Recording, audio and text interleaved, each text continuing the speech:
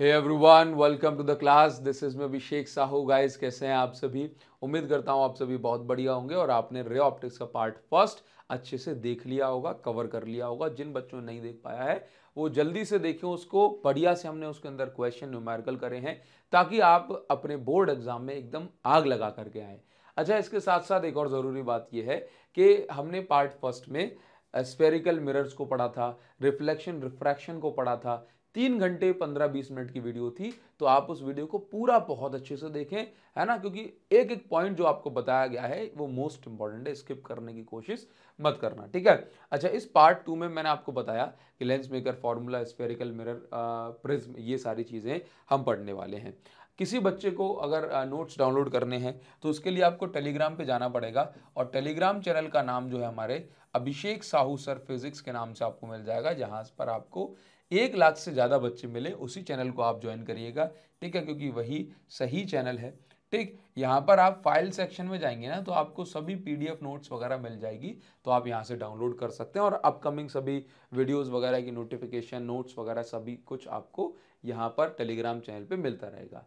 Video के description में link दे दिए अगर लिंक काम नहीं करती है तो आप टेलीग्राम पे नाम से सर्च कर सकते हैं, अभिषेक साहू सर, फिजिक्स, ठीक है? अगर आप अच्छे अच्छे न्यूमेरिकल्स को बढ़िया बढ़िया क्वेश्चंस को प्रैक्टिस करना चाहते हैं, जो कि एकदम एग्ज़ाम ओरिएंटेड क्वेश्चंस हैं तो इसके लिए आप हमारी जो बुक है एडुकार्ड फिजिक्स क्वेश्चन बैंक आप इसको परचेज कर सकते हैं। जिसको ऑर्डर करने की जो लिंक है, ये मैंने आपको इस वीडियो के डिस्क्रिप्शन में दे दी है। इस बुक के अंदर हमने सीबीएसई e के अकॉर्डिंग बढ़िया एग्ज़ाम रिलेटेड क्वेश्चंस को रखा हुआ है ताकि आपकी जो प्रैक्टिस है वो सिर्फ़ ऐसे क्वेश्चंस की हो जो कि most useful most important questions हैं।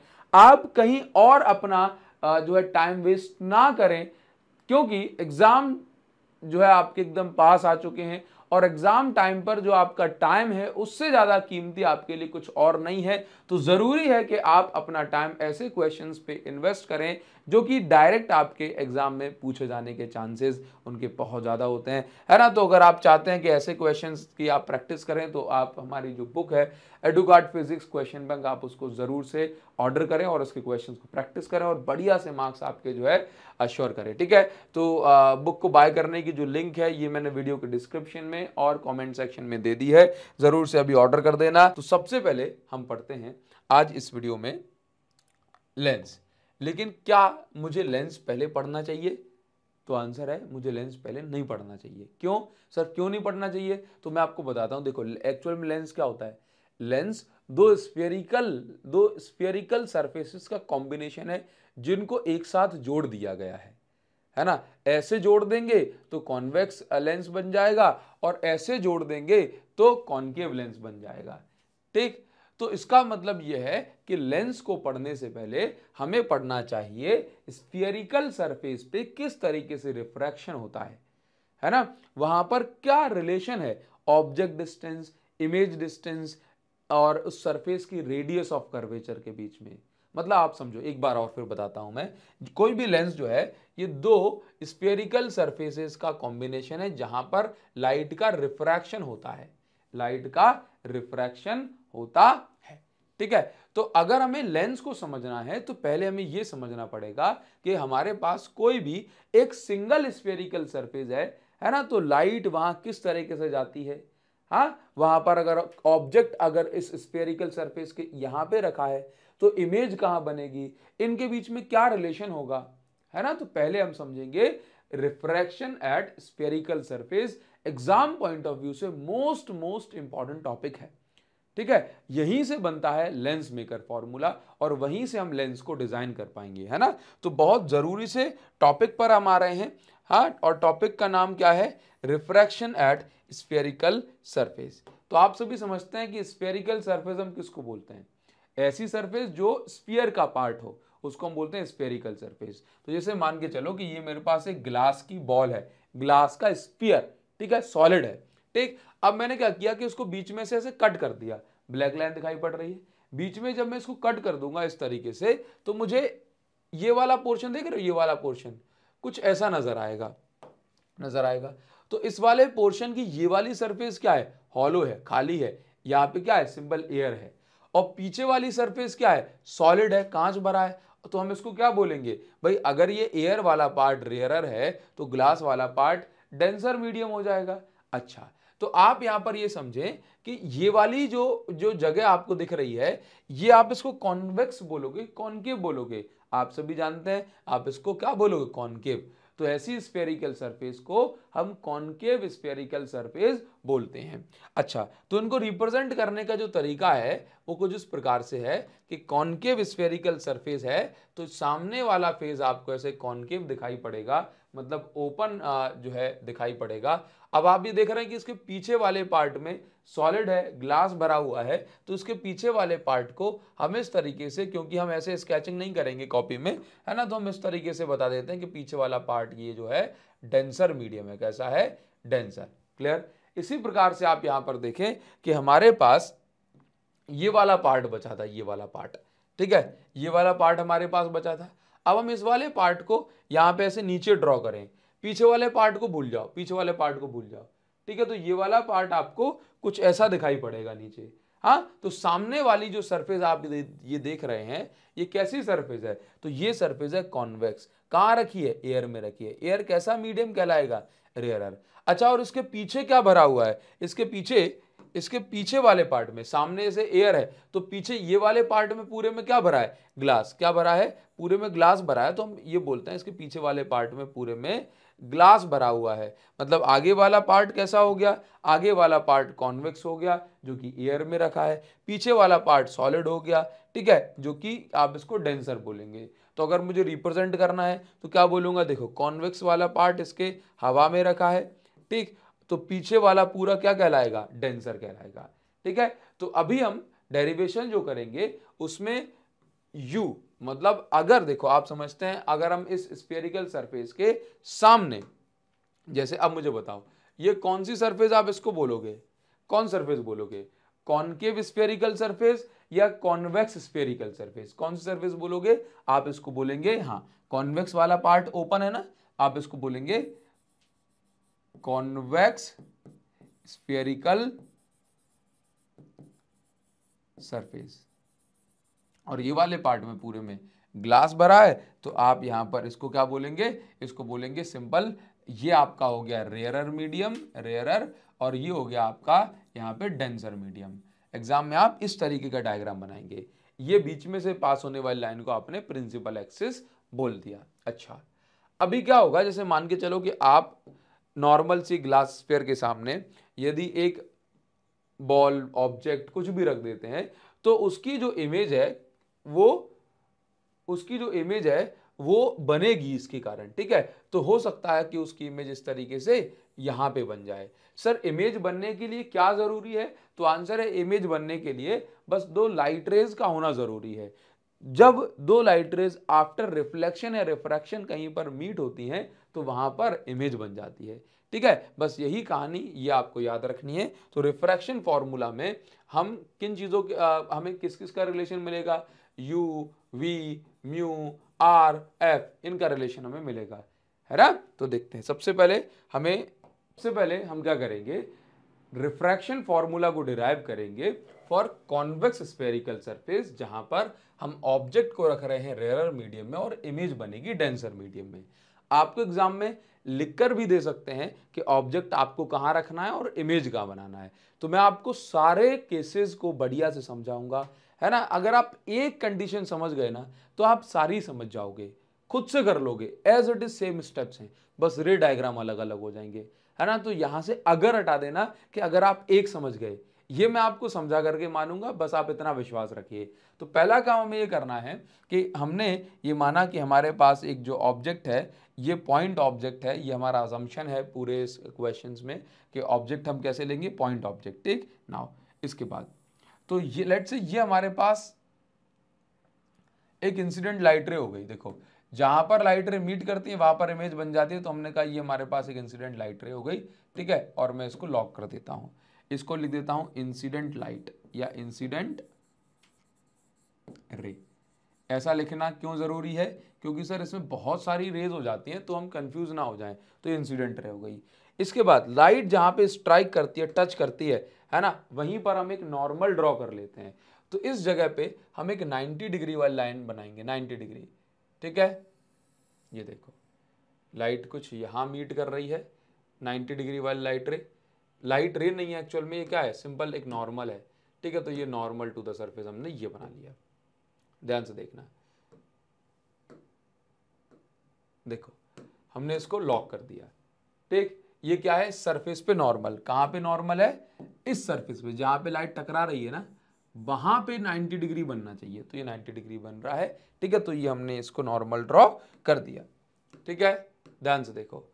अभी क्या है कि आप ये समझते हैं कि ये लाइट जो यहाँ से ऐसे जा रही थी, ये लाइट ऐसे ही जाती रहती, अगर मीडियम चेंज ना होता। लेकिन अब मीडियम चेंज हो गया। रेरर से डेंसर मीडियम में जा रही है। तो अभी क्या होगा? तो अभी होगा ये कि ये लाइट, आप जानते हैं डेंसर मीडियम में जब लाइट जाती है तो ये नॉर्मल से दूर भागती है कि नॉर्मल के पास आती है? आंसर ये लाइट बैंड होती है टुवर्ड्स नॉर्मल यानी कि नॉर्मल के पास। तो ये लाइट ऐसे ऐसे ना जाते हुए, ये लाइट नॉर्मल की ओर झुक जाएगी। और अब ये कैसे जाएगी? अब ये नॉर्मल की ओर झुक जाएगी या नीचे की ओर झुक जाएगी तो अब ये लाइट जाएगी कुछ इस प्रकार से। नीचे की साइड क्या जाएगी नीचे की साइड तो हम इसको ऐसे बना देते हैं।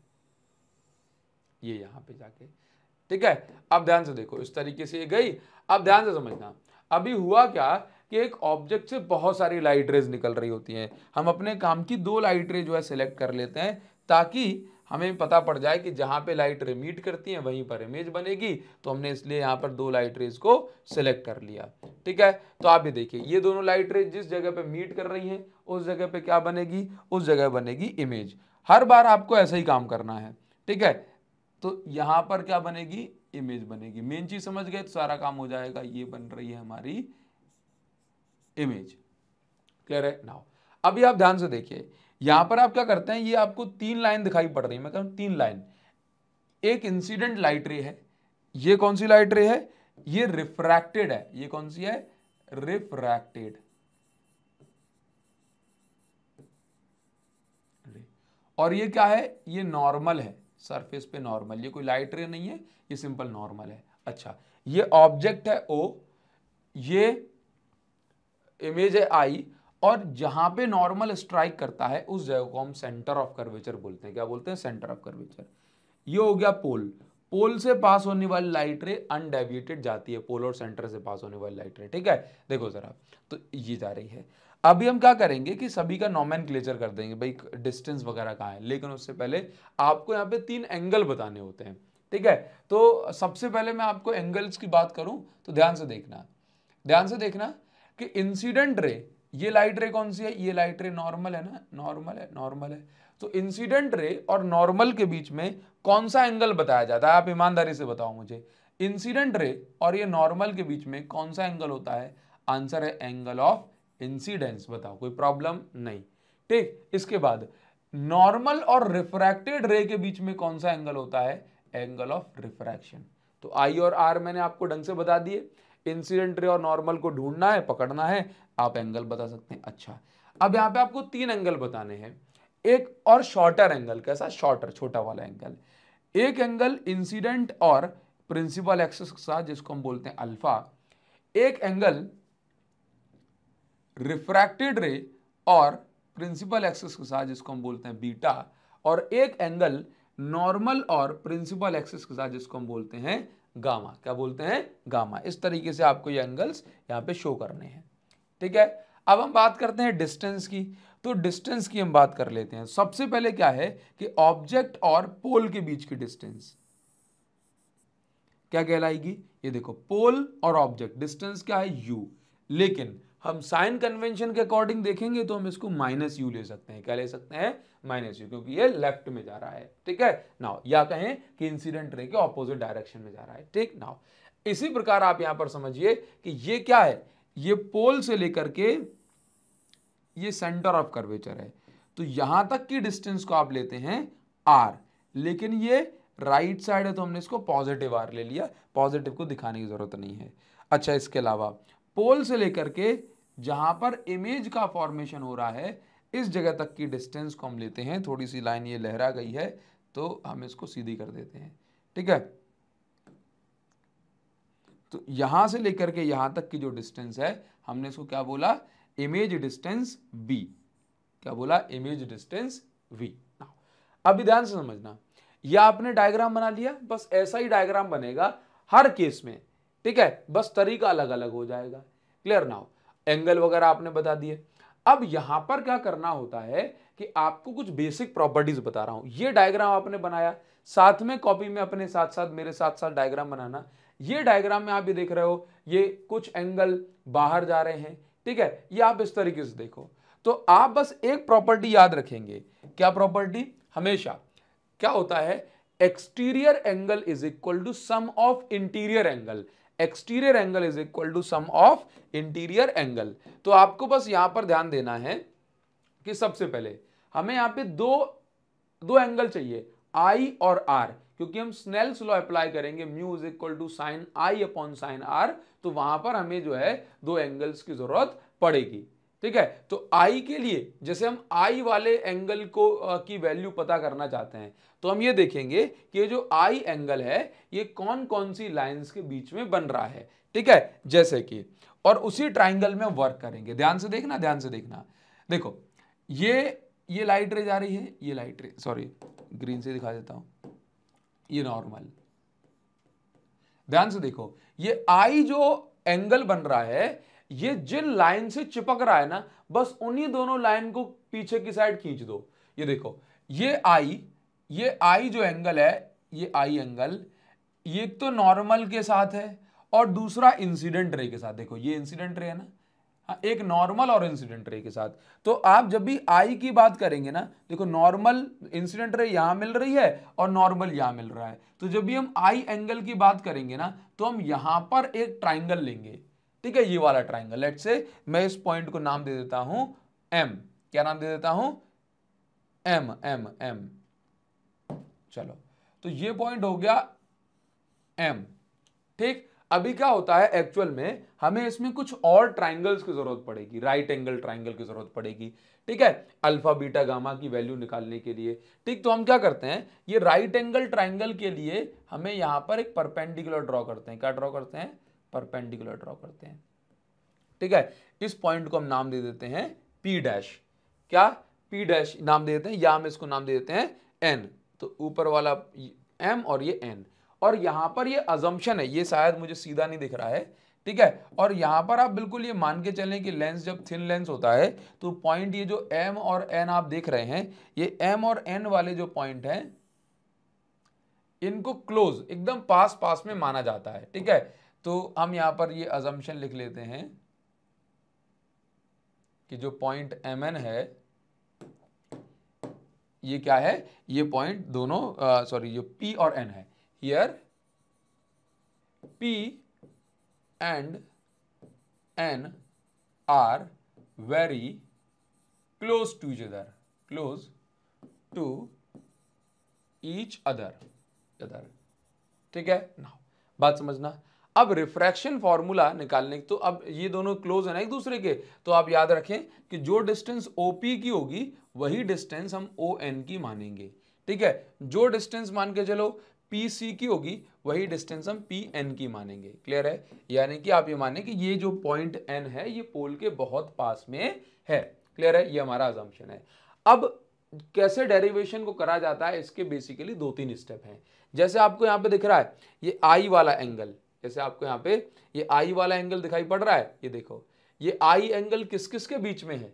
देखो, हमें रिफ्रैक्शन फॉर्मूला करना है जो रिफ्रैक्टिव इंडेक्स का फॉर्मूला होता है sine i upon sine r तो वहाँ पे हमें आई और आर चाहिए होता है। तो आई निकालने के लिए हम क्या करेंगे? मतलब आई एंगल कितना है? ये निकालने के लिए हम क्या करेंगे? कि देखेंगे कि आई किस किस के, कौन से ट्राइंगल में बन रहा है, ठीक है? देखो तो सबसे पहले देखो आई जो एंगल बन रहा है, ये कौन सी लाइट रे से बन रहा है? तो देखो, ये दो लाइन से चिपका है आई वाला एंगल एक ऑरेंज से और ये ग्रीन से। तो ग्रीन वाली लाइट रे जा रही है सी पे और ऑरेंज वाली आ रही है ओ पे और ये खुद पॉइंट रखा है एम पे। तो ये जो ओ एम सी ट्राइंगल है, यहाँ से हम आई एंगल को फाइंड आउट करेंगे।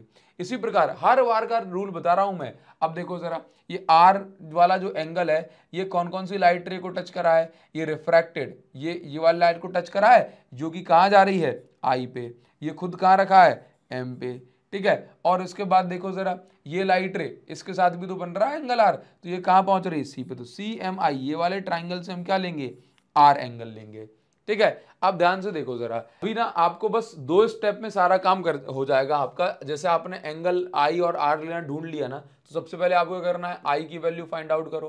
फिर आप आर की वैल्यू फाइंड आउट करो और apply Snell's law Snell's law को अप्लाई कर दो बस। अप्लाई स्नेल्स लॉ बस इतना सा काम आपको करना है। ये अगर आपने कर दिया, दो स्टेप में आराम से ये डेरिवेशन कंप्लीट हो जाएगा। आई का आई को निकालो आर को निकालो और स्नेल्स लॉ को अप्लाई कर दो, ठीक है? अब ये जो पूरे, पूरा जो सिस्टम है, ये हम यहाँ पर लेकर के आ जाते हैं। चलिए तो अभी यहाँ पे ध्यान से देखिए आप कि यहाँ पर ये क्या हो रहा है कि हमने माना कि सबसे पहले, एक और अजम्पन हमें यहाँ पे करना है। अजम्पन नहीं है, ये हम एक्चुअल में कंडीशन है कि हमने मान लिया कि जो रेयरर मीडियम है, जो रेयरर मीडियम है उसका रिफ्रैक्टिव इंडेक्स है म्यू वन कितना है? म्यू वन ठीक है? और जो डेंसर मीडियम है, जो डेंसर मीडियम है, उसका रिफ्रैक्टिव इंडेक्स हम मान लेते हैं म्यू टू बस, देखो। तो हमने क्या करा? पहले आई की वैल्यू निकाल लेते हैं, पहले आई की वैल्यू तो आई की वैल्यू निकालने के लिए हमने कौन कौन से ट्राइंगल वर्क करते हैं? एम ओ सी तो इन ट्राइंगल एम ओ सी ठीक है, या मैं इसको लिख देता हूँ सी ओ एम ठीक है, ओ या sorry sorry sorry C M O इस जगह पे बन रहा है ना इसलिए मैंने एम को बीच में ले आया, बस, बाकी कोई दिक्कत नहीं है ना। अब ध्यान से देखो, अभी क्या है कि इस ट्राइंगल सी एम ओ में ये देखिए, बाहर वाला एंगल कौन सा है? बाहर वाला एंगल आई है और अंदर वाले एंगल अल्फ़ा और गामा है, ठीक है? तो हम ऐसे लिखेंगे, बाहर वाला इज़ इक्वल टू दोनों अंदर वाले अल्फ़ा प्लस गामा। इसी तरीके से हम आर वाले ट्राइंगल की बात करते हैं तो सी एम आई तो in triangle C M I in triangle C M I अभी ध्यान से देखिए कि एंगल बाहर वाला, इस वाले ट्राइंगल में, इस ट्राइंगल में ध्यान से देखो कि आर और बीटा दो अंदर बन रहे हैं। बाहर कौन बन रहा है? बाहर बन रहा है गामा। बाहर कौन बन रहा है? गामा। तो मैं यहाँ पे लिखूँगा कि भाई gamma is equal to r plus beta तो यहाँ से जो आर की वैल्यू आ जाएगी, ये आ जाएगी गामा माइनस बीटा ठीक है? ये अपने पास आर की वैल्यू हो गई, ये अपने पास आई की वैल्यू हो गई। ठीक है? ना अभी होता क्या है कि हमें यहाँ पे स्नेल्स लॉ अप्लाई करना है। लेकिन स्नेल्स लॉ अप्लाई करेंगे तो वहाँ पे आई और आर की वैल्यू रखी जाएँगी। और अब जब आई की वैल्यू रखी जाएगी तो अल्फ़ा प्लस गामा आएगा उसकी जगह आर की वैल्यू रखी जाएगी तो गामा माइनस बीटा आएगा। तो अभी हमें क्या करना है कि पहले से ये अल्फ़ा बीटा गामा की वैल्यूज़ को निकाल के रखेंगे। तो यहाँ पर आप एक चीज़ याद रखें कि यहाँ पर हमें मानना होता है कि भाई since since angles are very small are very small क्योंकि एंगल कैसे हैं? एंगल बहुत छोटे हैं। सो वी कंसीडर कभी एंगल बहुत छोटा हो ना तो टेन अल्फ़ा को या टेन थीटा को आप थीटा अज्यूम करते हैं। क्या अज्यूम करते हैं? थीटा ठीक है? तो हम ऐसा बोल सकते हैं कि भाई, अगर मुझे अल्फ़ा की वैल्यू चाहिए या गामा की वैल्यू चाहिए या बीटा की वैल्यू चाहिए तो मैं टेन अल्फ़ा टेन बीटा और टेन गामा से निकाल सकता हूँ। ठीक है? Similarly tan gamma is equal to या अप्रॉक्सीमेटली इक्वल टू गामा तो यहाँ से मैं क्या निकालता हूँ? अल्फ़ा बीटा और गामा की वैल्यू। अब देखो, मैं यहाँ पे निकालूँगा अल्फ़ा की वैल्यू। अल्फ़ा की वैल्यू टेन अल्फ़ा की वैल्यू के बराबर होगी, क्योंकि ये छोटे एंगल्स बन रहे हैं इसके अंदर, ये हमारा अजम्पन है। ठीक ना तो अभी अल्फ़ा के लिए आप ये देखो अगर मुझे टेन अल्फ़ा लगाना है तो परपेंडिकुलर अपॉन बेस लगेगा ना? तो परपेंडिकुलर देखो अल्फ़ा वाला एंगल कौन सा है? ये है। ये है ना अल्फ़ा वाला एंगल तो अल्फ़ा वाला ट्राइंगल को अगर मैं देखूँगा तो कौन सा एंगल बन रहा है? देखो, ध्यान से देखना जरा। तो ये अल्फ़ा के लिए, ये तो परपेंडिकुलर हो गया। परपेंडिकुलर हो गया तो परपेंडिकुलर हो गया एम एन अपॉन ये हो गया बेस ये क्या हो गया? बेस ठीक है? पी और एन दोनों बराबर है। तो क्या डिस्टेंस हो गई बेस की? ये हो गई माइनस यू इसी प्रकार से हम ये देखें कि beta is equal to tan beta. और इसकी वैल्यू हम निकालते हैं तो बीटा वाला ट्राइंगल देखो जरा, बीटा यहाँ पे बन रहा है, यहाँ पे। यहाँ बन रहा है बीटा, ठीक है? तो ये वाले ट्राइंगल में हम वर्क करेंगे, ये वाले ट्राइंगल में, ठीक है? तो बीटा के लिए वर्क कर रहे हैं तो फॉर्मूला क्या बनेगा? M N perpendicular upon base perpendicular upon base तो बेस क्या है? बी क्योंकि आई तक इतना ही है ना? ठीक है। इसके बाद देखिए जरा। ध्यान से देखो। ध्यान से देखो। अब मुझे करना है गामा के लिए। तो gamma is equal to tan gamma is equal to perpendicular upon gamma यहाँ तक बन रहा है ना? गामा यहाँ तक बन रहा है। ठीक है? तो परपेंडिकुलर अपॉन बेस तो परपेंडिकुलर है एम एन और बेस क्या है? यहाँ तक पॉइंट सी तक। तो पॉइंट सी तक डिस्टेंस ली है आर जो कि पॉजिटिव है। बस इन वैल्यूज़ को हम प्लेस करेंगे। ध्यान से देख लिया डायग्राम डायग्राम ध्यान से देख लिया? ठीक है। तो अगला स्टेप हमारा ये हो जाता है apply Snell's law now by Snell's law तो स्नेल्स लॉ क्या कहता है? Sine i upon sine r ठीक है? Mu is equal to sine i upon sine r लेकिन, इस बार आप ये देखिए कि लाइट कौन से मीडियम से कौन से मीडियम में जा रही है? वन से टू में जा रही है है ना? लाइट कहाँ से जा रही है? वन से टू में जा रही है। तो one mu two is equal to sine i upon sine r. तो इसको हम क्या लिख सकते हैं? Mu two upon mu one. ठीक है? ये सारी चीज़ें कैसे बदलती हैं, ये मैंने आपको प्रीवियस वीडियो में सिखाया हुआ है। साइन आई, अब देखो, यहाँ पर फिर से अजम्पन हमने क्या बोला कि ये एंगल्स बहुत छोटे हैं।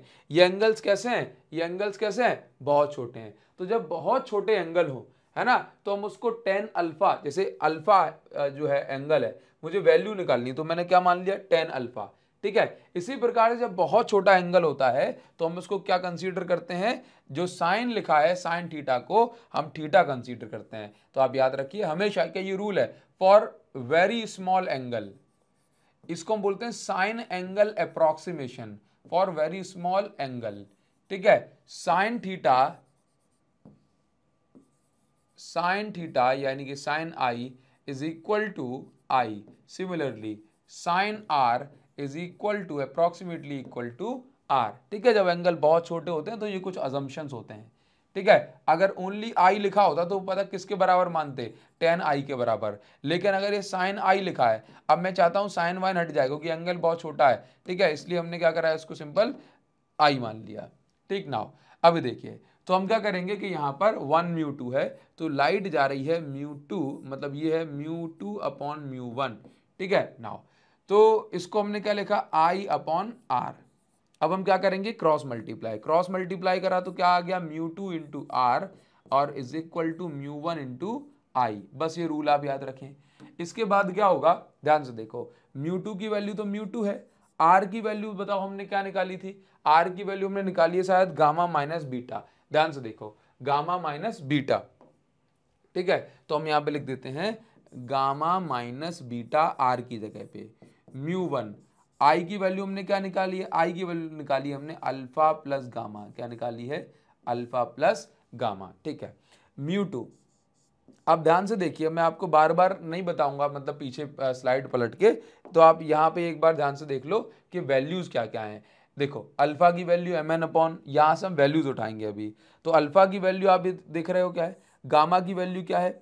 एम एन अपॉन माइनस का गामा की वैल्यू प्लस का आर है। एम एन अपॉन प्लस का आर ठीक है? इसके बाद माइनस बीटा की वैल्यू देखो। M N upon beta image i पे बन रहा तो एम एन अपॉन वी है। म्यू वन अल्फ़ा की वैल्यू अल्फ़ा ऑब्जेक्टिव बन रहा था तो एम एन अपॉन माइनस का यू है, प्लस गामा की value M N upon plus का आर है। ये हमने कुछ नहीं करा, बस अल्फ़ा, बीटा, गामा की तीनों जगह से वैल्यूज़ उठा के रख दी, ठीक? अब हम क्या करेंगे? अब आपको यहाँ पे कुछ चीज़ें दिखाई भी पड़ रही होंगी कि ये म्यूटू लिखा है और यहाँ से एम एन कॉमन आ गया और म्यूटू लिखा है ये एम एन कॉमन आ गया और अंदर क्या बचा? अंदर बचा है one upon r minus one upon B ठीक है? ध्यान से देखना। सारी चीज़ समझ में आ रही है। इतने आराम आराम समझा रहा हूँ कि आपको सब बच्चों को समझ में आ जाना चाहिए। ठीक, इसके बाद ध्यान से देखो। इसके बाद यहाँ पर क्या बचा है? यहाँ पर म्यू वन लिखा है और एम एन कॉमन आ गया। तो यहाँ पर देखो क्या बचा है? यहाँ पे माइनस का वन अपॉन यू और प्लस का वन अपॉन आर। बस ऑलमोस्ट खत्म हो गया। ठीक है, चलो। इसके बाद देखिए जरा। एम एन से एम एन कट जाएगा। यहाँ पे म्यू टू का एन टू अंदर भी हो जाएगा।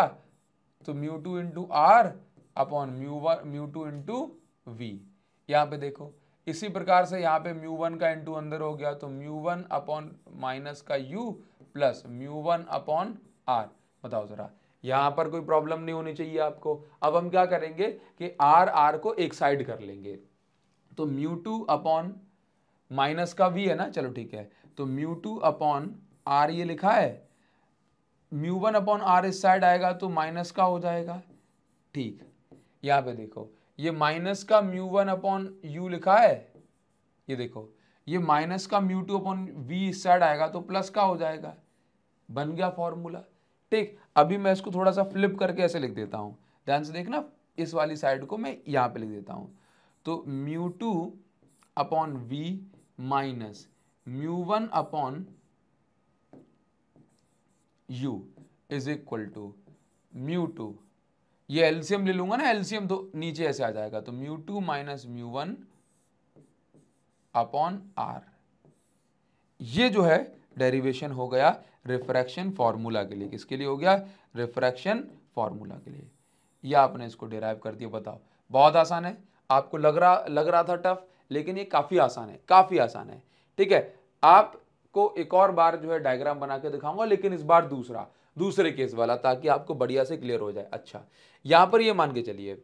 अगर रेयर मीडियम अभी हमने म्यू वन माना था, उसका रिफ्रैक्टिव इंडेक्स मान के चलो कि यदि रेयर मीडियम जो है एयर है if rare medium is air ठीक है? तो हम म्यू वन की जगह क्या मान सकते हैं? वन ठीक है? और इफ़ ठीक है? म्यू वन की जगह हमने क्या माना? वन माना। और इसके बाद हमने मान लिया कि एंड इफ़ और यदि म्यू टू की जगह म्यू मान लें तो देखो फाइनल फॉर्मूला क्या बनता है? जरा इस पे नज़र डालना। म्यू टू की जगह हम क्या मान लें? ओनली म्यू तो ये बन गया mu upon v minus one upon u is equal to mu minus one upon r ये फॉर्मूला बन गया एकदम छोटू सा फॉर्मूला ठीक है, ये बहुत आसान है, आपको अभी ये समझ में आया होगा। ठीक है, आप चाहो तो उसका स्क्रीनशॉट ले सकते हैं, कैसे हमने डायग्राम बनाया। देखो, ये डायग्राम ने बनाया। ठीक, आराम, बहुत आराम आराम समझाया, इससे ज़्यादा आराम से नहीं समझाया जा समझाया जा सकता था, ताकि आपको प्रॉब्लम ना आए भैया, देखो। ठीक तो रिफ्रैक्शन जब भी होता है, चाहे कॉनकेव सरफेस पे हो, चाहे कॉन्वेक्स पे है ना? ऑब्जेक्ट अगर रेयर मीडियम में रखा है तो फॉर्मूला आपका यही बनने वाला है। ठीक है? चलिए, उम्मीद करता हूँ समझ में आया होगा।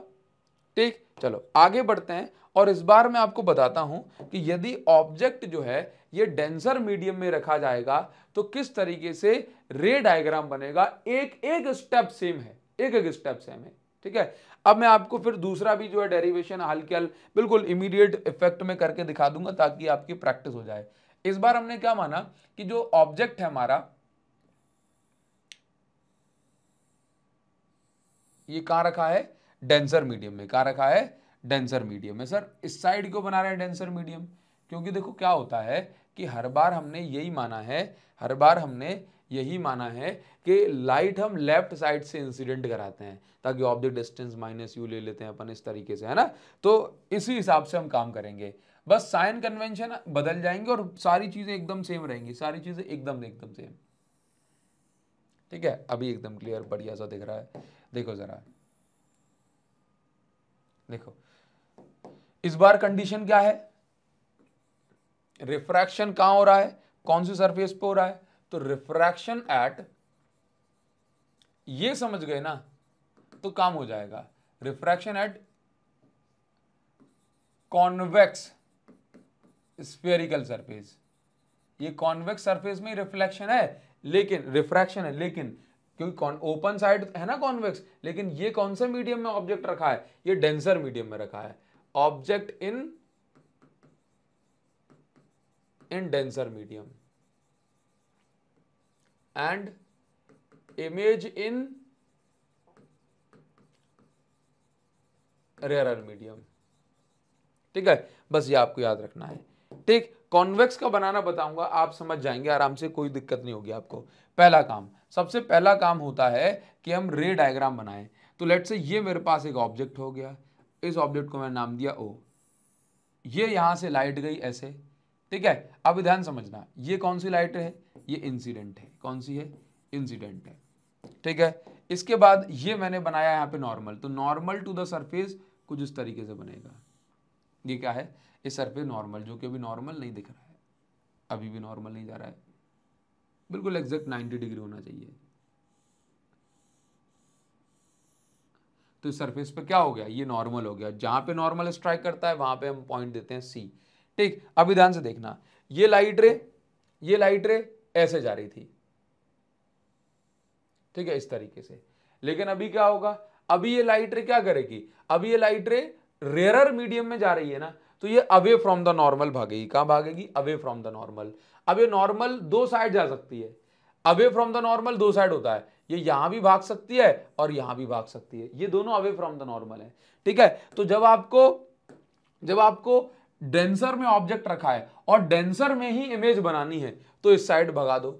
हम इस लाइट रे को यहाँ रिफ्रैक्ट करा लेंगे। देखो जरा, समझा दूँगा, सब समझा दूँगा, टेंशन मत लो। तो सबसे पहले, मान के चलो हमें इमेज यहाँ बनानी है। तो ये लाइट रे कहाँ भागेगी? नॉर्मल से दूर। तो नॉर्मल ये इससे दूर भागना है तो हमने इसको यहाँ बैंड करा दिया और लाइट जो है यहाँ पर आकर एक कहीं जो है स्ट्राइक कर गई। और एक लाइट रे हमने क्या बोला? एक लाइट रे सीधे आई थी। तो सीधे आने वाली लाइट रे को हमने यहाँ पे ऐसे मिला दिया। ठीक है?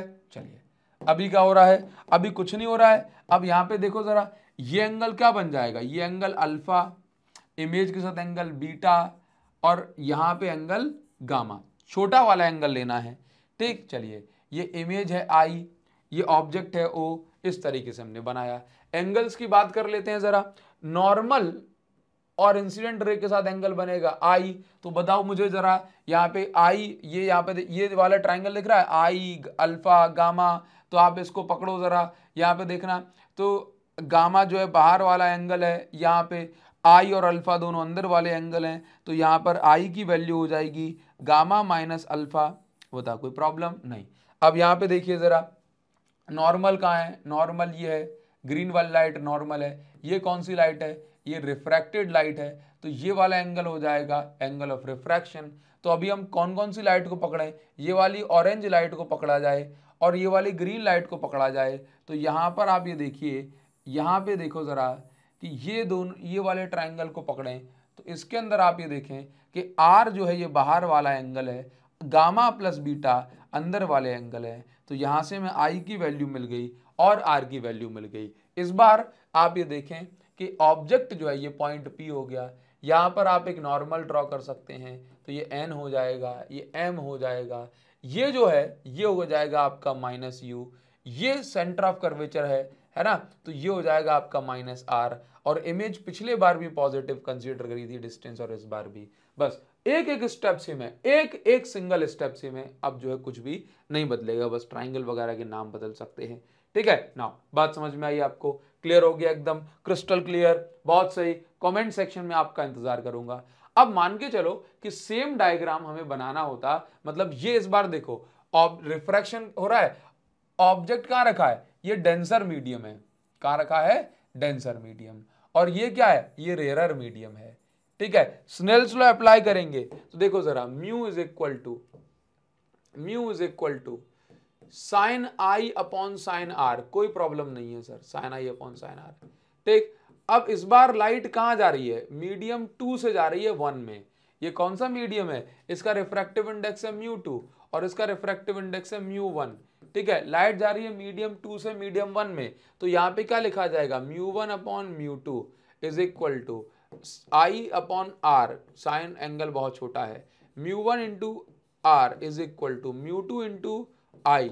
अब इनको सॉल्व करेंगे तो फाइनल जो आंसर आएगा आपका, अब तो हो ही गया, कराई देता हूँ। ठीक है, ध्यान से देखो। तो म्यू वन इंटू आर की वैल्यू क्या है? Gamma plus beta. ठीक है, और म्यू टू इंटू आई की वैल्यू क्या है? देखो जरा गामा माइनस अल्फ़ा बता क्लियर हो रही है? बात समझ में आ रही है? अच्छा म्यू वन इंटू गामा की वैल्यू क्या है? गामा की वैल्यू फिर से आप निकालोगे। गामा यहाँ पे बन रहा है। तो M N upon M N upon यहाँ तक की डिस्टेंस क्या है? माइनस का आर ठीक है? तो एम एन दोनों का कॉमन आ जाएगा तो एम एन यहाँ लिख देता हूँ। वन अपॉन माइनस का आर ठीक है? प्लस बीटा बीटा देखो बीटा यहाँ से ये एम एन है, ये एम एन हाइट है। बीटा के लिए डिस्टेंस क्या है? Image i. ठीक है? तो ये वन अपॉन वी हो जाएगा। यहाँ पे एम एन दोनों साइड कॉमन आ जाएगा। ठीक? अब गामा की जगह फिर से हम क्या लिखेंगे? माइनस का वन अपॉन आर। ठीक? और इसके बाद वो देखो, माइनस अल्फ़ा। अब अल्फ़ा की वैल्यू क्या है? यहाँ से देखो, अल्फ़ा यहाँ तक है ना? तो एम एन अपॉन माइनस का यू हो जाएगा। तो माइनस का यू है तो मैं इसको एम एन तो हमने बाहर निकाल लिया। तो ये हो जाएगा प्लस का यू।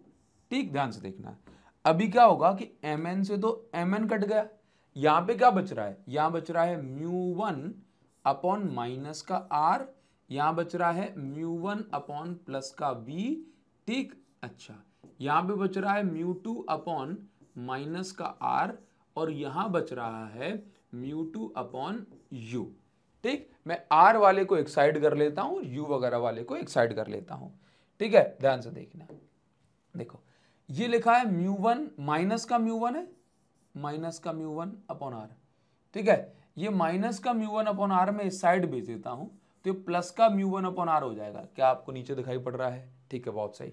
ये ये माइनस का इस साइड जाएगा तो प्लस का हो जाएगा। और यहाँ पे माइनस का mu two upon r already लिखा है। लिखा है? बहुत सही। अब देखिए, ये म्यू वन अपॉन बी यहाँ लिखा है पॉजिटिव। ये इस साइड आएगा म्यू टू अपॉन यू तो ये यहाँ हो जाएगा माइनस का। बहुत बढ़िया बहुत बढ़िया भाई साहब, बहुत बढ़िया। खत्म हो गया।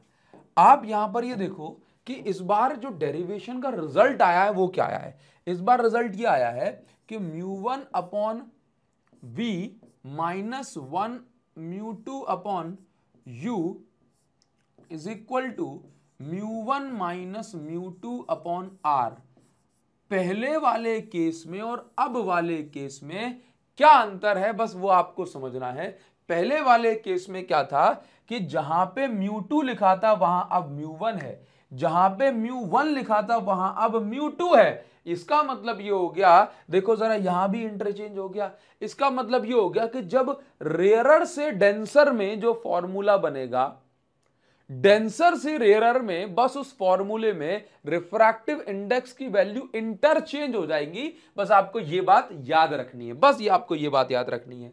ठीक है? अब मैं आपको सेम जो है, अब मैं डेरिवेशन नहीं कराऊँगा। अब मैं आपको फॉर्मूला अब मैं आपको डायग्राम बनाना बताऊँगा कि कहाँ पर किस चीज़ का कैसा डायग्राम बनेगा। ठीक है? आगे बढ़ जाते हैं जरा, आप इसका स्क्रीनशॉट ले सकते हैं। अभी हम क्या करते हैं, आपको बताते हैं एक और डायग्राम जिसके अंदर कॉन्वेक्स स्फेरिकल सरफेस में हम सेम साइड पर ऑब्जेक्ट होगा और सेम साइड पर ही इमेज बनाएँगे। ऐसी इमेज को वर्चुअल इमेज कहा जाएगा। ठीक है? तो सबसे पहला काम हम ये करते हैं कि सबसे पहले हम एक कॉन्वेक्स सरफेस बना लेते हैं। ठीक है? तो ये हमारे पास एक कॉन्वेक्स सरफेस हो गई। ठीक ना यहाँ पर ये हमने बना ली। ये बीच में एक एक्सेस प्रिंसिपल एक्सेस हमने इसको नाम दे दिया। ठीक है? इसके बाद यहाँ पर हमने ऑब्जेक्ट रख दिया, इस जगह पे ऑब्जेक्ट हो गया। तो भाई एक लाइट रे इस तरह से जाएगी यहाँ से, जिसको हम क्या बोलेंगे? ये इंसिडेंट लाइट है। कौन सी लाइट है? ये इंसिडेंट लाइट है। ठीक है? इसके बाद मैं यहाँ पे लिख देता हूँ इंसिडेंट इसके बाद जिस जगह पे लाइट टच करती है, वहाँ पर हम एक ड्रॉ करते हैं नॉर्मल क्या ड्रॉ करते हैं? नॉर्मल तो भैया, यहाँ पे हमने ड्रॉ कर दिया नॉर्मल बताओ कोई प्रॉब्लम नहीं। इसको हमने नाम दिया सेंटर ऑफ़ कर्वेचर सी अच्छा इसके बाद आप जानते हैं कि ये लाइट वैसे तो ऐसे ही जाती, लेकिन क्योंकि मीडियम चेंज हो गया तो इस लाइट को हल्का सा बेंड कराएँगे।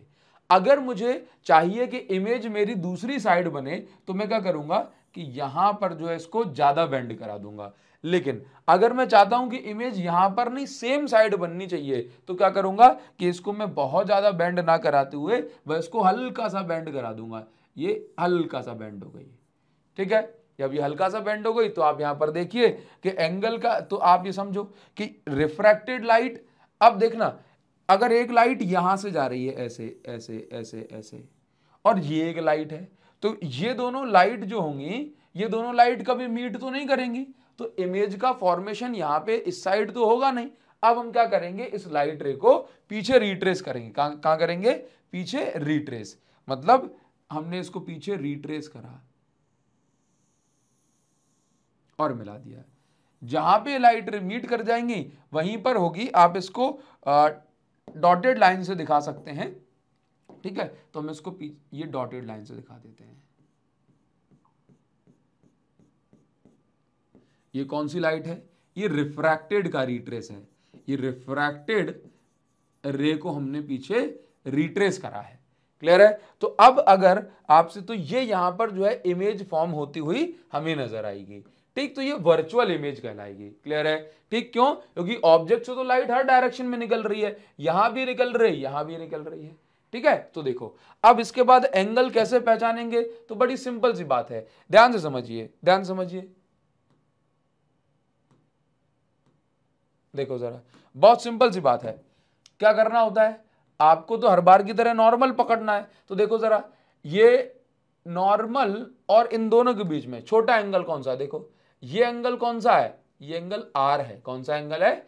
आर है। अच्छा यहाँ पर नहीं दिखाना चाहते हो तो अंदर दिखा सकते हो आप। तो सबसे पहले पहले तो मैं अल्फ़ा बना दू। अल्फ़ा ऑब्जेक्ट और प्रिंसिपल के साथ अल्फ़ा ठीक है? इसके साथ गामा इमेज के साथ बीटा अच्छा ठीक है। नॉर्मल और इंसिडेंट लाइट रे कौन सी है? देखना जरा, ये नॉर्मल है और इंसिडेंट है। तो ये वाला एंगल क्या बन जाएगा? ये वाला एंगल बन जाएगा आई।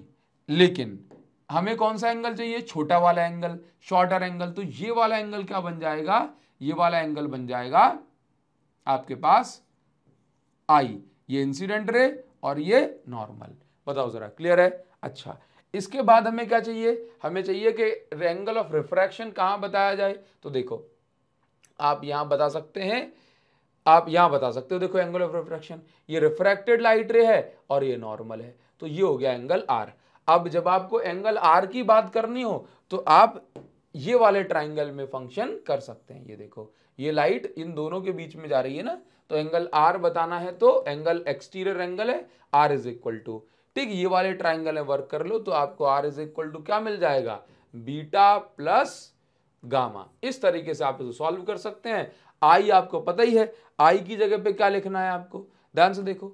आई इन दोनों के बीच में है तो इन दोनों को पकड़ने वाली लाइट कौन सी है? ये देखो, ये येलो लाइन को पकड़े है आई और रेड को तो i is equal to alpha plus gamma ये हो जाएगा।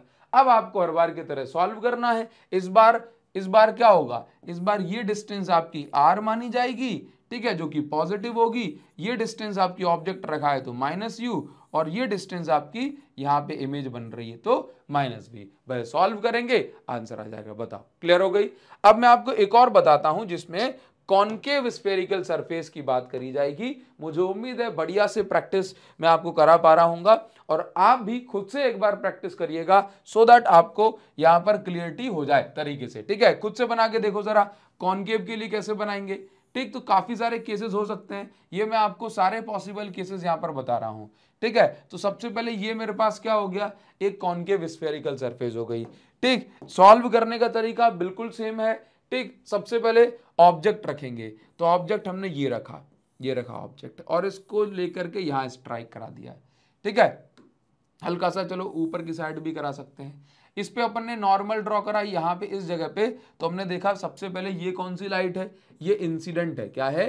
इंसिडेंट ठीक? अभी नॉर्मल हमने ड्रॉ करा तो ये परपेंडिकुलर लाइन ये नज़र आ रही है। तो हमने इसको बोला कि भाई साहब, ये क्या है? तुम कौन हो? तुम नॉर्मल हो। ये कौन है? ये नॉर्मल है। कौन है? नॉर्मल है। ठीक है? नॉर्मल टू द सरफेस ठीक आप ये देखो, यहाँ पर जो एंगल बन रहा है, ये एग्जैक्ट एंगल 90 डिग्री बन रहा है, इसलिए हमने इसी को बोला नॉर्मल टू द सरफेस ठीक है? चलिए, इसके बाद, अब लाइट ये कहाँ जा रही थी? ये लाइट जा रही थी यहाँ पे, ध्यान से देखना, ये व्हाइट वाली लाइट इंसिडेंट है तो ये लाइट कहाँ जा रही थी? ये जा रही थी यहाँ पे, और नॉर्मल कहाँ है? नॉर्मल है यहाँ पे तो आप मुझे बताओ जरा कि ये रेयरर मीडियम है, ये डेंसर मीडियम है तो लाइट कहाँ बैंड होगी? बताओ जरा मुझे लाइट कहाँ बैंड होगी? बताइए जरा, थोड़ा सा बड़ा कर लेते हैं इसको। तो लाइट कहाँ बैंड होगी? लाइट बैंड होगी, देखो नॉर्मल के पास डेंसर मीडियम में लाइट टूवर्ड्स नॉर्मल बैंड होते हैं, यानी कि लाइट बैंड होकर के कुछ इस डायरेक्शन में बैंड हो जाएगी।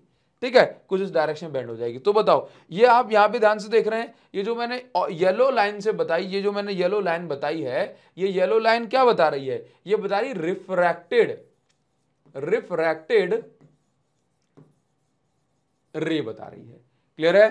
ठीक है? रिफ्रैक्टेड रे बता रही है। बस, अब आपको यहाँ पर इसको पीछे रिट्रेस कर लेना है तो यहाँ पर जो है आपकी इमेज का फॉर्मेशन हो जाएगा, फिर से ये आई हो गया, ये अल्फ़ा है, ये बीटा है और ये गामा है। क्लियर अब आपको मैंने ये सारी टेक्निक बता दी है, मैं उम्मीद करूँगा कि आप बढ़िया से इसको बना पाएँगे। क्लियर है? अगर आपको केस मिल जाए यहाँ पर कि भाई कॉनकेव स्फेरिकल सरफेस के लिए सॉल्व तो आप इसको कर ही पाएँगे। ठीक, ये हमारे पास कौन सी सरफेस है? देखो कॉनकेव स्फेरिकल सरफेस ऐसी होती है? ये इसका डेंसर मीडियम है डेंसर है ना? तो देखो, हम क्या करेंगे? यहाँ पर।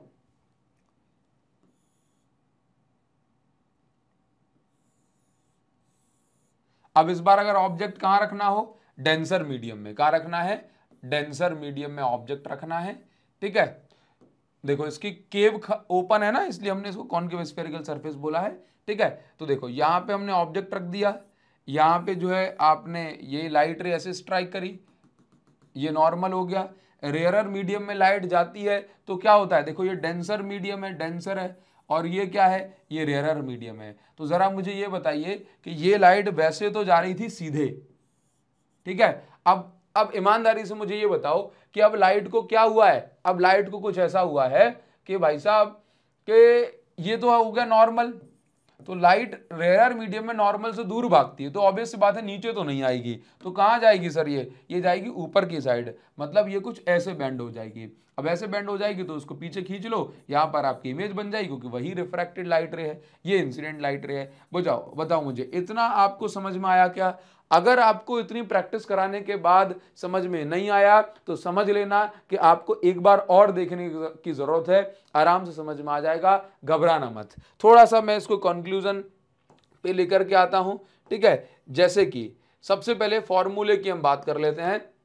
तो जो बेसिकली जो फॉर्मूले डिराइव होते हैं, बस वो दो ही फॉर्मूले डिराइव होते हैं। क्या? सबसे पहले, अगर ऑब्जेक्ट रेयरर मीडियम में और इमेज डेंसर मीडियम में बन रही है तो चाहे कॉन्केव स्पेरिकल सरफेस हो या कॉन्वेक्स स्पेरिकल सरफेस एक बार फिर कहूँगा ऑब्जेक्ट रेयरर में है इमेज डेंसर में है तो सरफेस चाहे कोई सी भी हो, चाहे कॉन्केव या कॉन्वेक्स जो हाल होने वाला है रिज़ल्ट होने वाला है, वो सेम होने वाला है। ठीक, जब ऑब्जेक्ट रेयरर में इमेज डेंसर में तो mu two by v minus mu one by u mu two minus mu one upon r, ये चलने वाला है। लेकिन जब ऐसा हो जाए कि ऑब्जेक्ट डेंसर में और इमेज रेयरर में that means denser to rarer तो बस इन दोनों के प्लेसेस को इंटरचेंज कर देते हैं। जैसे वी के ऊपर म्यू टू था, इस बार म्यू वन है। क्लियर है?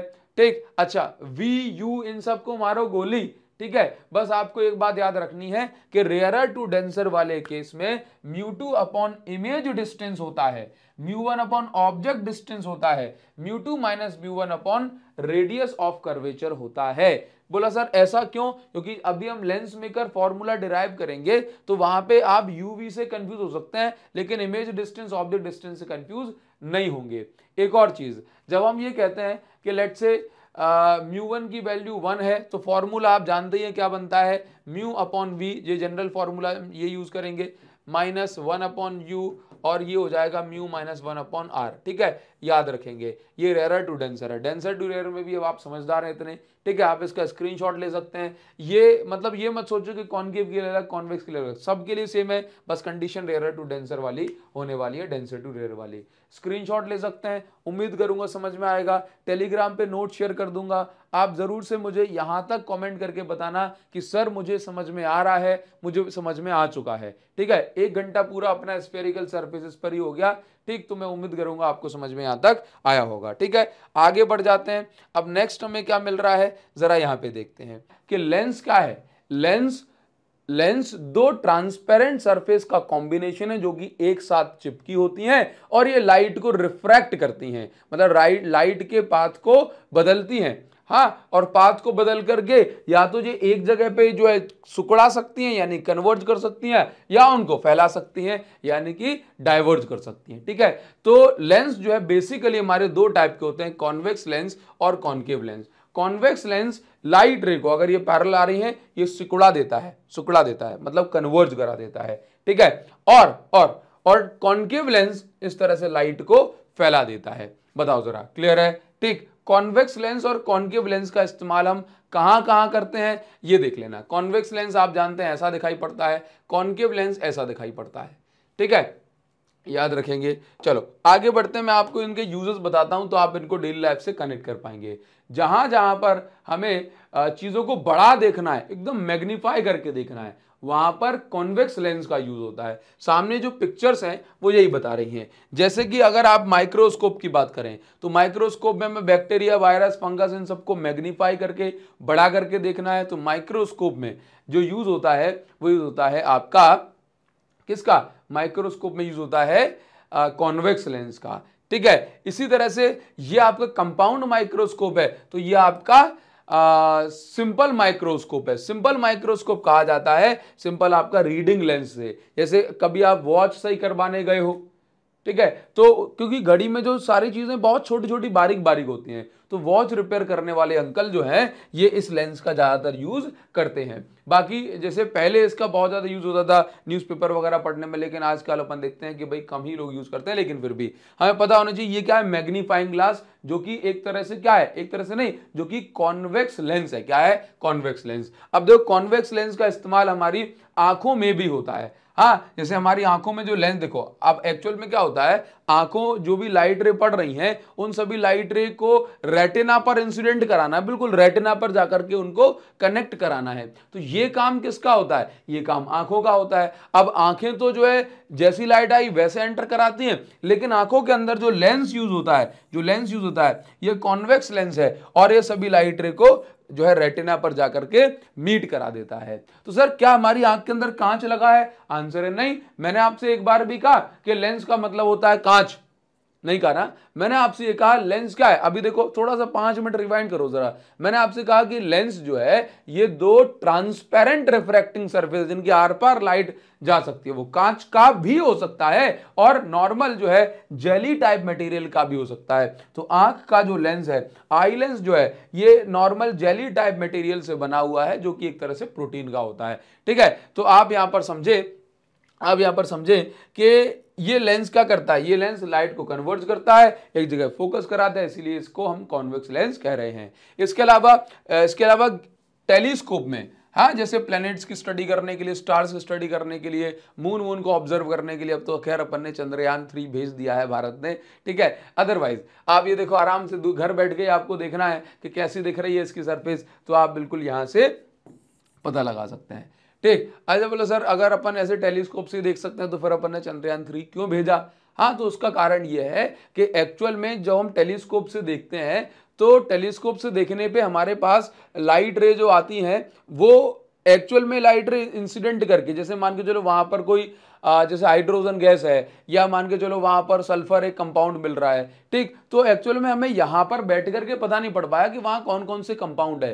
तो जो रोवर जो गया है, उसके अंदर सेंसर्स लगे हैं। वो लाइट को सेंस करता है। हर लाइट का एक अपना स्पेक्ट्रम होता है और उस स्पेक्ट्रम में पता पड़ता है कि ये स्पेक्ट्रम इस एलिमेंट का है। तो इसलिए हम यहाँ पर बैठ करके उसकी सरफेस को देख तो सकते हैं, लेकिन उसकी सरफेस पे कौन कौन से एलिमेंट है क्या क्या है, उनके बारे में पता नहीं पड़ सकता। ध्यान रखना है इस बात को। आगे बढ़ जाते हैं इसमें कॉन्वेक्स लेंस का यूज़ होता है। चलिए, इसके बाद आगे देखेंगे कि कॉन्केव लेंस की बात करें। किसकी बात करें? कॉन्केव लेंस की बात करें तो कॉन्केव लेंस का यूज़ कम ही जो है टेलीस्कोप में होता है। ये वो टेलीस्कोप नहीं है शायद से लेकिन आप यहाँ पे लिखें कॉन्केव लेंस का यूज़ जैसे कि गैलीलियन टेलीस्कोप में यूज़ होता है कॉन्केव लेंस। इसके अलावा जैसे अगर आपको दूर की दृष्टि आपकी कम है यानी कि आपको दूर का कम दिखाई पड़ रहा है तो ऐसे केस में आपको कॉन्केव लेंस का यूज़ करते हैं। हम आ, हम इसको बोलते हैं शॉर्ट साइटेडनेस मतलब शॉर्ट का तो आपको दिखाई पड़ रहा है लेकिन आपको दूर का दिखाई नहीं पड़ रहा। ठीक है? तो फार विजन जब आपका वीक होता है तो आप करेक्शन के लिए कॉन्केव लेंस का यूज़ करते हैं ना? जिसको आप जो है हाइपर मेट्रोपिया कहेंगे, ठीक है? देखो तो कॉन्केव लेंस का आप यूज़ वहाँ पर करेंगे। ठीक? गलत तो नहीं बोला मैंने? अच्छा देखिए कॉन्वेक्स लेंस के रे डायग्राम किस तरीके से बनाया? दोनों लेंसेज के रे डायग्राम किस तरीके से बनाए जाते हैं, ये आप देख लें जरा। तो रे डायग्राम बनाने के लिए बस आप एक बात याद रखेंगे कि किसी भी लेंस में रे डायग्राम बनाना है तो आपको सबसे पहला काम ये ध्यान रखना है कि इसमें जैसे ये आपके पास ऑप्टिकल सेंटर है, क्या है? ऑप्टिकल सेंटर है। तो एक लाइट रे जो ऑप्टिकल सेंटर से पास होती है, वो जैसे आती है वैसे चली जाती है, यानी कि अनडेविएटेड पास होती है। कैसे पास होती है? अनडेविएटेड पास होती है। ठीक है? अच्छा अब इसमें दो, देखो, ये हमारे पास लेंस में दो सरफेस है। तो पहली सरफेस का सेंटर कुछ यहाँ पे होगा, ठीक? और दूसरी सरफेस का सेंटर कुछ यहाँ पे होगा, ठीक? तो सेंटर जहाँ पे होता है, उसको हम रेडियस ऑफ़ कर्वेचर आर बोलते हैं, ठीक है? और इसका भी रेडियस ऑफ़ कर्वेचर आर होगा। अब आप जानते हैं कि आर रेडियस ऑफ़ कर्वेचर का आधा क्या होता है? आधा होता है फोकस रेडियस ऑफ़ कर्वेचर का आधा क्या होता है? फोकस होता है। अच्छा ध्यान से देखना। तो फोकस का डबल क्या होगा? ये एफ़ है तो रेडियस ऑफ़ कर्वेचर को हम और क्या बोल सकते हैं? टू एफ़ बोल सकते हैं। इसको हम क्या बोल सकते हैं? टू एफ़ बोल सकते हैं। ठीक है? अच्छा ये देखो ये क्या है? ये क्या है? भाई साहब ये मान के चलो ये एक सरफेस है और ये दूसरी सरफेस है तो आपको यहाँ पर F1, F2, F1, F2 भी मिल सकता है। ठीक है? ध्यान दो जरा। जैसे आप इसमें देख सकते हैं आपको सारी चीज़ें मैं अभी समझा देता हूँ। ध्यान से देखना? ध्यान से देखो। जैसे यहाँ पर इन्होंने F1 इस इस वाली सरफेस को उन्होंने फ़र्स्ट सरफेस मानते हो, यहाँ पर F1 टू F1 दे दिया, यहाँ पे F2 टू F2 दे दिया तो उसमें आप परेशान मत होना। आप सिंपल एफ़ एफ़ करके भी दिखा सकते हैं, ठीक है? ना चलो मैं आपको बताता हूँ यहाँ पे कहाँ गए हमारे रे डायग्राम देखिए ज़रा, ध्यान से देखो। तो पहला काम क्या है? पहला काम हमारे पास ये है यहाँ पे कि लेट्स हमने लिख दिया कि भाई ये F1 है और ये F2 है, ठीक? अच्छा सॉरी सॉरी ये F1 है और ये F1 का डबल टू F1 है। यहाँ पे ये F2 मान लो और ये F2 का डबल 2F2 मान लो। कंफ्यूजन ना हो सिंपल इसलिए इस साइड को हमने F1 और F2 बना दिया, बस। अब इसमें क्या होता है, जैसे लाइट रेज लाइट रेज जो पैरल आ रही होती हैं प्रिंसिपल एक्सिस के, वो कहाँ मीट करेंगी, आप जानते हो? वो मीट करेंगी कॉन्वे सॉरी फोकस पे। कहाँ मीट करेंगी? फोकस पे। तो फोकस पे इमेज बन जाएगी। Convex lens real and inverted image बनाता है। सिर्फ़ एक केस में जब ऑब्जेक्ट फोकस के अंदर होता है तो ये वर्चुअल एंड इरेक्ट इमेज बनाता है। ठीक है? चलो। तो हम क्या करते हैं कि एक बार इसको और कॉपी पेस्ट कर लेते हैं। देखो ज़रा। अभी क्या है? मान के चलो कि ऑब्जेक्ट जो है हमारा, अभी हमारा ऑब्जेक्ट कहाँ रखा है? तो हम कहते हैं कि सर हमारा ऑब्जेक्ट रखा है लेट से कहीं पे भी ऑब्जेक्ट रख दो जहाँ आपका मन कर रहा है। ऑब्जेक्ट रखा है लेट से हमारा इस जगह पे। ये ऑब्जेक्ट है। तो एक लाइट रे क्या होगी? एक लाइट रे यहाँ से फोकस से पास होगी और दूसरी लाइट रे ऑप्टिकल सेंटर से। तो भाई ऑप्टिकल सेंटर से ये पास होगी और जहाँ पर इमेज जहाँ पर जो है टकरा जाएगी, एक प्रॉपर तरीके से, वहीं पर इमेज का फॉर्मेशन होगा। जहाँ पे लाइट टकरा जाएगी, वहीं पे इमेज का फॉर्मेशन होगा। क्लियर है? जहाँ भी टकरा जाए, अंदर टकरा जाए, अंदर होगा, या साइड में टकरा है साइड में होगा। ठीक है? आपने कितनी सीधी लाइन खींची है, ये बहुत मैटर करता है। आपने कितना सही से पास करा, ये बहुत मैटर करता है। जैसे मैंने ये डायग्राम बनाया एग्जैक्ट ऑप्टिकल लेंस थोड़ा सा मिस कर गया तो यहाँ पर इसका बड़ा अंतर देखने को मिलेगा। बस रूल क्या है? एक लाइटर सीधे जाके फोकस से पास कराओ, दूसरी लाइटर ऑप्टिकल सेंटर से। ठीक है? बस ये चीज़ आप समझिए। अब यहाँ पर देखो जरा, ये सारे डायग्राम बने हुए हैं। ठीक? जो मेन चीज़ है ना, वो मैं आपको बता रहा हूँ अभी। जैसे कि ऑब्जेक्ट रखा है टू एफ़ वन पे तो आप देखो, सीधी लाइट रह गई फोकस से पास कराई, यहाँ से ऑप्टिकल सेंटर से एग्जैक्ट और इमेज का फॉर्मेशन यहाँ पे हो गया। तो आप यहाँ पे समझिए, जब ऑब्जेक्ट जब ऑब्जेक्ट कहाँ पर है? टू एफ़ पे है। तो इमेज भी कहाँ पे बनेगी? इमेज भी कहाँ बनेगी? एट टू एफ़ पे ही इमेज बनेगी। फोकस डबल फोकस पे ही इमेज बनेगी। और ये इमेज कैसी बनेगी? सेम साइज़ की बनेगी। कैसी बनेगी? सेम साइज़ की। हमेशा याद रखिए, हमेशा याद रखिए कि इमेज कैसी बनेगी? सेम साइज़ की। जब ऑब्जेक्ट टू एफ़ पे तो इमेज भी टू एफ़ पर ही बनेगी। अच्छा इसमें दो इंपॉर्टेंट केसेस होते हैं। दो बहुत इंपॉर्टेंट केस होते हैं। एक होता है आपका इमेज एट इंफिनिटी और एक होता है वर्चुअल एंड इरेक्ट इमेज का। तो मान के चलिए कि हमारे पास ये कॉन्वेक्स लेंस है। ठीक है? ये हमारे पास एक कॉन्वेक्स लेंस है और यहाँ पर हमारे पास इस तरह से हमने एक लाइन बना ली अगर सब कुछ सही रहा भगवान की कृपा से तो यहाँ पर जो इमेज का फॉर्मेशन है प्रॉपर तरीके से हो पाएगा। लेट्स से एफ़ वन है, ठीक है? और इसका डबल टू एफ़ टू कहलाया, ठीक? और यहाँ पर देखो, ये इतनी लेंथ पे मैं ले लेता हूँ थोड़ा सा अंदाजे से। ये भी क्या है अपने पास? ये एफ़ टू हो गया और इसका डबल हो गया टू एफ़ टू अब मान के चलो ऑब्जेक्ट रखा है आपका फोकस पे। क्या रखा है? फोकस पे ऑब्जेक्ट रखा है, ये ऑब्जेक्ट रखा है। ठीक तो एक लाइट रे सीधे जाएगी, सीधे जाकर के इसके फोकस से पास होगी।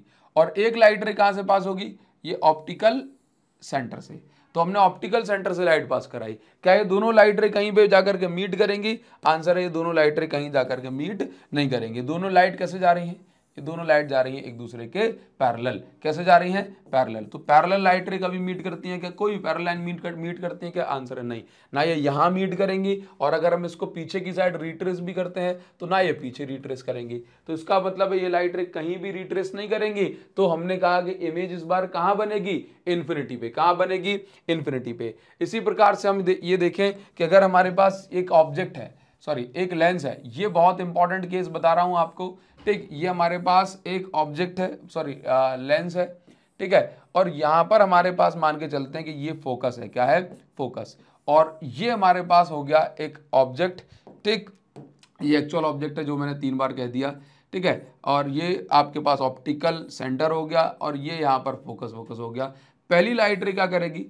फोकस से पास करानी है, ठीक है? सॉरी अभी हमें ऑब्जेक्ट कहाँ रख देना है? फोकस के अंदर। लेट से यहाँ रख दिया हमने ऑब्जेक्ट तो पहली लाइट रे क्या होगी? यहाँ से फोकस से पास होगी और दूसरी लाइट रे आपको पास करानी है ऑप्टिकल सेंटर से। ठीक है? तो हम ये देख रहे हैं कि दोनों लाइट रे क्या कर रही है? दोनों लाइट रे दूर जा रही है तो फैल रही हैं। ठीक है? तो इसका मतलब है कि इमेज का फॉर्मेशन यहाँ पे तो होगा नहीं, क्योंकि यहाँ पे तो लाइट रे फैल रही है, मिलेंगे नहीं। तो हमें नहीं, दोनों लाइट रे को पीछे की साइड ऐसे रिट्रेस कराएँगे, पीछे साइड ऐसे रिट्रेस कराएँगे। और जहाँ पे भी दोनों लाइट रे लेट से मीट कर जाएँगे लेट से यहाँ ये मीट कर गई तो यहाँ पर क्या होगा? अच्छा एक काम करते हैं थोड़ा सा इसको और नीचे ले जाते हैं। ठीक है? तो जहाँ भी ये लाइट मीट कर जाएँगी, वहीं पर इमेज का फॉर्मेशन होगा। भाई साहब, ये देखो, यहाँ पे लाइट मीट कर गई तो यहीं पर इमेज बनेगी। और इस बार देखो जरा, यही जो है आपके माइक्रोस्कोप का कॉन्सेप्ट है। इस बार ये देखो, जब ऑब्जेक्ट कहाँ रखा है? फोकस के अंदर। तो इमेज कैसी बन रही है? हाईली मैग्निफाइड बहुत बड़ी। और सीधी image virtual erect and highly magnified image का फॉर्मेशन होता है जब ऑब्जेक्ट कहाँ रखा हो? फोकस पे रखा हो। ठीक है? तो आप ध्यान सुनो। अब ये बात, जब मैं आपको ऑप्टिकल इंस्ट्रूमेंट पढ़ाऊँगा तो आपको चीख चीख के बताऊँगा। हाँ इसी चीज़ को अभी सुनो। अभी फिर से बताता हूँ। ये बात आप याद रखो पूरे ऑप्टिकल इंस्ट्रूमेंट में, पूरे ऑप्टिकल इंस्ट्रूमेंट में। बस आप एक बात याद रखिए ऑब्जेक्ट फोकस के अंदर ऑब्जेक्ट फोकस के ऑब्जेक्ट फोकस के अंदर। ठीक है? वायरस भी दिखेगा वायरस भी दिखेगा जैसे बंदर। ठीक है? याद रखना ऑब्जेक्ट फोकस के अंदर वायरस भी दिखेगा जैसे बंदर। इसका मतलब यह हुआ कि अगर ऑब्जेक्ट अगर हम फोकस के अंदर रख दें ऑब्जेक्ट फोकस के अंदर रख दें, ये ऑप्टिकल सेंटर ये फोकस तो भाई भाई साहब वायरस भी इतना बड़ा दिखेगा जैसे कि जैसे कि बंदर हो, ठीक है? मतलब बहुत बड़ी इमेज का फॉर्मेशन होगा, बहुत बड़ी बहुत बड़ी हाईली मैग्निफाइड इमेज का फॉर्मेशन होगा, ठीक है? तो ये ऑप्टिकल सेंटर का मतलब जो है, ये ऑप्टिकल इंस्ट्रूमेंट का एक बहुत ज़्यादा ही स्ट्रॉन्ग कॉन्सेप्ट हो गया कि ऑब्जेक्ट कहाँ है? Object object between optical centre and focus image will be highly magnified image will be highly magnified comma virtual and erect ये बात आप याद रखें highly magnified comma virtual and erect बताओ जरा। मतलब आपको ये बात बहुत अच्छे ध्यान रखनी है कि ऑब्जेक्ट फोकस के अंदर तो वायरस भी दिखेगा जैसे बंदर, ठीक है? अच्छा इसके बाद इंफिनिटी वाला केस आप समझते ही हैं। ऑब्जेक्ट कहाँ है? Object at infinity object at infinity sorry object at focus जब ऑब्जेक्ट फोकस पे होता है तो इमेज कहाँ बनती है? ये दोनों केसेस मोस्ट इंपॉर्टेंट है इमेज एट इंफिनिटी ठीक है? और कैसी इमेज है? ये इमेज बनेगी रियल कॉमा रियल इमेज हमेशा कैसी होती है? इन्वर्टेड ठीक है? And magnified highly magnified image बनेगी। हाईली इस बार भी बड़ी इमेज बनेगी। ठीक है? ये बात आप याद रखेंगे। ठीक, इसके बाद आप ये देखिए, यहाँ पर आपको ध्यान देना है कि लेंस को लेकर के। अच्छा कॉन्केव लेंस का रे डायग्राम अगर हमें बनाना है तो कॉन्केव लेंस में बहुत छोटी सी बात आप याद रखें कि जैसे ये मेरे पास एक कॉन्केव लेंस है और ये कॉन्केव लेंस है तो भाई यहाँ पर सबसे पहले क्या होगा, ये लाइट रह जाएँगी। अब ये कॉन्केव लेंस लाइट को फैला देता है तो ये लाइट कुछ इस तरीके से फैल जाएँगी, यानी कि डाइवर्स हो जाएँगी और इसके बाद आप ये देखो, अब ऑब्वियस सी बात है लाइट यहाँ मीट नहीं करेंगी। तो हम इस लाइट रे को पीछे की साइड खींचेंगे। अब ये जहाँ भी मीट हो जाएँगी, वहीं पर जो है अपना फोकस हो जाएगा और वहीं पर इमेज का फॉर्मेशन होगा। बताओ जरा क्लियर है? तो बताओ वर्चुअल केस के कॉन्केव लेंस के सभी केसेस में all cases all cases image कैसी है? वर्चुअल है इरेक्ट है, ठीक है? और डिमिनिस्ड है। वर्चुअल इरेक्ट और डिमिनिस्ड इमेज का फॉर्मेशन यहाँ पर हो रहा है। ठीक है? अच्छा अगर ऑब्जेक्ट यहाँ रखा है, मान के चलो ऑब्जेक्ट कहीं भी रख दो, किसी भी हालात में ऑब्जेक्ट रखा हो, ऑब्जेक्ट कहीं भी रखा हो, जैसे कि ऑब्जेक्ट रखा है मान के चलो यहाँ पे ठीक तो पहली लाइट रे जाएगी यहाँ पे और ऐसे बेंड हो जाएगी।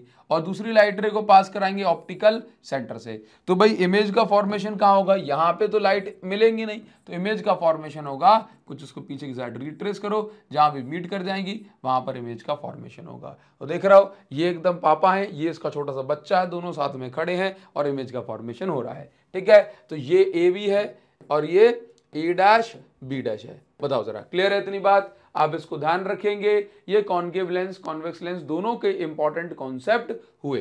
ठीक? अच्छा अभी यहाँ पर थोड़े से फॉर्मूले की बात कर लेते हैं। जैसे हमने जैसे हमने ऑब्जेक्ट डिस्टेंस और इमेज डिस्टेंस के बारे में आपको बताया था। ठीक? मैं उम्मीद करूँगा, मैं थोड़ी सी एक्सपेक्टेशन तो आपसे रख सकता हूँ कि आपने कि आपने जो मिरर फॉर्मूला है, वो देखा होगा। मैंने आपको मिरर फॉर्मूला पढ़ाया था, अगर आपने मिरर फॉर्मूले को देखा है तो आपको अभी किसी प्रकार की जो है टेंशन लेने वाली बात नहीं है। ठीक है? तो मिरर फॉर्मूले को थोड़ा सा मैं आपको बताता हूँ। तो अभी मैं आपको बताऊँगा कि किस तरीके से आप लेंस फॉर्मूले को डिराइव कर सकते हैं। लेंस मेकर फॉर्मूला और लेंस फॉर्मूला दोनों अलग अलग हैं। लेंस फॉर्मूला हमें ऑब्जेक्ट डिस्टेंस इमेज डिस्टेंस और फोकल लेंथ ऑफ़ लेंस के बीच में रिलेशन देता है मतलब यू वी और एफ़ के बीच में। जैसे आपने मिरर फॉर्मूला डिराइव करा था, एकदम वैसे ही सिंपल सा है। बस आपको रे डायग्राम बनाना आना चाहिए। तो रे डायग्राम हमने आपको सिखा दिया है किस तरीके से बनाते हैं, लेकिन इसमें हमने कैसा रे डायग्राम यूज़ करा है, ये भी आपको बता देता हूँ। ये हमारे पास एक लेंस है, ये फोकल लेंथ है, ये टू एफ़ डिस्टेंस है, यहाँ भी फोकल लेंथ है, ये टू एफ़ डिस्टेंस है। यहाँ पर हमने एक ऑब्जेक्ट रख दिया, ये सीधी लाइट रह गई और ये फोकस से पास हो गई। और दूसरी लाइट रे यहीं ऑप्टिकल सेंटर से पास हो गई तो इमेज का फॉर्मेशन कहीं यहाँ पर हो जाएगा। हाँ जैसे हम जो है लाइट रे पास कराएँगे जहाँ से एग्जैक्ट मीट जो है आ, सीधी सीधी लाइन होगी तो इमेज भी एकदम जहाँ पर बननी चाहिए वहाँ पर बनेगी। ठीक है? इस तरीके से यहाँ पर हमारे पास ये ऑब्जेक्ट है ए बी और ये इमेज है ए डैश बी डैश ठीक है? यहाँ पर ये जो है, ये है इमेज डिस्टेंस जो कि राइट में है तो हमने इसको पॉजिटिव मानेंगे और ये प्लस वी आएगी। और यहाँ पर है ये ऑब्जेक्ट डिस्टेंस जो कि आएगी माइनस यू और देखो, ये डिस्टेंस ऑप्टिकल सेंटर से लेकर के फोकल लेंथ की डिस्टेंस को हम एफ़ कहते हैं। तो ये राइट में है या कहूँ इंसिडेंट रे की डायरेक्शन में तो ये पॉजिटिव से हम जो है दिखाएँगे। ठीक है? चलिए, बस इतनी सी बात आपको यहाँ पर ध्यान रखनी है। तो सबसे पहला काम हमारे पास ये होता है कि आपको बताएँ यहाँ पर लाइट रे कैसे जा रही है। तो देखो इमेज का फॉर्मेशन तो मैंने आपको बता दिया यहाँ पे। ये एक लाइट रे गई फोकस से पास हुई और दूसरी लाइट रे यहाँ पर ऑप्टिकल सेंटर से पास हुई। अब आपको यहाँ पर देखना है दो दो करके ट्राइंगल में हम वर्क करेंगे। ठीक तो सबसे पहला ट्राइंगल ये देखो आपको, ये दिख रहा है। ठीक है, ये वाले ट्राइंगल में हम वर्क करेंगे। ये देख रहे हो, ये वाला ट्राइंगल समझ में आ रहा है? इस ट्राइंगल में वर्क करेंगे? तो कौन कौन से ट्राइंगल में? ट्राइंगल देखो ज़रा, पहले जिन दो ट्राइंगल में हम वर्क करेंगे, वो सिमिलर ट्राइंगल होना चाहिए। तो हम चेक करते हैं कि triangle A B O and A dash B dash O क्या ये सिमिलर ट्राइंगल हैं? तो हमने क्या करा कि यहाँ पे चेक किया triangle A B O and A dash B dash O में क्या जो है सिमिलैरिटी है? तो हमने देखा कि जो बी पर जो एंगल बन रहा है 90 डिग्री और बी डैश पे भी एंगल बन रहा है 90 डिग्री। तो आप यहाँ पर देखिए, angle A B O and A dash B dash O is equal to कितना है? 90 डिग्री। अच्छा यहाँ पर ओ पर एंगल देखो, जितना एंगल ओ पर होगा अपोजिट एंगल उतना ही यहाँ पर भी ओ पर होगा। तो आप ये देखें कि दोनों में एंगल ए ओ बी और A dash O, B dash, ये दोनों वर्टिकली ऑपोजिट एंगल है, ये दोनों भी सेम है। तो यहाँ पर कोई भी दो प्रॉपर्टीज़ सेम है, इसलिए हमने कह दिया कि जो एंगल ए बी ओ है और A dash B dash O है, ये सिमिलर ट्राइंगल है। तो अब हम इन दोनों सिमिलर ट्राइंगल को कंपेयर करेंगे। तो कंपैरिजन में आपको कुछ भी नहीं करना। एक बार मतलब जैसे ऑब्जेक्ट वाले ट्राइंगल को आपने ले लिया देन इमेज वाले ट्राइंगल को ले लिया, ठीक है? तो दोनों का परपेंडिकुलर अपॉन परपेंडिकुलर करना है, ठीक है? दोनों का बेस अपॉन बेस करना है, बस, ऐसे कंपेयर करना है। तो देखो, इसका परपेंडिकुलर ठीक है?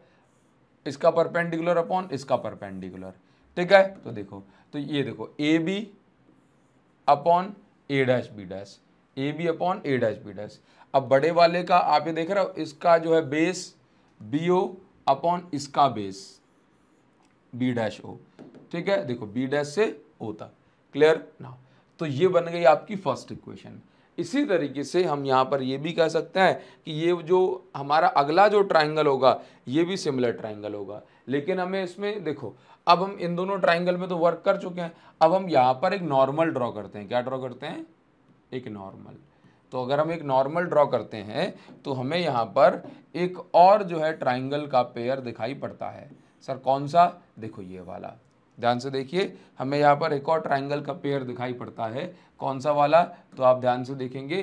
तो ये देखो, ये ये एक ट्राइंगल बन रहा है, ठीक है? इस ट्राइंगल को हम नाम दे देते हैं। लेट से इस पॉइंट का नाम हो गया एम ठीक? तो इस ट्राइंगल का नाम हो जाएगा एम ओ एफ़ तो इन ट्राइंगल एम ओ एफ़ और अगला ट्राइंगल देखो ज़रा, जो इससे कनेक्टेड है, देखो ज़रा, ये वाला ट्राइंगल तो A dash B dash F ठीक तो इस ट्राइंगल में हम वर्क करेंगे, दोनों ट्राइंगल इसी तरीके से ये दोनों ट्राइंगल सिमिलर ट्राइंगल हैं। हम बार बार प्रूव करके दिखाना, आप सिमिलरली करके लिख सकते हैं, ठीक। अब देखो, फिर से, जैसे कि ऊपर ए बी है ना, ऊपर ए बी है, और अपॉन में ए डैश बी डैश है है ना? तो देखो, इसी तरीके से हम काम करेंगे। जैसे देखो, इसका परपेंडिकुलर अपॉन इसका परपेंडिकुलर इसका परपेंडिकुलर क्या है? एम ओ ये दोनों सिमिलर ट्राइंगल को कंपेयर कर रहे हैं। इसका परपेंडिकुलर है एम ओ अपॉन इसका परपेंडिकुलर है ए डैश बी डैश तो M O upon A dash B dash ठीक है? इसका बेस क्या है? ओ एफ़ क्या है? ओ एफ़ तो ओ एफ़ अपॉन इसका बेस क्या है? बी डैश से लेकर के एफ़ तो बी डैश एफ़ ठीक है? या आप एफ़ बी डैश लिख दो, एक ही बात है। ठीक ना अब हमने क्या देखा कि जो एम ओ है, ये तो ए बी के ठीक बराबर है। एम ओ ए बी के ठीक बराबर है। तो हमने यहाँ पर एम ओ की जगह क्या लिख दिया? ए बी लिख दिया। क्या लिख दिया? ए बी लिख दिया। तो देखो ए बी लिख दिया। जैसे ही एम ओ की जगह ए बी लिखा तो फ़र्स्ट इक्वेशन का एल एच एस और सेकेंड इक्वेशन का एल एच एस ये दोनों एकदम बराबर हो गए। तो हमने इन दोनों की वैल्यूज़ को आमने सामने रख दिया जिसको हम कह रहे हैं कंपेयर करना। तो देखिए जरा, ये क्या है? बी ओ इसकी वैल्यू जो इसके सामने क्या लिखा है? B O upon B dash O B O upon B dash O और इसके सामने क्या लिखा है? देखो जरा O F upon B dash F तो हमने ये लिख दिया। इसके बाद हमें कुछ भी नहीं करना, इसके बाद हमें डिस्टेंसेस की कंपैरिजन करनी है, देखो। यहाँ से, अगर हम ओ से लेकर के बी डैश तक की सॉरी ओ से लेकर के एफ़ तक की बात करेंगे सॉरी ओ से लेकर के बी तक की तो ये डिस्टेंस क्या है? ऑब्जेक्ट डिस्टेंस माइनस यू यहाँ पर इमेज बन रही है। ये डिस्टेंस क्या है? ये डिस्टेंस क्या है? इमेज डिस्टेंस और ये प्लस वी कहलाएगी। या सिंपल मैं इसको वी लिख देता हूँ। ओ से लेकर एफ़ तक क्या है? देखो ज़रा, ये डिस्टेंस है एफ़ फोकल लेंथ ठीक? बात समझ में आ रही है। देखिए ज़रा तो अगर मैं बी ओ की बात करता हूँ बी ओ की बात करता हूँ तो इसकी जगह क्या लिख दूँगा? माइनस यू ठीक? अपॉन में B dash O B dash से लेकर के ओ तक की बात करता हूँ तो इसकी जगह लिख दूँगा वी क्लियर नाउ इसके बाद ओ एफ़ ओ से लेकर के एफ़ तक, फोकल लेंथ होती है तो इसकी जगह लिख दिया हमने एफ़ इसके बाद बचा है बी डैश एफ़ क्या बचा है? B dash F B dash F का मतलब है बी डैश एफ़ का मतलब है, देखो बी डैश से लेकर के एफ़ ये डिस्टेंस है, ये बी डैश एफ़ तो देखो एक्चुअल में टोटल कितनी है? टोटल देखो टोटल ये टोटल यहाँ से लेके यहाँ तक की कितनी है? ये यहाँ पे इमेज बन रही टोटल तो वी है। टोटल में से अगर ये वाली डिस्टेंस घटा दूँगा तो ये बचेगा ना? बात समझ में आ रही है? टोटल में टोटल जो कि वी है, अगर वी में से ये घटा दूँगा, जो कि एफ़ है वी में से अगर एफ़ घटा दूँगा एफ़ घटा दूँगा, ये छुपा लिया तो क्या बचेगा? बी डैश एफ़ क्या बचेगा? बी डैश एफ़ बस बी डैश एफ़ ये बचेगा ना? ठीक है तो बस यही चीज़ आप समझिए कि यहाँ पर मैंने क्या करा कि अगर मुझे वी डैश एफ़ चाहिए V dash B dash F चाहिए तो मैंने क्या कर दिया? वी माइनस एफ़ बस इतनी सी बात करने के बाद अब हमें कुछ भी नहीं करना, अब हमें यहाँ पर क्रॉस मल्टीप्लाई करना है क्रॉस मल्टीप्लाई करना है। क्रॉस मल्टीप्लाई करने के बाद ये इक्वेशन बन रही है। अब इस वाली इक्वेशन में, इस पूरे में यू वी एफ़ का डिवाइड कर देना है। यू वी एफ़ का डिवाइड कर देना है। तो हम ये देख रहे हैं कि यहाँ पर यू और वी कटे तो यहाँ पर बचा वन अपॉन माइनस का एफ़ ठीक है? यहाँ पर यू एफ़ और एफ़ कट गए तो यहाँ पे बचा वन अपॉन वी यहाँ पर देखो वी और एफ़ कट गए तो यहाँ पे बचा वन अपॉन यू इस तरीके से हमारे पास जो फाइनल फॉर्मूला आ गया, ये आ गया one upon V minus one upon U is equal to one upon F transfer करने के बाद तो हम यहाँ पर कह सकते हैं कि इमेज जो है मिरर फॉर्मूला में one upon F is equal to one upon V plus one upon U हुआ करता था, लेकिन लेंस फॉर्मूला में one upon V minus one upon U है। तो ये एक्चुअल में क्या है? One upon image distance minus one upon object distance बताओ जरा, ये क्लियर है आपको? आप इसका स्क्रीनशॉट ले सकते हैं देन हम आगे बढ़ जाएँगे, इसके न्यूमेरिकल्स कर लेते हैं। ठीक है? आगे बढ़ जाते हैं। चलिए, देखो, एक क्वेश्चन है सबसे पहले इस क्वेश्चन में क्या दिया हुआ है? ज़रा ध्यान से देखते हैं। आपको एक ग्राफ दिया हुआ है। क्या दिया हुआ है? ग्राफ तो आप इस ग्राफ में देखें a lens form a real image एक लेंस क्या करता है? एक रियल इमेज बनाता है। तो बताओ ज़रा कौन सा लेंस होगा? तो कौन सा लेंस होगा? कॉन्वेक्स लेंस होगा। कौन सा लेंस होगा? कॉन्वेक्स लेंस ठीक है कॉन्वेक्स लेंस है, ये इससे हमें क्या पता पड़ेगा कि फोकल लेंथ वगैरह जो है, ये पॉजिटिव होगी। इमेज अच्छा रियल इमेज बन रही है। तो रियल इमेज बन रही है तो सेम साइड तो नहीं बन रही होगी ऑपोजिट साइड तो बन रही होगी, यानी कि इमेज डिस्टेंस भी प्लस में होगी। ठीक है, देखो कॉन्वेक्स लेंस रियल इमेज कब बनाता है? मान के चलो ये, इसने रियल इमेज बनाई, यहाँ पे कुछ, ये बनी रियल इमेज तो आप ज़रा देखो कि यहाँ पर ऐसे केस में जो वी इमेज डिस्टेंस होगी, वो भी पॉजिटिव लोगे, ठीक है? और जो फोकल लेंथ है इसका फोकस राइट साइड ही होता है तो वो भी पॉजिटिव लोगे ठीक तो यहाँ से सिर्फ़ एक लाइन से हमें ये बात पता पड़ती है। The distance from object to lens is U centimetre object की डिस्टेंस बता रहा है यू सेंटीमीटर इमेज की डिस्टेंस बता रहा है D centimetre the given graph shows the variation of V with U given graph में ये बता रहा है किस तरीके से u के साथ साथ v की वेलोसिटी बदलती है। मतलब अगर आप ऑब्जेक्ट को कहीं और रखते हैं तो किस तरह से इमेज की वैल्यू वहाँ पर इमेज डिस्टेंस की वैल्यू बदलती है। तो पहली चीज़ what is the nature of lens तो इसका पहले वाले का आंसर क्या हो जाएगा? नेचर ऑफ़ लेंस कैसा है? लेंस इज़ कॉन्वेक्स और कन्वर्जिंग कॉन्वेक्स लेंस को हम कैसा बोलते हैं? कन्वर्जिंग लेंस तो इसका आंसर क्या हो जाएगा? कॉन्वेक्स लेंस और converging lens converge convex lens और कैसा? कन्वर्जिंग लेंस ठीक है? चलिए। दूसरा क्या है? Using the graph find the focal length of this of this lens ठीक है? देखो, क्या कह रहा है? Using the graph find focal length of this lens आपको इस ग्राफ को यूज़ करने, करके इस लेंस की फोकल लेंथ निकालनी है। ठीक है भाई साहब? तो अगर ये कॉन्वेक्स लेंस है, ठीक तो हम यहाँ पे लिखेंगे for convex lens convex lens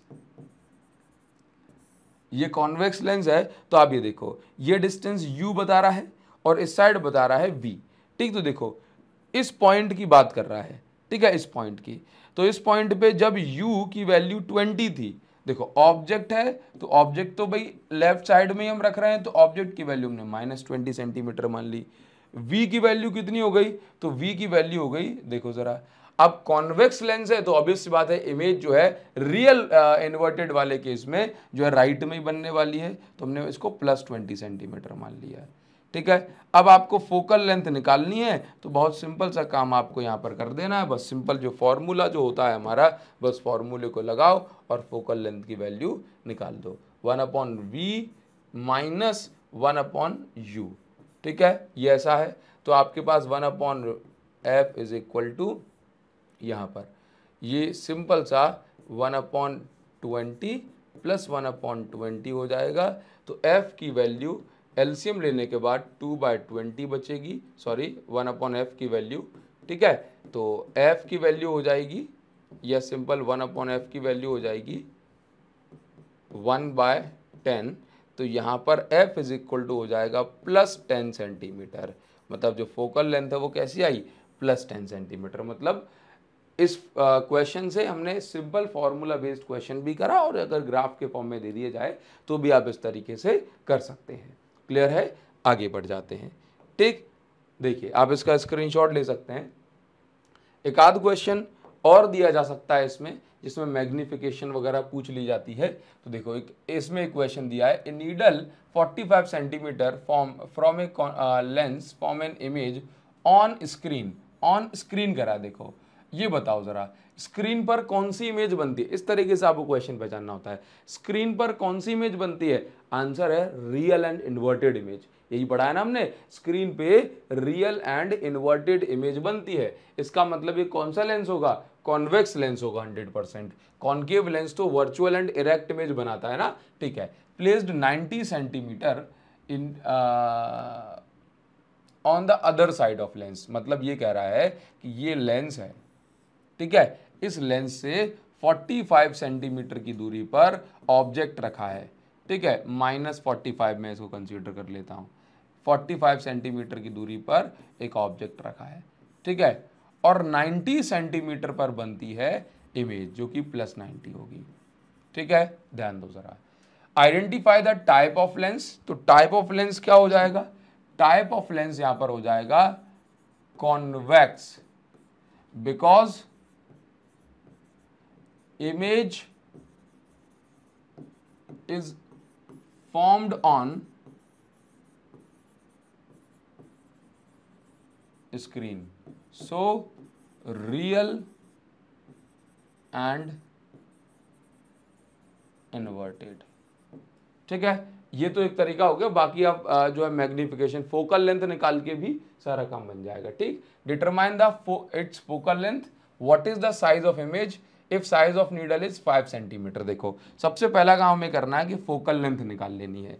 तो one upon F is equal to one upon V minus one upon U U की वैल्यू माइनस फोर्टी फाइव है। वन अपॉन ये this is equal to one upon ninety plus का one upon forty five one upon F is equal to plus का इसलिए क्योंकि minus का था। ये एलसीएम आ गया 90 और यहाँ पर बचा वन यहाँ बचा टू तो one upon F is equal to three by ninety तो एफ़ की वैल्यू जो हो जाएगी दिस इज़ प्लस का thirty centimetre one upon F की वन बाय थर्टी एफ़ के लिए पलट देंगे तो प्लस का थर्टी सेंटीमीटर तो प्लस प्लस साइन देखकर भी आप यहाँ पर समझ सकते हैं कि जो इसकी फोकल लेंथ जो आ रही है, वो पॉजिटिव है. और positive focal length convex lens की होती है, इसलिए यहाँ पर ये लगा दिया. क्लियर है? बात समझ में आई?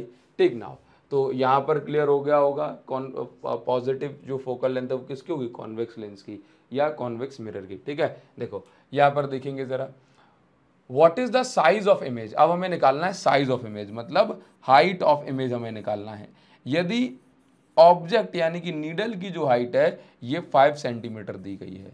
तो देखो मैग्निफिकेशन का फॉर्मूला जो होता है, ये होता है H I height of image upon height of object अच्छा लेंस में मिरर में तो मैग्निफिकेशन की जगह माइनस वी अपॉन यू रखते थे, लेकिन इस बार क्या रखना है? वी अपॉन यू लेंस में मैग्निफिकेशन की जगह सिंपल वी अपॉन यू लेते हैं। ठीक है मिरर के हमने कई सारे क्वेश्चन करे थे तो इसमें कोई प्रॉब्लम नहीं होगी। H I height of image हमें निकालना है, और हाइट ऑफ़ ऑब्जेक्ट कितनी दी है? फाइव सेंटीमीटर ऑब्वियसली बात है ऑब्जेक्ट ऊपर रखा होगा, इस तरीके से वर्टिकली अपराइट इसलिए हमने इसको प्लस फाइव सेंटीमीटर माना है। ठीक है? ध्यान से देखिए। अभी क्या हो रहा है यहाँ पे? अभी यहाँ पर क्या है कि v की वैल्यू क्या दिख रही है? V की वैल्यू हमें पता है इमेज बन रही है प्लस नाइन्टी पे प्लस नाइन्टी पे इमेज बन रही है। U का है? U है माइनस फोर्टी फाइव पे। ऐसा ही है कि नहीं? U माइनस फोर्टी फाइव पे। अच्छा एच आई क्या है? Height of image H O क्या है? दिस वन तो यहाँ पर ये वैल्यू आएगी माइनस का टू और ये आ जाएगी एच आई और अपॉन में है फाइव तो हाइट ऑफ़ इमेज जो आ जाएगी, ये आ जाएगी माइनस का टेन सेंटीमीटर माइनस का टेन सेंटीमीटर ठीक है? तो इमेज कैसी बन रही है? इमेज कैसी बन रही है? रियल इन्वर्टेड एंड इनलार्ज्ड तो इमेज कैसी है? इमेज इज़ नेगेटिव साइन क्या बता रहा है? इमेज इज़ नेगेटिव साइन बता रहा है कि उल्टी इमेज बन रही है रियल और उल्टी इमेज हमेशा को हम क्या बोलते हैं? रियल है इन्वर्टेड है। और क्योंकि इमेज का साइज़ ऑब्जेक्ट के साइज़ से डबल है तो रियल इन्वर्टेड के साथ साथ एक ऐसी है एनलार्ज इमेज है। Real inverted and enlarge image ठीक है? ये बात समझ में आई यहाँ पे? ठीक। तो ये आपका हो गया इसके दो अच्छे अच्छे क्वेश्चंस ठीक? इस पे इतने ही इस, ऐसे ही टाइप के क्वेश्चंस पूछे जाते हैं। अभी हम थोड़ा सा आगे बढ़ जाते हैं। क्लियर है? जैसे ही हट जाए, आप इसका स्क्रीनशॉट लें और यहाँ तक मुझे बताएँ कि आपको समझ में आ रहा है या नहीं आ रहा। ठीक है? और कंप्लीट वीडियो में आपको बस इतना ही ध्यान रखना है कि यदि किसी चीज़ का आंसर पूछें तो वो आप आंसर बताएँ। ठीक है? ताकि मुझे भी तो पता पड़ पाएगा कि आप बच्चे ये तीन तीन चार चार घंटे की वीडियो देख पा रहे हैं। तो अगर आज की वीडियो की बात करें तो रे ऑप्टिक्स अकेला अकेला छः घंटे का हो रहा है। ऑप्टिकल इंस्ट्रूमेंट भी with remarkable previous year question के साथ ये आपका तीन घंटे का हो जाएगा। तो नौ घंटे के अंदर ये आपका ray optics and optical instrument complete होगा। और इतने के बाद मैं आपसे वादा करता हूँ कि आप अच्छे अच्छे क्वेश्चन लगाइए, आपसे बन जाएँगे। ठीक है? आप इसका स्क्रीन ले सकते हैं अभी। लेंस मेकर फॉर्मूला एक ऐसा फॉर्मूला है जिसका यूज़ लेंस मैन्युफैक्चरर करते हैं कि उनको कितनी फोकल लेंथ का लेंस चाहिए, उसका रिफ्रैक्टिव इंडेक्स कितना होना चाहिए। अगर इतनी पावर वाले लेंस हमें चाहिए तो दोनों जो रेडियस हैं, दोनों सरफेस है, उनकी रेडियस क्या होना चाहिए? दैट मीन्स लेंस को बनाने के लिए, लेंस को कंप्लीटली डिज़ाइन करने के लिए जिस फॉर्मूले का यूज़ होता है, उसको हम कहते हैं लेंस मेकर फॉर्मूला। ठीक है? तो अब इसको अपन डिराइव किस तरीके से करेंगे? ये आप देखेंगे। Most important topic most important जो है क्वेश्चंस यहाँ से बनते हैं। न्यूमेरिकल से लेकर के डेरिवेशन और कॉन्सेप्चुअल क्वेश्चन रीजनिंग वाले, ये आप ये समझ के चलिए, इस टॉपिक से 100 परसेंट आने के चांस रहते हैं हमेशा, ठीक है? तो अपन इसको बढ़िया समझेंगे कैसे रे डायग्राम बनाना है। सारी बातें आपको बढ़िया से समझाई जाएगी, ठीक है? तो कंसीडर करते हैं हमारे पास, यहाँ पर एक लेंस है। ठीक और ये हमने मान लिया कि हमारे पास एक कॉन्वेक्स लेंस है। और इसके साथ साथ हमारे पास यहाँ पर ये प्रिंसिपल एक्सेस है। ये प्रिंसिपल एक्सेस है। जैसे आप जानते हैं कि मिरर में हमारे पास एक पोल होता है, वैसे ही लेंस में हमारे पास ऑप्टिकल सेंटर होता है। क्या होता है? Optical centre. ठीक है? अच्छा एक चीज़ आप याद रखेंगे कि जब भी हम लेंस मेकर फॉर्मूला या लेंस रिलेटेड कोई भी जो है क्वेश्चन करते हैं तो हमेशा याद रखिए कि इस चैप्टर में हमारा पहले से ही एक अजम्पशन चलता है और अजम्पशन ये होता है कि ये जो लेंस हम यूज़ कर रहे हैं, ये थिन लेंस है। बट यहाँ पर डायग्राम साफ़ साफ़ बने, इसलिए हमने थोड़ा सा बड़ा सा लेंस यहाँ पर बनाया है और आपको भी कॉपी में ऐसे ही बनाना है। ठीक तो यहाँ पे मैं लिख देता हूँ कि हमेशा अजम्पशन जो होगा अजम्पशन जो होगा, हम मतलब क्या अज्यूम करके चलेंगे? हम ये अज्यूम करेंगे कि भाई lens is very thin lens is very thin lens जो है कैसा है, ये बहुत थिन है, ठीक है? So distance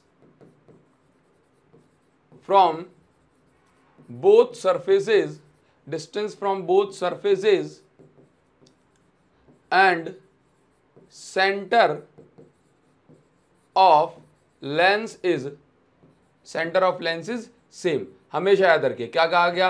अजम्पशन क्या है? कि भाई लेंस इतना थिन है कि चाहे आप डिस्टेंस मेजर करना है तो ऑप्टिकल सेंटर से करो, या किसी भी सरफेस से आपकी जो डिस्टेंसेज हैं, ये सेम रहने वाली है, ठीक है? तो ये लेंस, कोई भी लेंस इमेज का फॉर्मेशन किस तरीके से करता है, ये आप समझिए। कोई भी लेंस इमेज का फॉर्मेशन कैसे करता है, इसको हम समझते हैं तो थोड़ा सा इसको नीचे लेकर के आते हैं। मान के चलते हैं कि भाई यहाँ पर हमारे पास एक ऑब्जेक्ट है, क्या है? यहाँ पर हमारे पास एक ऑब्जेक्ट है। और ये ऑब्जेक्ट रखा है ओ बता कोई प्रॉब्लम ये ऑब्जेक्ट है ओ इसके बाद क्या है? हमारे पास यहाँ पर एक लाइट रे जा रही है कुछ इस प्रकार से। ठीक है? ये लाइट रे गई। इस लाइट को आपने क्या बोला? इस लाइट को आपने बोला इंसिडेंट रे कौन सी रे इंसिडेंट रे चलो, मैंने यहाँ पे लिख दिया इंसिडेंट रे अब थोड़ा सा यहाँ पे आप ये समझना, ये इंसिडेंट रे है। अब होता क्या है? ये देखो, पहले थोड़ी सी यहाँ पे थोड़ा सा आपको हो सकता है कि ज़्यादा किचपिच लगे, लेकिन उसके बाद मतलब थोड़ा मैसी लगे, लेकिन उसके बाद मैं आपको सब कुछ क्लियर करके एकदम शॉर्ट में बता दूँगा टेंशन मत लेना। तो अभी मैं आपको बताता हूँ कि लेंस लाइट को कैसे जो है बैंड करता है। तो सबसे पहला काम क्या है? ये इंसिडेंट रे गई। ये इंसिडेंट रे इस डायरेक्शन में गई, हमने एरो लगा दिया। उसके बाद जैसे ये रे इस सरफेस पे पड़ेगी तो यहाँ पर, देखो जहाँ पर लाइट रे इंसिडेंट करती है, वहाँ पर हम एक नॉर्मल या परपेंडिकुलर ड्रॉ करते हैं। तो भाई, यहाँ पर भी हमने एक नॉर्मल यानी कि परपेंडिकुलर लाइन ड्रॉ करी। तो ये परपेंडिकुलर जो है, यहाँ पर पहुँचा। ठीक है? अब आप ये बताओ कि ये वाली जो सरफेस की हम बात कर रहे हैं, ये वाली सरफेस इसका मुँह इस साइड है ना? तो अगर हम इसका सर्कल बनाएँगे तो उसका सेंटर भी तो इसी साइड होगा। तो ये वाली सरफेस का सेंटर ऑफ़ कर्वेचर इस साइड होगा। ठीक है, याद रखिए। और वैसे भी ये जो नॉर्मल हमने ड्रॉ करा है, ये नॉर्मल हमने किस पे ड्रॉ करा है? ये पहली सरफेस पे तो पहली सरफेस का जो है परपेंट जो है सेंटर ऑफ़ कर्वेचर कहलाएगा, ठीक है? अब ये देखो, ये कौन सा मीडियम है सर ये मीडियम है रेयरर कौन सा मीडियम है? ये तो रेयरर मीडियम है। अब ग्लास कौन सा मीडियम है? ग्लास ग्लास तो सर डेंसर मीडियम है। कैसा है? डेंसर मीडियम तो आप ये बताओ कि लाइट जब रेयरर से डेंसर मीडियम में जाएगी तो नॉर्मल से दूर भागेगी कि पास में आएगी? आंसर है पास में आएगी। तो आप ये देखो ये लाइट जा रही थी ऐसे ही ऐसे जा रही थी लेकिन अब इस लाइट का क्या होगा? ये लाइट बैंड हो जाएगी। कहाँ पे? नॉर्मल के पास। फ़र्स्ट सरफेस पे नॉर्मल तो फ़र्स्ट सरफेस के आ, के साइड ये बैंड हो जाएगी। तो बैंड होकर नीचे आ जाएगी और ये लाइट कुछ इस तरीके से ये हो गई। ये ऐसे बैंड हो गई। ठीक है? तो आप ये देखो कि लाइट को बेंड करा दिया फ़र्स्ट सरफेस ने इस डायरेक्शन में। ठीक? तो जरा सोचिए कि भाई अगर अगर अगर ये ग्लास ना होता मतलब अगर ये दूसरी वाली सरफेस ना होती, दूसरी वाली सरफेस अगर ना होती तो भाई इसके कारण से जो इमेज का फॉर्मेशन होता, ये लाइट सीधी चली जाती, ये लाइट सीधी चली जाती।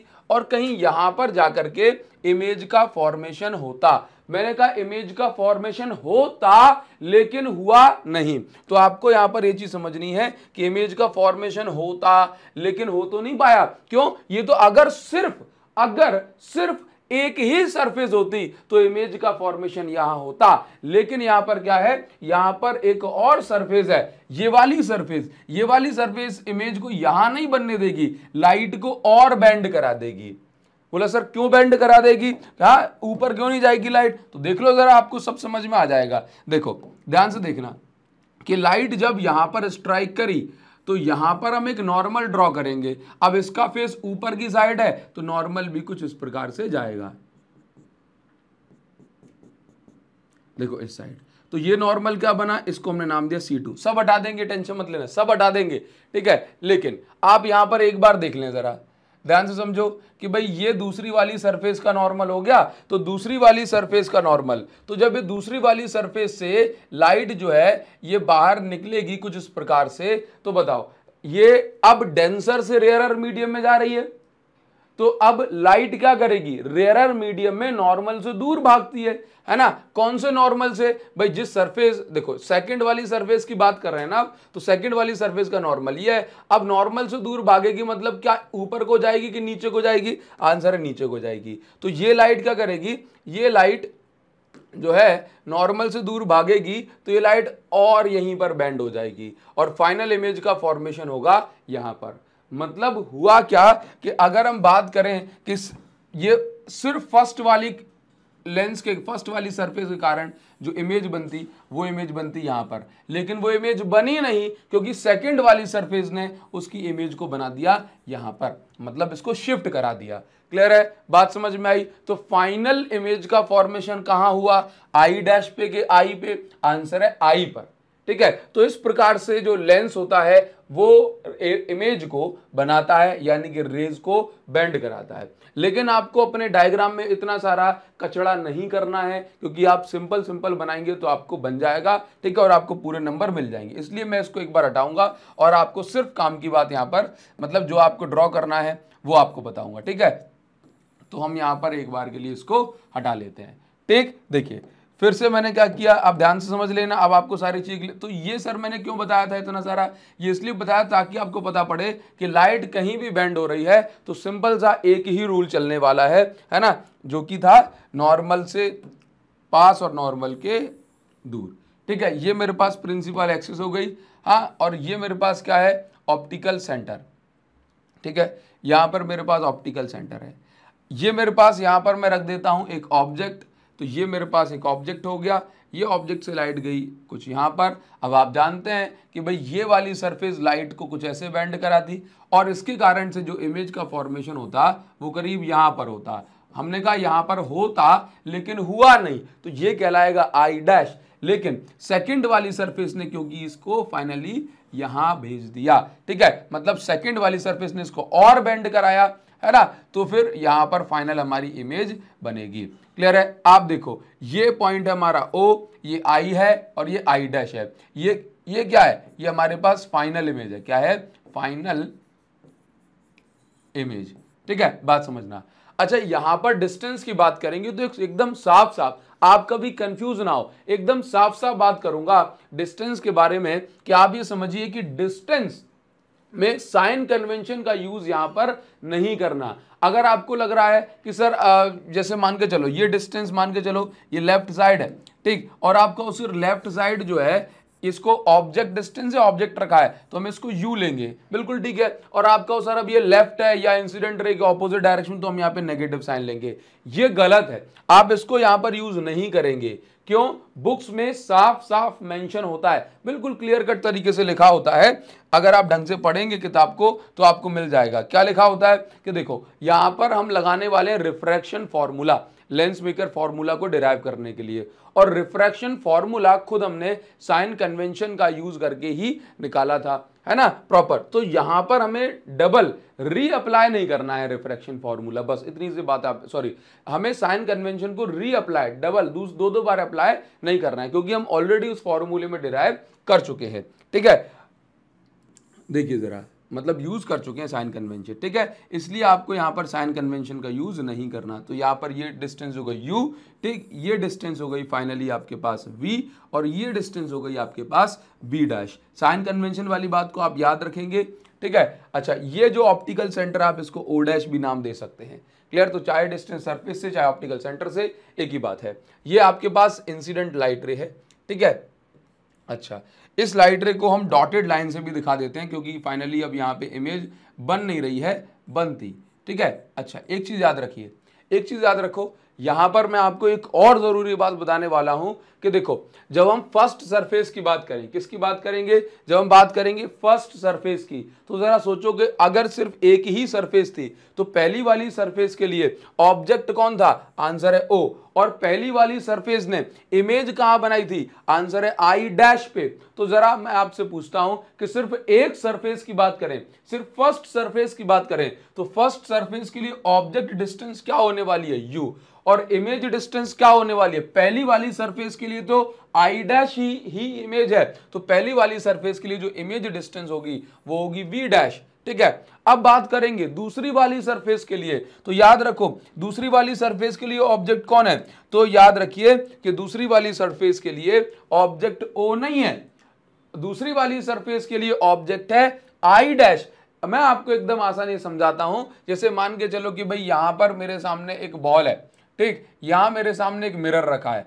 ये मेरे पास एक मिरर है और यहाँ पर मेरे पास एक दूसरा मिरर है। ठीक? अब सोचो, भाई, ये तो पॉलिश सरफेस है पीछे। अब सोचो कि अगर इस मिरर में फाइनल बॉल की इमेज बन जाए तो बताओ मुझे जरा कि इस मिरर के लिए ऑब्जेक्ट कौन था? ये बॉल बिल्कुल नहीं। बॉल नहीं थी। ये देखो, ये ऑब्जेक्ट ओ है। ये पहला वाला मिरर के लिए तो ये ऑब्जेक्ट ओ ऑब्जेक्ट है। लेकिन दूसरे वाले मिरर के लिए, दूसरे वाले मिरर को तो दिखाई नहीं पड़ रही है। दूसरे वाले मिरर की लाइट रे इस पे आके नहीं टकरा रही है। लेकिन सॉरी दूसरे वाले मिरर के लिए इस बॉल की रे आके नहीं टकरा रही है। लेकिन लेकिन क्या हो रहा है कि इसकी इमेज यहाँ पे बनी आई डैश ठीक है? तो ये वाला मिरर इस वाले मिरर की इमेज को बनाएगा। तो एक्चुअल में एक्चुअल में सेकंड वाले मिरर के लिए आई डैश ही, ये वाले मिरर में बनने वाली इमेज ही एक्चुअल ऑब्जेक्ट की तरह एक्ट करेगी। ठीक है, ये बात आप याद रखना। तो जब हम बात करेंगे ना सेकंड सरफेस के लिए सेकंड सरफेस के लिए बताओ मुझे ऑब्जेक्ट कौन होगा? आई डैश सेकंड सरफेस के लिए ऑब्जेक्ट कौन होगा? आई डैश ठीक है मतलब ऑब्जेक्ट डिस्टेंस क्या होगी? वी डैश और सेकंड सरफेस के लिए फाइनल इमेज क्या बन रही है? आई पर मतलब सेकंड सर्फेस के लिए इमेज डिस्टेंस होगी v. आप ये बात याद रखेंगे। एक्चुअल में क्या है कि पहली सरफेस की इमेज बनी यहाँ पर और दूसरी सरफेस ने इसी ऑब्जेक्ट को देख करके इसकी इमेज बना दी यहाँ पर।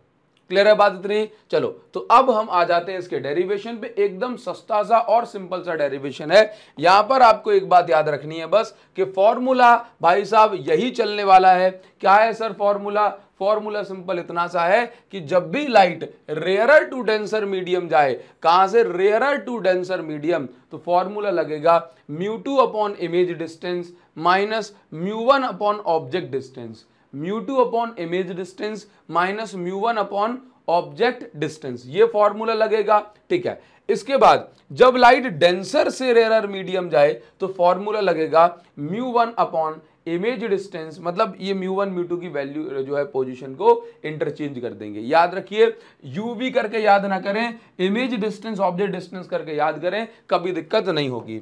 चलिए, थोड़ा सा आ जाते हैं लेंस मेकर फॉर्मूले के डेरिवेशन की ओर, ठीक है। ना, ध्यान से समझना, ध्यान से समझना। देखो क्या दिया हुआ है यहाँ पे।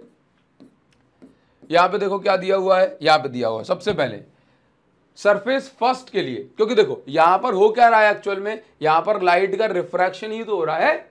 है ना? लेंस का करा रहा है लाइट का रिफ्रैक्शन तो फ़र्स्ट सरफेस ने कैसे रिफ्रैक्शन कराया? उसके लिए जो है वैल्यूज़ पुट करेंगे. सेकंड के लिए कैसे? उसके लिए वैल्यू पुट करेंगे. ठीक है? तो देखो, अभी क्या हो रहा है? लाइट यहाँ पर रेयरर से डेंसर मीडियम में जा रही है. रेयरर से डेंसर मीडियम में जा रही है ना? ठीक है? तो आप देखो जरा, ये मत बनाना एग्ज़ाम में. समझ आई बात? ये तो ऐसे बता रहा हूँ लाइट रेयरर से डेंसर मीडियम में जा रही है. तो देखिए जरा, ध्यान से देखो, यहाँ पर ऑप्टिकल सेंटर रोड दिखा दो. देखिए तो अभी क्या हो रहा है कि फ़र्स्ट सरफेस के लिए वो इमेज है। तो देखो फ़र्स्ट सरफेस के लिए, देखो रेयर टू डेंसर में mu two upon image distance minus mu one upon object distance पहली सरफेस के लिए इमेज वी डैश है वी डैश पे बन रही है। और दूसरी और पहली सरफेस के लिए ऑब्जेक्ट यू है is equal to mu two minus mu one upon radius radius मतलब फ़र्स्ट सरफेस की जो रेडियस ऑफ़ कर्वेचर होगी, वो आर वन होगी। तुमने आर वन लिख दी सिंपल सी बात है, ठीक है? इसके बाद। दूसरी सरफेस की बात करेंगे तो अब देखो, ये पहली सरफेस के लिए जो रे आ रही थी, वो तो हवा से आ रही थी, लेकिन दूसरी सरफेस के लिए तो रे ग्लास में से आ रही है ना? हाँ तो दूसरी वाली सरफेस के लिए जो लाइट जा रही है, वो जा रही है डेंसर टू रेयरर कहाँ से कहा? डेंसर टू रेयरर और डेंसर टू रेयरर के लिए फॉर्मूला होता है mu one upon image distance minus mu two upon object distance तो एक बात बताओ मुझे एक बात बताओ mu one upon image distance तो भाई इस वाले सेकंड वाली सरफेस के लिए फाइनली जो इमेज है, वो कहाँ पर है? आई पे, यानी कि म्यू वन अपॉन क्या लिख दिया? आई की डिस्टेंस क्या है? V minus mu two upon object distance second वाली सरफेस के लिए ऑब्जेक्ट है आई डैश आई डैश की दूरी है v डैश और इसको हमने क्या बनाया?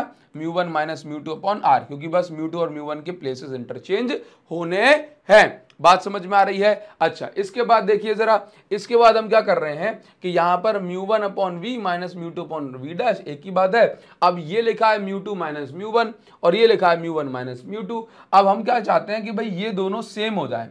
तो हमने क्या करा? यहाँ पर एक माइनस साइन लगा के इनके अंदर पोजीशन बदल दी। देखो जब सब्ट्रैक्शन में पोजीशन बदलनी होती है तो माइनस साइन लगाना होता है। मतलब हमने माइनस साइन लगा के इसकी पोजीशन बदल दी। Mu one minus mu two को mu two minus mu one बना दिया।